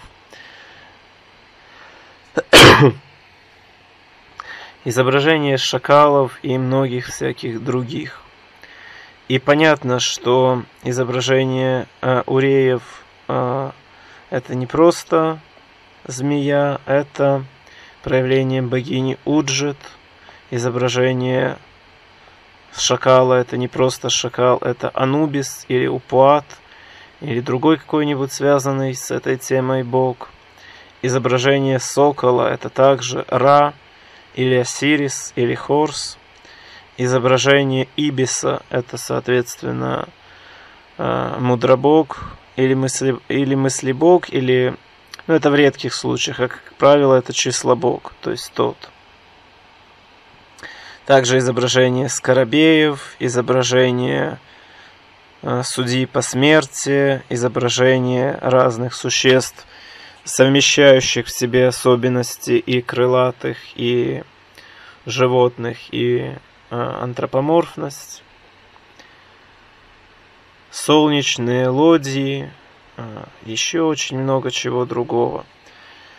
Реально можно ну, иероглифы само собой, а вот рисунки, буквально можно каждый рисунок брать и описывать, и находить сотни, если не тысячи параллелей в древнеегипетском искусстве и в древнеегипетской символике с соответствующими значениями.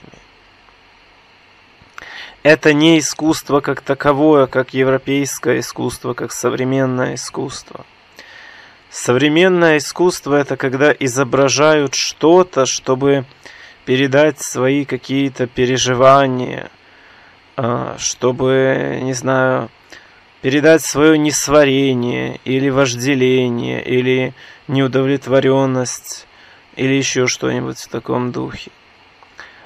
А что касается древнего Египта, что касается вообще древних цивилизаций, они вот эти экскременты сознания не пытались передать. Они пытались передать именно символизм, именно знание, именно то, что касается космогонии, теологии, космографии, то, что касается э, трансцендентного взгляда на э, Вселенную, то, что касается тонких путей, по которым проследует дух умершего после смерти тела.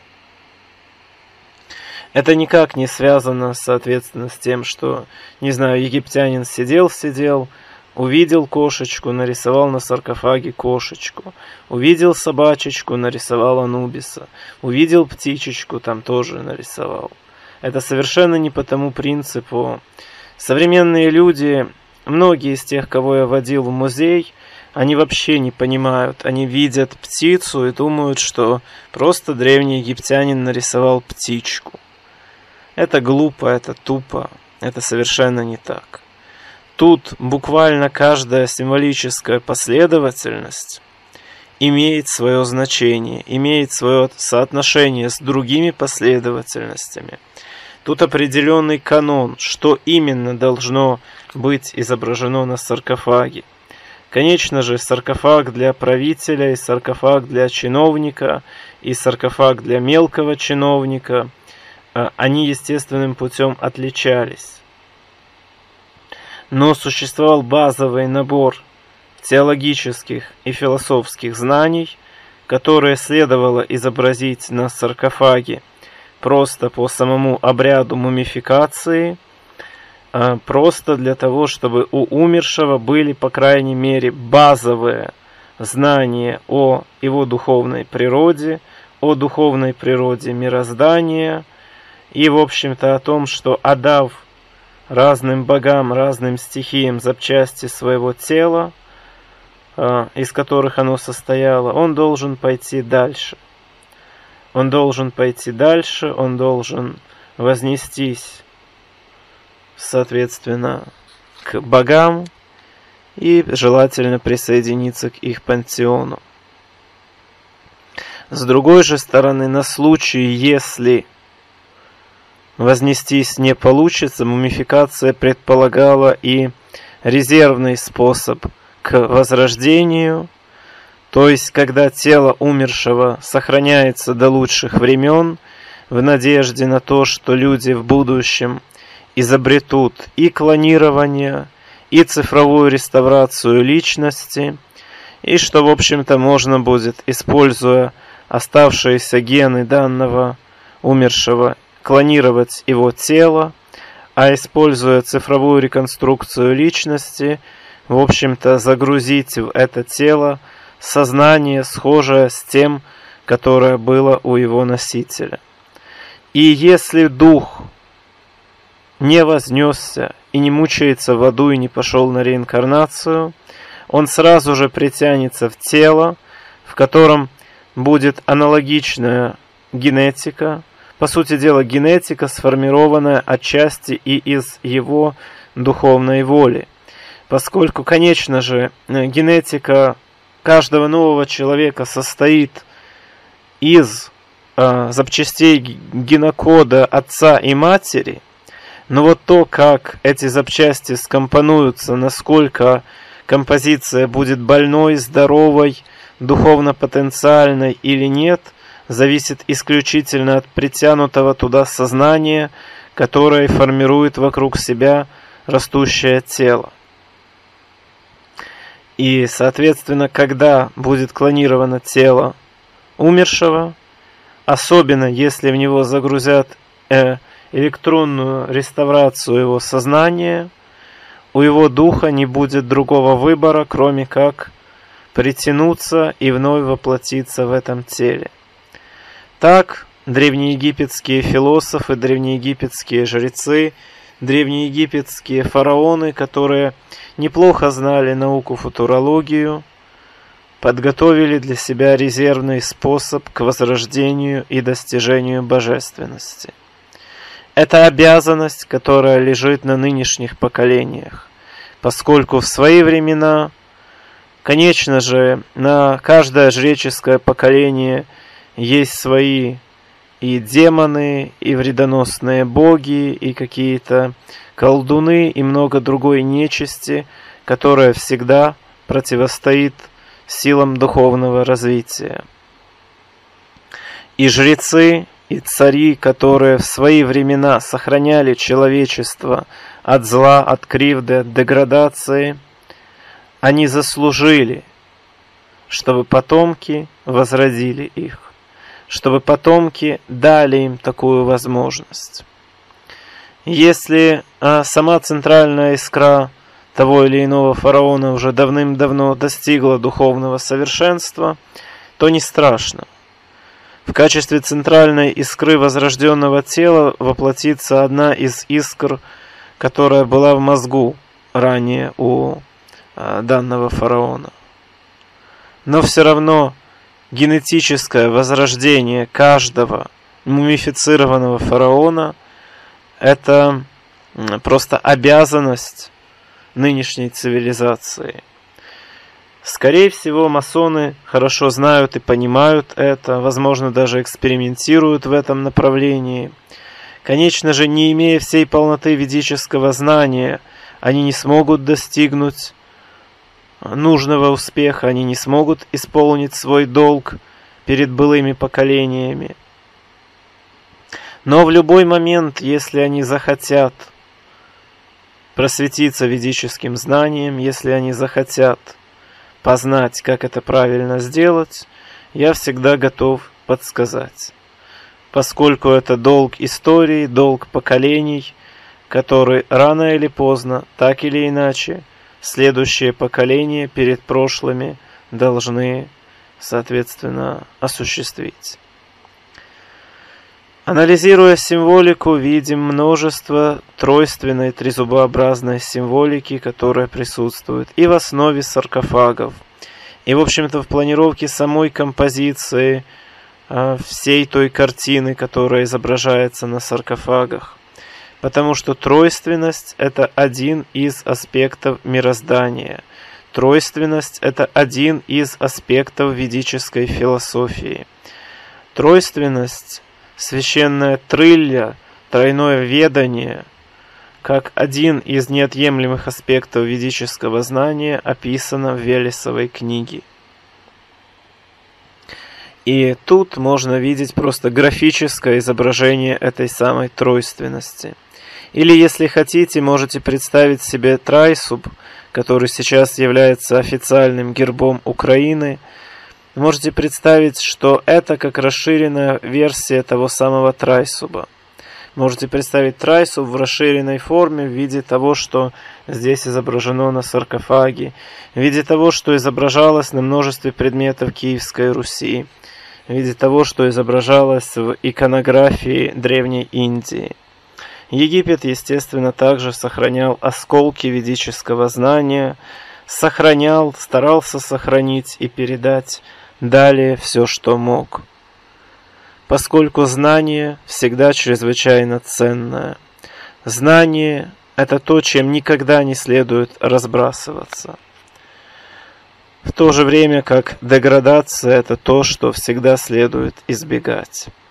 Можно видеть, как данный, совершенно обработанный каменный саркофаг со временем так или иначе разбился – я не знаю именно его историю, был ли он разбит злоумышленниками или разбился а, от энтропии времени, но так или иначе даже камень ломается. А ведическое знание – это то знание, которое дает возможность вновь и вновь обрабатывать новый камень, вновь и вновь приходить к пониманию необходимости упорядочивания окружающего пространства – что является основной задачей воплощенных.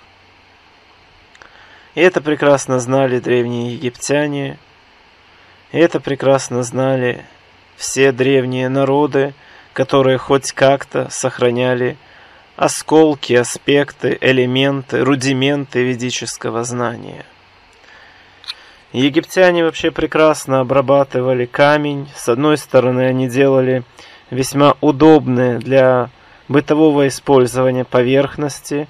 С другой стороны, они даже на них наносили множество важной, нужной ведической, ну или уже в поздние времена постведической, древнеегипетской символики.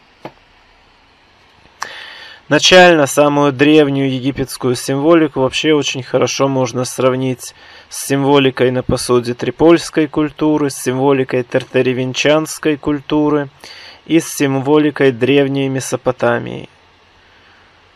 Что, в общем-то, по историческим закономерностям всегда было связано. Да, Древний Египет не является частью истории Одессы, а, но Одесса и не претендует на то, что Древний Египет является частью истории Одессы. Просто Одесса чтит наследие Древнего Египта, храня часть древнеегипетских артефактов. То, как древнеегипетские артефакты хранятся в Одесском археологическом музее, крайне отличается от того, как всевозможные, разнородные, Артефакты хранятся в Московском историческом музее. В Одесском археологическом музее по порядку четко и ясно есть артефакты трипольской культуры, Кемерии, дальше греко-римский период, дальше скифы, сарматы, ранние славяне, Киевская Русь, Древний Египет. Для каждой из этих тем отдельный зал, тут, так сказать, не перепутать. Что же касается Московского исторического музея, там намеренно артефакты с фактически всей Северной Евразии, Северо-Восточной Евразии свезены, сброшены и смешаны так, чтобы казалось, что все это артефакты некой единой, некой среднестатистической России – и хоть в принципе даже в Московском историческом музее каждая витрина подписана, и разумный человек всегда может в своем сознании рассортировать и определить, откуда вот тот или иной артефакт, какому роду племени он принадлежит, но, к сожалению, большинство людей на это не смотрят. Они просто смотрят, что это красивые безделушки, и такое обилие красивых безделушек – воспринимают как дополнительную причину гордиться Россией. А вследствие такой гордости идут убивать украинцев, и идут и готовы пойти убивать любой другой народ, на который им укажет Путин. Древние египтяне чтили честь, чтили достоинство, чтили соответствие справедливости и истине – они знали, что в посмертии их встретят боги. И они хотели прожить свою жизнь так, чтобы им было что сказать в посмертии богам. Они хотели прожить свою жизнь так, чтобы в посмертии, если их возродят потомки, им тоже было что сказать своим потомкам и предстать перед потомками как достойные лидеры, достойные деятели своего времени. Древние египтяне знали об этом, готовились к этому. Пока еще потомки не особо готовы, чтобы исполнить свой долг и возродить, а, соответственно, древнеегипетских правителей, древнеегипетских научных и культурных деятелей, многие из которых, как неприкаянные духи, до сих пор влачат свое существование возле полуистлевших и истлевших своих тел. Древние египтяне знали, что энтропия их пожрет, если они не будут придерживаться справедливости. Они знали о огромном жутком звере, который пожрет их по смерти, и знали о том звере, который может воплотиться в будущем – и в разных иносказаниях, в разных пророчествах, в разных древнеегипетских текстах об этом всем также есть э, важные, четкие и вполне конкретные знания. Мудрость древнего Египта восхищала и поражала греков. Мудрость древнего Египта в каком-то смысле до сих пор ведет многие передовые мысли нынешней науки. В каком-то смысле можно сказать, что и Ньютон, и многие другие, конечно же, они дальше осмысляли, они пытались дальше продвинуться, но базово они шли по тем колеям, по тем предположениям, по тем наработкам, которые начались еще с времен Древнего Египта.